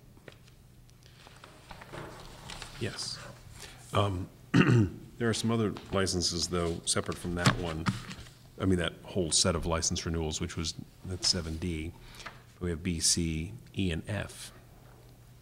So I don't know if we want to take them in order, or? So why don't I move the, do the motion for D? All right. Just by Sounds- itself. So I move sounds- to approve the renewal of annual licenses for the calendar year 2019 as listed in the additional page of the Select Board Agenda of 102218, with the exception of the first item, and you know which one it is. Mm-hmm. I'm going to name it, actually, just so we're clear. So we have a motion and a second. Second. Is there further discussion? Hearing none, all those in favor, please say aye. Aye. Aye. And that's unanimous.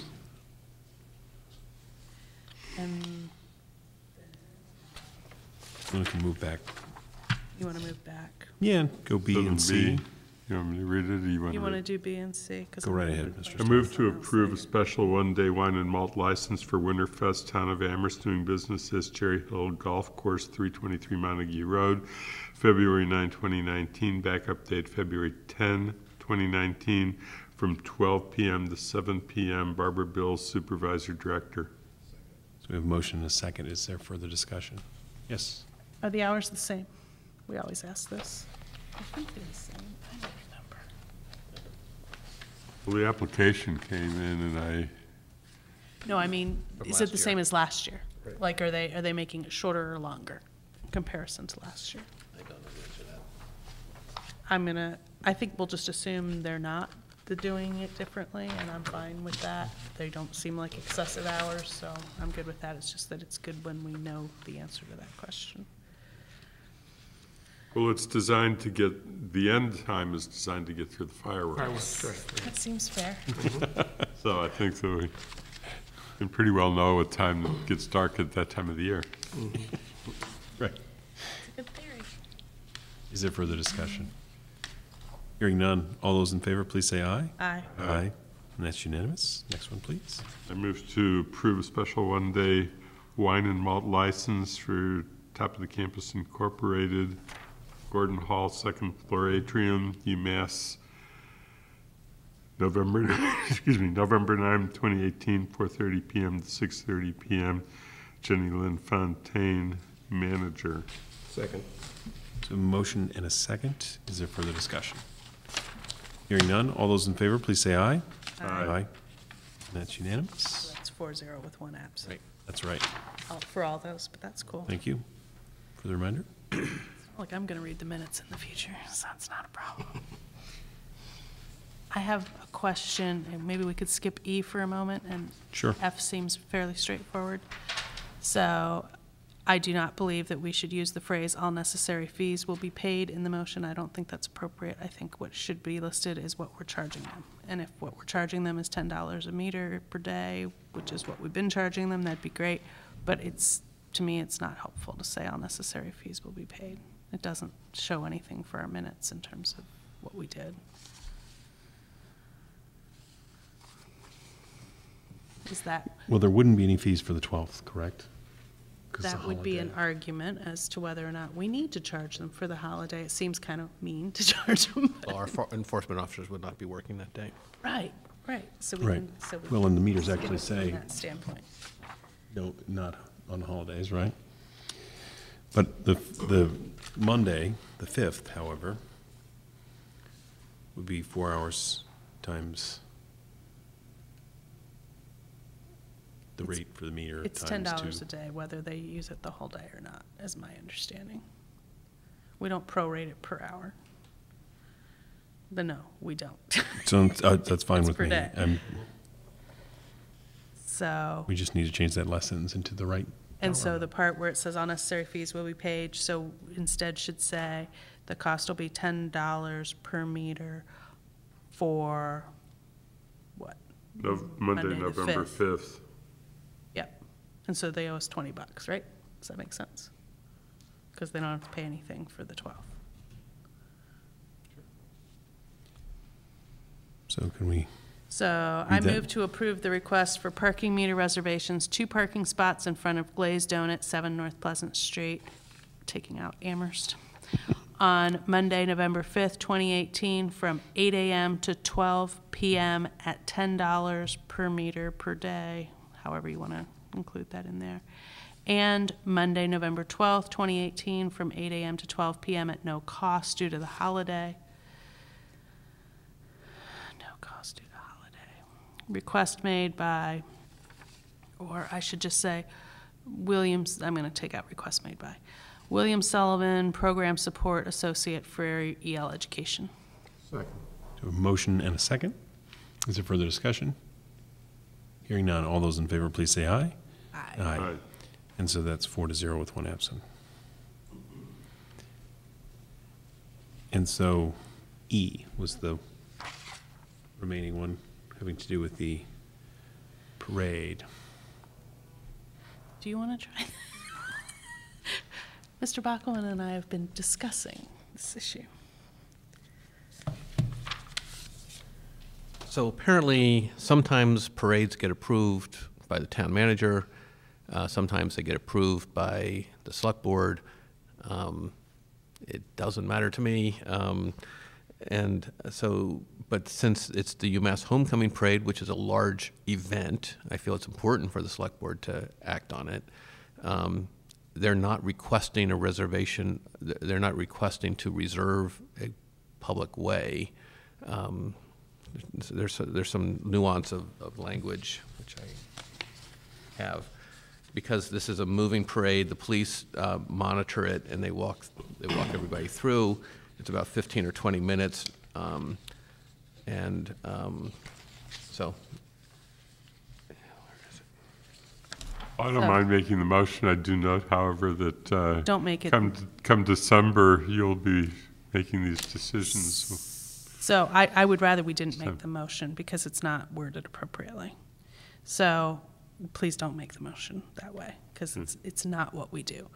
We don't approve parades. The town manager approves parades. What we do, and what it says on the back of the application but didn't get printed for our packet, is if you're requesting special, and this is what Mr. Bockelman said, if you're requesting special consideration for a street closing, which as he addressed, they're not actually planning to close it off because it's relatively short, and they're just planning to kind of steer people, or parking restrictions, which they're also not asking for. Right. So this has been an issue, say, associated with um, many, many years ago now, Fourth of July parking, where the town manager was in charge of the parade itself and what that was going to be like and working with police. And then we were just in charge of if they were saying, oh, but then we can't have anybody park on this section of the street, which has happened for runs and that sort of thing too. Um, So if there's no closure and there's no parking, then I would say there's nothing for the select board to do. It's just a parade that you're working out the traffic associated with and have sometimes in the past used the calling system to alert people that traffic could be clogged because of the homecoming parade, which, and also, of course, which is a positive, go to the homecoming parade, as opposed to just be annoyed by the homecoming parade. But in this, if, they really don't want to close anything off, if they just want to squeeze it, then I'd say it's a non-issue. And you do your part, which is this piece. Right, so, I mean, but the board did approve the XTCA parade, so it's, it's just Yeah. Confusing to it's- us. It is very confusing. Well, we, we approved it because somebody sent it to us. That's why we approved it. Um, yeah. Didn't cross our mind And that that also really involved just action necessary. shifting, shifting people, or shifting cars, rather than saying the street is closed, like we close it for the black party. The Right, street right. is closed. Totally different. Right. Right. So we'll leave that one. Uh, Next is approval of minutes. We have uh, three sets of minutes in our, in our packet, I believe. And, yes. So unless there are additional edits to those, I would take a motion for those. I'm abstaining, so do whatever you want with it. Just put me down as an abstention.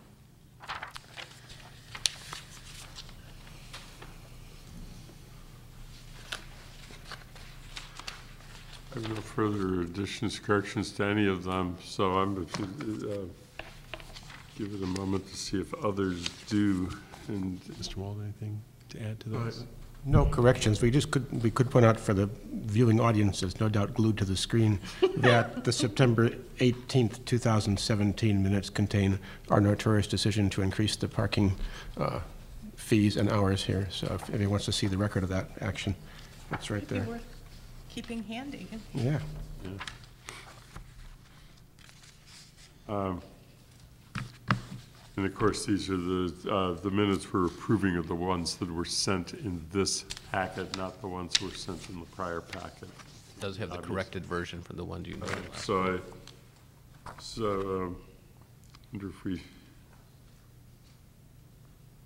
I'm just gonna make the motion as stated. Move to approve the minutes from the select board meetings, September 18, 2017, October 2nd, 2017, October 18, 2018. Second. So we have a motion and a second. Is there further discussion? I do note that I was absent on the meeting of October 2nd, 2017, but I believe I'm still allowed to vote for minutes, so I'm going to, just so that we don't have a two to zero vote. It's, it'd be enough. So if there's not any further discussion, all those in favor, please say aye. Aye. And one absent, and are you abstaining? Yes, no? Ms. I Brewer? am definitely abstaining. Okay, so that's three to zero with one abstention and one absent. So next up is uh, town manager's report. Um, I want to announce that early voting has started. Today was the first day of early voting. We had nearly, we had a hundred, over a hundred people vote um, for uh, the state election and just under a hundred people who voted um, for the local election. Uh, That seems to be the, the average, and that will occur, early voting will occur every day uh, for the next two weeks in Town Hall, uh, plus Wednesday, Thursday, and Friday at UMass, and then on Saturday at Munson Library and at um, North Fire Station. It's really easy to come in to early vote, to take advantage of early voting, and it makes, um, makes everybody's decisions a lot easier. You can, it's, it's not as pressurized. So if you want to participate in early voting, you can come in to Town Hall, vote in any precinct uh, uh, that you live in. Uh, I want to note that uh, Station Road Bridge, uh, there has, we continue to work on different options available for us to uh, uh, offset the length of time that has been uh, uh, revealed that is going to take to do the permitting and the construct, the design, the engineering and the design and the construction. So in order to help share that information out, uh, we're scheduling a public meeting on Tuesday, October 30th at 6:30. Um, I'm hoping at the police community room uh, to let people know about where we are, engage in some, if people have other ideas, concerns that they would like to express to us. It'll be the superintendent of public works, and, and I will be there um, to sort of update where what happened, where we are, and uh, listen to any public feedback on that. Um, uh, the uh, I want to note that the police and fire are actively engaged in preparing for um, this weekend, which we anticipate will be the first of two weekends and a Wednesday of Halloween uh, events. There'll be extra police officers on duty this weekend uh, in anticipation of a lot of Halloween parties. It's going to, we anticipate that it will span two weekends. Um, so we're hoping that things go okay. Um, the um, when an- announced that the uh, Council on Aging has received uh, a for, their formula grant from the state, and it's a increase of nearly ten thousand dollars. Last year they received thirty-eight thousand nine hundred forty-six dollars. This year they're getting forty-eight thousand one hundred ninety-eight dollars. The, the um, governor was fulfilling a pledge that he had made to them in the past. And also on Saturday, uh, there is a National Prescription Take Back Day from 10 to 2 at, at Wildwood Elementary School. So anybody can bring old prescriptions that they don't lo no longer need and want to dispose of safely. That's the place to do it. Uh, um, oh, uh, the MMA Legislative Breakfast is this Friday in Sunderland at 8 a.m. So if anybody is, you're all available, eligible to go if you'd like to attend. It's always a, it, they're usually finished by 10 a.m. And then the day before that, the staff, several staff members from the MMA are, have asked to meet with local officials. I have had two select board members who vol volunteered to meet with them, which I really appreciate. And if anybody else was was eager to meet with them, um, we'll not sure we need we would post we wouldn't post a meeting, but it would be uh, just let me know if you plan on being there or not. Um, the, also, speaking of legislative breakfast, there, on Thursday is the Chamber's legislative breakfast. So uh, that's uh, probably on a lot of your schedules as well. And then on, uh, as far for me, tomorrow I'll be speaking to the Amherst Club. Uh, I think the chair did this not too long ago, and they um, cycle through their speakers periodically. So I hope to not, not duplicate whatever you said. um, the um, Amherst Educational Foundation's Trivia Bee is on Thursday. Um, and I think that's it from, for what I have for you. Um, just a couple questions for you regarding that. Um, regarding the the uh, the meeting relative to Station Road Bridge, et cetera, et cetera, you're going to put those on the website as far as events? Yeah, we, that sort of we? I, I need to nail down the room and make sure our folks can be there. So, Okay. Yeah, that would, that will happen tomorrow, so I can get into the bulletin as well.